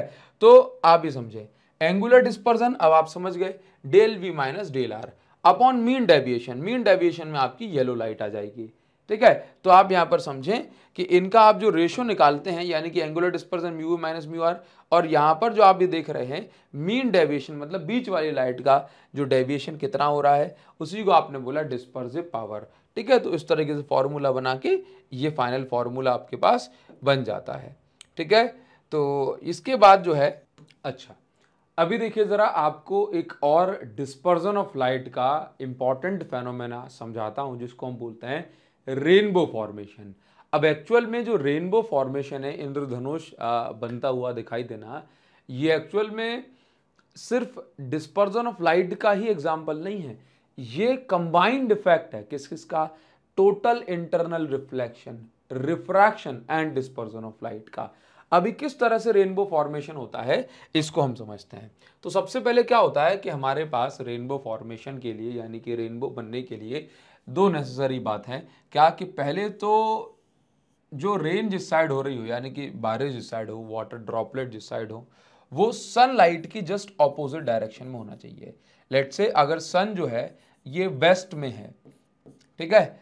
तो जो बारिश वगैरह जो हो रही हो, वो ईस्ट में हो रही हो, ठीक है? ये क्या है? ये रेन ड्रॉप है। रेन ड्रॉप मतलब सनलाइट और ये रेन ड्रॉप ये जस्ट एक दूसरे का ऑपोजिट होना चाहिए। और जो व्यक्ति जो उसको देख रहा है ना, वो सन की साइड उसकी बैक होना चाहिए अदरवाइज़ वो उसको नहीं देख पाएगा, नहीं ऑब्ज़र्व कर पाएगा। ठीक है? अभी होता क्या है, आप सभी लोग समझदार बच्चे हैं, आप इसको समझते हैं कि देखो एक्चुअल में जैसे मान के चलो, ये सनलाइट है, समझना। सनलाइट है सनलाइट में सारे कलर हैं। अभी होता क्या है कि जब लाइट इस तरीके से किसी ड्रॉपलेट में एंटर करती है तो ये लाइट रे सबसे पहली बार इस सरफेस के अंदर घुसेगी, यानी कि रिफ्रैक्शन होगा। क्या होगा? रिफ्रैक्शन अब लाइट इस तरीके से एंटर करी। ठीक, अब ध्यान देना। ये लाइट एंटर करी, समझना। ये लाइट एंटर करी लाइट से ये लाइट इस तरीके से एंटर कर गई अभी होता क्या है कि जब ये लाइट रिफ्रैक्ट करके दूसरी सरफेस से इसकी टकराएगी इनर सरफेस से तो अभी जब ये दूसरी सरफेस से टकराई और अगर ये एंगल क्रिटिकल एंगल से बड़ा हो गया। अगर ये एंगल किससे बड़ा हो गया? क्रिटिकल एंगल से मतलब 48 डिग्री अप्रॉक्स इससे बड़ा हो गया ये वाले केस में। चलो मैं एंगल की बात अभी छोड़ देता हूँ। अगर ये एंगल क्रिटिकल एंगल से बड़ा हो गया तो ये लाइट आर पार जाए बिना, ये क्या करेगी? ये वापस इसी मीडियम में रिफ्लेक्ट कर जाएगी, ठीक है? और ये फिर बाहर निकल जाएगी कुछ इस तरीके से। तो यहाँ पर आप क्या देख रहे हैं? यहाँ पर एक बार लाइट रिफ्रैक्ट करी और यहाँ पर जो है, ये जब वापस आई तो दूसरी बार रिफ्रैक्ट करी। एक बार अंदर घुसी, यानी रिफ्रैक्शन दूसरी बार बाहर निकली मतलब फिर से रिफ्रैक्शन और एक बार टोटल इंटरनल रिफ्लेक्शन हुआ। तो जब किसी रेनबो में, जब किसी वाटर ड्रॉपलेट में दो बार रिफ्रैक्शन और एक बार टोटल इंटरनल रिफ्लेक्शन होता है तो ऐसे केस में जो रेन, रेनबो बनता है, उसको हम बोलते हैं प्राइमरी रेनबो। क्या बोलते हैं? Primary rainbow. Primary rainbow. Primary rainbow में रेड कलर टॉप पर होता है, रेड कलर टॉप पर होता है और वॉयलेट कलर बॉटम पर होता है। ठीक है? ध्यान देना। अभी आपको एक और चीज़ समझनी है। मैंने आपको क्या बताया? सर, ये एक्चुअल में रेनबो अचानक से कैसे बन गया? देखो, मैं फिर से बता रहा हूँ। व्हाइट लाइट जब आती है तो होता क्या है? तो होता यूँ है कि व्हाइट लाइट जब रिफ्रैक्शन होगा वाइट लाइट का, है ना? मीडियम चेंज होने से। ये अलग अलग सेवन कलर्स में ये डिस्पर्स हो जाएगी, यानी कि बिखर जाएगी। अलग अलग कलर्स में बिखर जाएगी। और जब ये कलर बाहर निकलेंगे तो भाई हमें रेनबो के फॉर्म में दिखाई देंगे। अच्छा प्राइमरी रेनबो में क्या है कि जो रेड लाइट आप देख रहे हैं, देखो रेड लाइट जो है, ये 42 डिग्री पे आती है है ना? और जो वॉयलेट लाइट है, ये 40 डिग्री पे आती है।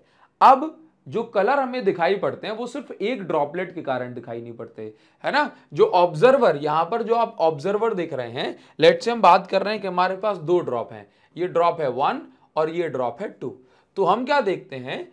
हम क्या देखते हैं? लेट से ड्रॉप वन से रेड कलर ऑब्जर्वर की आँख में गया और ड्रॉप टू से जो कि नीचे है तो उसका वॉयलेट कलर ऑब्जर्वर की आँख में गया बाकी जो कलर्स हैं, बाकी जो कलर्स हैं, उनका लेवल ऑब्जर्वर की आँख से या तो नीचे होगा या ऊपर होगा। तो ऐसे केस में हमें देखने को क्या मिल रहा है? रेड कलर ऊपर और जो है वॉयलेट कलर नीचे। तो आप यहाँ पर देखें कि ऐसा रेनबो प्राइमरी रेनबो कहलाता है। ठीक है? और यहाँ पर जो आप एंगल देखेंगे एंगल का जो डिफरेंस होगा, जिसको मैं क्या बोलूँगा, एंगुलर डिस्पर्सन मैं इसको कह सकता हूँ तो एंगल का जो डिफरेंस होगा, angle between red and violet कितना है? ये थ्री डिग्री है। कितना है? थ्री डिग्री ठीक है? अब देखिए, दूसरा क्या है? सेकेंडरी रेनबो तो सेकेंडरी रेनबो में आप क्या देख रहे हैं? लेट से यहाँ से लाइट इस तरीके से आती है। मान के चलना। अब ये अलग अलग एंगल पे आएगी तो भाई अलग अलग एंगल पे जाएगी। अब अलग अलग एंगल पे जाएगी तो भाई अलग अलग तरीके से ये इसके अंदर एंटर करेगी अलग अलग तरीके से टकराएगी अलग अलग तरीके टकराने से हो सकता है कि एक बार जो है क्रिटिकल एक बार जो है क्रिटिकल एंगल से ज़्यादा बने, दूसरी बार ही बन जाए, है ना? तो यहाँ पर हमने देखा कि लाइट इस तरीके सनलाइट आई। ये देखो, एक बार अंदर घुसी, यानी कि एक बार रिफ्रैक्शन टकराई क्रिटिकल एंगल से ज़्यादा बना तो ये टोटल इंटर रिफ्लेक्शन फिर टकराई क्रिटिकल एंगल से ज़्यादा बना तो सॉरी क्रिटिकल एंगल से कम बना इस बार तो ये बाहर निकल गई। तो हमने क्या देखा, हमने क्या देखा कि यहाँ पर क्या हुआ कि दो बार दो बार रिफ्रैक्शन हुआ प्लस दो बार ही टोटल इंटरनल रिफ्लेक्शन हुआ। तो ऐसे केस में हमने क्या देखा? ऐसे केस में हमने देखा कि जो रेनबो जो बन रहा है, इसको हमने बोला सेकेंडरी रेनबो ठीक है? और यहाँ पर देखिए जरा सेकेंडरी रेनबो में violet on top violet colour किस पे होता है? Violet on top comma red on bottom red on bottom red colour bottom पे होता है। और यहाँ पर जो एंगल का डिफरेंस होता है एंगल का डिफरेंस ठीक है? ये कितने डिग्री होता है आप देख रहे हो? रेड ये ऊपर है वॉलेट नीचे है। यहाँ पर जो एंगल डिफरेंस जो होता है एंगुलर डिस्पर्सन जिसको हम कह सकते हैं, कितने डिग्री होता है? ये होता है थ्री डिग्री ठीक है? तो ये हो गया हमारा रेनबो का फॉर्मेशन अब ये एकदम कॉन्सेप्चुअल क्वेश्चन है मैं उम्मीद करता हूँ कि आपको यहाँ पर ये समझ में आया होगा। अब इसके बाद हमें आ, कुछ न्यूमेरिकल्स कर लेने चाहिए और उसके बाद ये चैप्टर जो होगा ये फिनिश हो जाएगा। ठीक है? आप इसका स्क्रीनशॉट ले लें अभी बाकी टेलीग्राम पे नोट्स आपको मिल जाएँगे। अभी आपको एक क्वेश्चन दिया जा रहा है। इस क्वेश्चन में क्या लिखा है? The following table gives the values of angle of deviation for different value of angle of incidence of triangular prism देखो यहाँ पर आपको इस टेबल में ऊपर एंगल ऑफ़ इंसिडेंस की वैल्यूज़ दी गई हैं और नीचे दी गई है एंगल ऑफ़ डेविएशन ठीक है? आपको पता पड़ रहा है कि जब इतने डिग्री पर लाइट इंसिडेंट करेगी प्रिज्म पर तो इतना 60 डिग्री एंगल ऑफ़ डेविएशन होगा। अगर लाइट 30 डिग्री पर 38 डिग्री पर जो है इंसिडेंट करती है तो डेविएशन एंगल 50 डिग्री हो जाएगा। ठीक तो आपसे पूछ रहा है for what value of angle of incidence मतलब किस वैल्यू पर? कितने एंगल ऑफ़ इंसिडेंस पे angle of emergence is likely to be angle of incidence कितनी इमरजेंस वैल्यू पे एंगल ऑफ़ कितने इंसिडेंस एंगल पे एंगल ऑफ़ इमरजेंस और एंगल ऑफ़ इंसिडेंस ये बराबर हो सकते हैं। इसमें ये नहीं कहा कि इज़ इक्वल टू इसमें कहा इज़ लाइकली टू बी मतलब इनकी पॉसिबिलिटी है। हाँ इनमें से कितने डिग्री पर? तो आप समझिए कि आपसे पूछ रहा है कि इससे मिलती जुलती इससे मिलती जुलती कंडीशन आपको बतानी है। ठीक तो आप ये बताओ, आपने क्या पढ़ा है? आपने तो ये पढ़ा है कि एंगल ऑफ़ इंसिडेंस और एंगल ऑफ़ इमरजेंस कब बराबर होते हैं? तो आपने पढ़ा है for minimum deviation for minimum deviation angle of incidence और एंगल ऑफ़ इमरजेंस बराबर होते हैं। तो यहाँ पर देखो, यहाँ पर देखो सबसे कम सबसे कम डेविएशन कौन सा है? मिनिमम डेविएशन 40 डिग्री तो 40 डिग्री यानी कि 52 डिग्री एंगल ऑफ़ इंसिडेंस पर।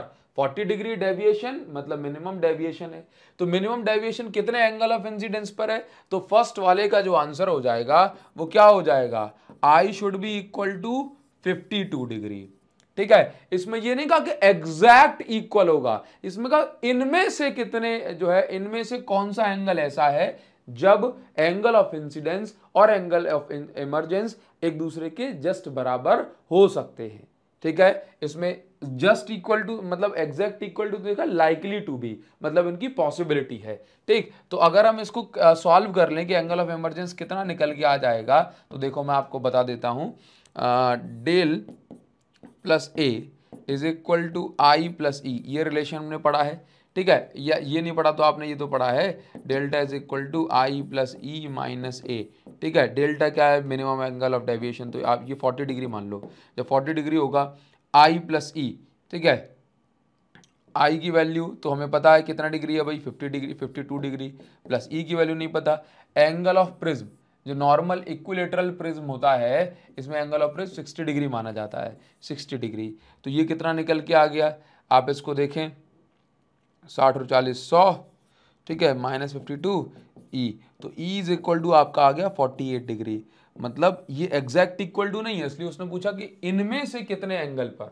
सर आपने तो कहा था मिनिमम डेविएशन पे एग्जैक्ट इक्वल होते हैं आई और आई आई और ई हाँ बिल्कुल होते हैं लेकिन हमें जो ऑप्शन दिए गए हैं इनमें से बस ये वाले एंगल ऑफ़ डेविएशन पर हमें जो आई और ई e, लगभग लगभग इतने ही इससे ज़्यादा और जो है इन कम डिफरेंस पे मिलेंगे आपको, ठीक है? बात समझ में आ रही है? अगर आप इनमें से कोई और एंगल ले लेंगे ना तो हम देखेंगे कि आई कुछ और है और ई e की वैल्यू उससे बहुत दूर भाग रही है, ठीक है? अच्छा इसके लिए सेकंड पार्ट में कह रहा है कि draw a ray diagram showing the passage of light ray आपको एक रे डायग्राम बनाना है, ठीक है? जो इनकी डेविएशन को मतलब इस तरीके से बता सके कि इसके हिसाब से आपने ऐसे डायग्राम बनाया देखो तो ये जो डेविएशन एंगल कितना बताया जा रहा है यहाँ पे? 40 डिग्री है। ठीक है नॉर्मल इस सरफेस पर नॉर्मल ऐसे जाएगी तो ये वाला एंगल कितना है? इमरजेंस एंगल 48 डिग्री ठीक, ये नॉर्मल है। ठीक, यहाँ पर ये ऐसे दिखाया जाएगा और ये वाला एंगल कितना दिखाना है? 52 डिग्री ठीक है? बात समझ में आई? तो ये आपके सेकंड का पार्ट का आंसर हो गया। अच्छा नेक्स्ट क्वेश्चन में आपको क्या दिया जा रहा है? ध्यान से समझ लेते हैं ज़रा।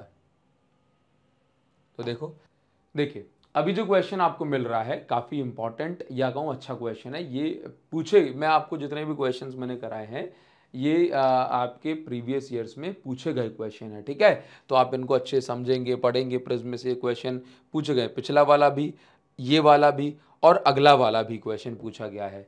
देखो इस क्वेश्चन में क्या कहा जा रहा है कि हमारे पास एक प्रिज्म है। हमारे पास क्या है? एक प्रिज्म है ठीक है? तो प्रिज्म हम बना लेते हैं ये प्रिज्म हम बना लेते हैं। ठीक है? ये एक प्रिज्म है। और यहाँ पर क्या दिया जा रहा है कि ये वाला जो एंगल है, ये 45 डिग्री है। यहाँ पे तीन लाइट रे आती हैं। ये ब्लू है ग्रीन है और ये रेड है। ब्लू ग्रीन और ये रेड ये अलग अलग इस ट्राइंगल की साइड्स हो गई, यानी प्रिज्म की पी क्यू और ये आर ये तीनों लाइट रे इस तरीके से आ रही हैं, एक दूसरे के पैरेलल हैं और आकर के इससे टकराती हैं। ठीक अब इसमें से पूछ रहा है कि इन तीनों लाइट रे में से, तीनों के रिफ्रैक्टिव इंडेक्स ये ये और ये दिए हुए हैं। ठीक है? तो ये तीनों लाइट रे में से कौन सी लाइट रे इमर्ज कर जाएगी? या एक से ज़्यादा लाइट रे भी इमर्ज कर सकती हैं। इमर्ज करने मतलब अंदर घुसेगी, अंदर जाएगी, फिर बाहर निकल जाएगी। देखो, दो केसेस बनते हैं। या तो लाइट रिफ्लेक्ट कर जाएगी या रिफ्रैक्ट कर जाएगी। ठीक है? अब देखिए रिफ्लेक्शन में दो केस होते हैं। एक तो नॉर्मल रिफ्लेक्शन होता है रेयर टू डेंसर वाला, और एक होता है डेंसर टू रेयर वाला रिफ्लेक्शन। उसको हम बोलते हैं टोटल इंटर रिफ्लेक्शन। वो कब होता है देखो जरा, सबसे पहले, सारा खेल ना, सारा खेल है इस वाले फेस का। लाइट आएगी और इस वाले फेस से या तो टकरा के लौट जाएगी या आर पार चली जाएगी, जिसको हम बोलते हैं इमर्ज करना। तो पूछ रहा है कौन सी लाइट के साथ ऐसा होने वाला है। देखिए जरा, सबसे पहले लेट से ये लाइट आई तो ये लाइट जो इस वाली सरफेस पे, इस वाली सरफेस पे जब लाइट टकराएगी तो क्या हवा में से आ रही है? नहीं। इस वाली सरफेस पे जब लाइट टकराएगी तो पहले डेंसर मीडियम ग्लास के अंदर ट्रैवल कर गई तो आ रही है। ये बात आपको समझने ग्लास के अंदर ट्रैवल करके आ रही है। तो light denser to rare medium जा रही है। तो इस बार दो केसेस या तो लाइट रिफ्रैक्ट हो जाएगी, या टोटल इंटरनल रिफ्लेक्शन हो जाएगा इसका। अब टोटल इंटरनल रिफ्लेक्शन कब होता है? तो याद रखिए, जब angle of incidence critical angle से बड़ा होता है तो ऐसे केस में लाइट मतलब जब इंसिडेंट एंगल क्रिटिकल एंगल से ज़्यादा बड़ा हो तो ऐसे केस में लाइट टकरा के जो है लौट जाती है। टोटल इंटरनल रिफ्लेक्शन हो जाता है। डेंसर टू रेयर मीडियम में लाइट जानी चाहिए, ठीक है? देखो ज़रा, ध्यान समझिए। तो इसके लिए हमें ज़रूरी है कि हमें क्रिटिकल एंगल पता हो हर कलर की लाइट के लिए, ठीक है? और और हमें इंसिडेंट एंगल पता हो, ठीक है? तो सबसे पहले हम बात करते हैं कि अगर मैं क्रिटिकल एंगल निकालने की बात करूँ तो देखो क्रिटिकल एंगल निकालने के लिए फॉर्मूला हमारे पास है sine I C is equal to one upon mu तो अलग अलग कलर के लिए हमने क्रिटिकल एंगल निकाले। Formula sine I C is equal to one upon mu तो रेड के लिए जो म्यू दिया है वो 1.39 है। तो यहाँ आप कैंसिल करने के बाद आंसर आता है 0.719 कैलकुलेशन ज़्यादा हो रही थी, इसलिए मैंने ये कैलकुलेशन पहले से लिख लिया, ठीक है? अब 0.707 ये वैल्यू होती है 45 डिग्री की। तो 0.719 है, ये वैल्यू निकल के आई 46 डिग्री की। तो रेड कलर के लिए जो क्रिटिकल एंगल आया, ये 46 डिग्री आया, ठीक है? ग्रीन कलर के लिए क्रिटिकल एंगल 44 डिग्री आया। सिमिलरली इसके लिए क्रिटिकल एंगल 43 डिग्री निकल के आया ब्लू के लिए, ठीक? तो अभी आप ये देखिए कि यहाँ पे हमें सबके क्रिटिकल एंगल तो पता पड़ गए।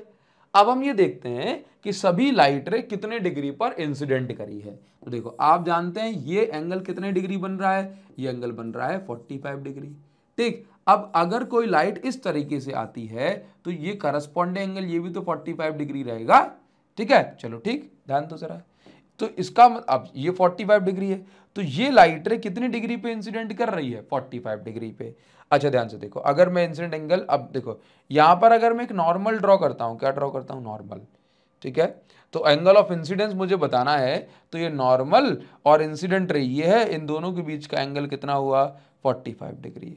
अब ये लाइट क्या करेगी? तो इसका मतलब हमें ये पता पड़ गया ना कि लाइट 45 डिग्री पे आ रही हैं। तो ये सभी लाइट रे 45 डिग्री पे आ रही हैं। सभी लाइट रे ये 45 डिग्री पे आ रही हैं। ये क्या है? इस सरफेस पे नॉर्मल है। ठीक है? ये सभी लाइट रे 45 डिग्री पर ये इंसिडेंट हो रही हैं। ठीक है? ये एंगल 45 नॉर्मल बनाया, ये 90 डिग्री है। ये ये 90 डिग्री हुआ नॉर्मल टू द सरफेस को 90 डिग्री सरफेस से तो ये ये अगर पूरे 90 में 45 तो ये 45 बचेगा। ठीक है? ध्यान समझिए ध्यान से समझें। देखो तो अभी देखिए जरा। तो हमने क्या पाया कि जब जब angle of incidence critical angle से बड़ा है तो लाइट टोटल इंटरनल रिफ्लेक्शन उसमें होगा। तो यहाँ पे देखो, ये एंगल ऑफ़ इंसिडेंस यहाँ पर क्रिटिकल एंगल से बड़ा है ग्रीन लाइट में। तो ग्रीन लाइट क्या कर जाएगी? तो ग्रीन लाइट जो होगी, ये टकरा के लौट जाएगी। कितने डिग्री पे? भाई, जितने डिग्री पे आई थी, उतने डिग्री पे ये लौट जाएगी। ठीक है? इसी तरह से ये ब्लू लाइट भी ऐसे लौट जाएगी। क्यों? क्योंकि ब्लू लाइट में में भी इंसिडेंट एंगल आ तो 45 डिग्री पर ही है, लेकिन क्रिटिकल एंगल 43 डिग्री पर ही है। यानी कि 43 डिग्री पर ही क्या हो जाएगा? फोर्टी थ्री डिग्री पे रिफ्रैक्शन बिल्कुल 90 डिग्री पे होता है बॉर्डर पे। लेकिन यहाँ पर तो ये वापस लौट जाएगी सेम मीडियम में, ठीक है? नाउ अभी देखिए तो अब सिर्फ़ रेड वाला केस ऐसा बच रहा है कि रेड लाइट वाले केस में क्रिटिकल एंगल 46 डिग्री है, ठीक है? और आ रही है लाइट 45 डिग्री पे मतलब क्रिटिकल एंगल से छोटा अगर एंगल बनता है तो लाइट का टोटल इंटर रिफ्लेक्शन नहीं होता और ये लाइट आर पार इस तरह से नॉर्मल से दूर भागती हुई चली जाएगी। बताओ, इसका मतलब ये हुआ कि रेड लाइट क्या कर जाएगी? ये इमर्ज कर जाएगी। ये रेड लाइट क्या कर जाएगी? इमर्ज कर जाएगी इमर्ज कर जाएगी। ठीक है? तो यहाँ पर जो करेक्ट आंसर है, वो रेड हो जाएगा। क्लियर है? बात समझ में आ रही है? उम्मीद करूँगा आपको ये सब क्लियर हो रहा होगा। ठीक है? चलिए। आगे बढ़ जाते हैं। और एक क्वेश्चन और देखते हैं इसमें बढ़िया सा। आपने इतना करा है, इसको और थोड़ा सा समझें। देखो, यहाँ पर क्या दिया है? A ray of light incident on an on an equilateral glass prism mu g is equal to root three ठीक moves parallel to the base line prism inside it ठीक है? देखो, यहाँ पर कंडीशन ये है कि लेट से ये मेरे पास एक इक्विलेटरल प्रिज्म है। कैसा है? Equilateral prism. पिछला वाला केस आपने देखा था कि प्रिज्म एंगल बन रहा था 45 डिग्री ये वाला जो इक्विलेटरल प्रिज्म है, उसमें एंगल कितना होगा? एंगल ऑफ़ प्रिज्म 60 डिग्री होगा, ठीक है? तो लेट से ये हमारे पास प्रिज्म है पी क्यू आर ठीक? लाइट इस तरीके से आती है और कह रहा है कि प्रिज्म के अंदर इनसाइड प्रिज्म जो लाइट रे है, ये पैरेलल मूव कर रही है बेस लाइन के। मतलब इस तरीके से ये ये वाले केस बन रहा है। ठीक है? और यहाँ से रिफ्रैक्ट कर जाएगी। ठीक है? बहुत सही। अच्छा। इसके बाद पूछ रहा है find the angle of incidence of ray ये रे कितने एंगल पर इंसिडेंट करती है? मतलब देखो, यहाँ पर आपने एक नॉर्मल ड्रॉ करा, यहाँ पर क्या ड्रॉ किया आपने? एक नॉर्मल तो नॉर्मल के साथ एंगल बना एंगल ऑफ़ इंसिडेंस ठीक है? ध्यान से देखो। तो आपको ये वाला एंगल और ये है एंगल ऑफ़ रिफ्रैक्शन तो आपको ये एंगल ऑफ़ इंसिडेंस निकालना है। बहुत सिंपल सी बात है। देखो सो सबसे पहली चीज़ आपको यहाँ पर एक चीज़ उसने समझाई है। क्या समझाया? कि ये देख लो जरा। जब ये रिफ्रैक्टेड रे इनसाइड प्रिज्म और ये बेस लाइन और ये बेस लाइन जब एक दूसरे के पैरेलल होती हैं तो ये मिनिमम डेविएशन ही कंडीशन है। तो आप यहाँ पे समझिए हियर बेस या ऐसे कहूँ यह refracted ray inside prism is equal to या is parallel to base line thus it is condition for minimum deviation तो ये किसकी कंडीशन हो गई? ये मिनिमम डेविएशन की कंडीशन हो गई। ध्यान रखेंगे। ठीक है? तो अच्छा सर ठीक है, मान लिया हमने। हमें निकालना क्या है? Find the angle of incidence of ray तो एंगल ऑफ़ इंसिडेंस निकालना है। तो फॉर्मूले तो अपने पास काफ़ी सारे हैं, जैसे कि mu is equal to del M plus A by two upon A by two but क्या मुझे डेल एम पता है? नहीं पता। रिफ्रैक्टिव इंडेक्स तो पता है? अब यहाँ पे आई नहीं आ रहा है। अच्छा मुझे पता है कि आई की वैल्यू क्या होती है? आई की वैल्यू ये होती है, ये भी मैं जानता हूँ। ठीक है? आर की वैल्यू जानता हूँ A by two minimum deviation के लिए ये होती है।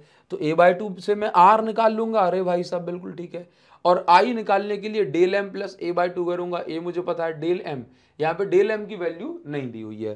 ठीक है? हालाँकि del is equal to I plus E minus है। देखो, मैं आपको बता रहा हूँ, मैं एक सेकंड में आपको बता सकता हूँ कि ये ऐसे हो जाएगा। लेकिन मैं आपको बता रहा हूँ कि आप कितने तरीके से इसको सॉल्व कर सकते हैं। जैसे डेल्टा निकाल लो यहाँ से।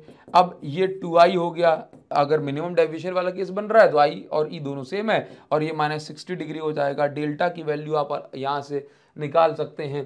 ठीक है? देखो तो बहुत सारे केसेस हैं, लेकिन मैं आपको सिंपल सी बात बता रहा हूँ।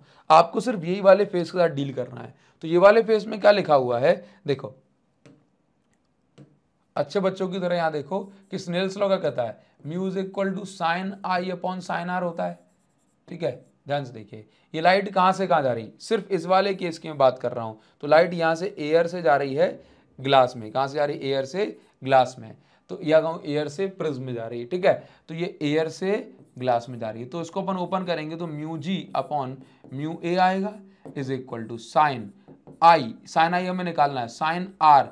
हमें नहीं पता। लेकिन अभी देखो जस्ट मैंने आपको हिंट दी थी म्यू जी की वैल्यू क्या है? रूट थ्री ग्लास का रिफ्रैक्टिव इंडेक्स क्या बोला? रूट थ्री और एयर का रिफ्रैक्टिव इंडेक्स में पता है। साइन आई हमें निकालना है। क्या मुझे आर पता है? नहीं पता। लेकिन अभी अभी तो आपने देखा कि देखो, ये मिनिमम डेविएशन वाला केस है। तो ऐसे केस में हमने पढ़ा है कि आर इज़ इक्वल टू क्या होता है?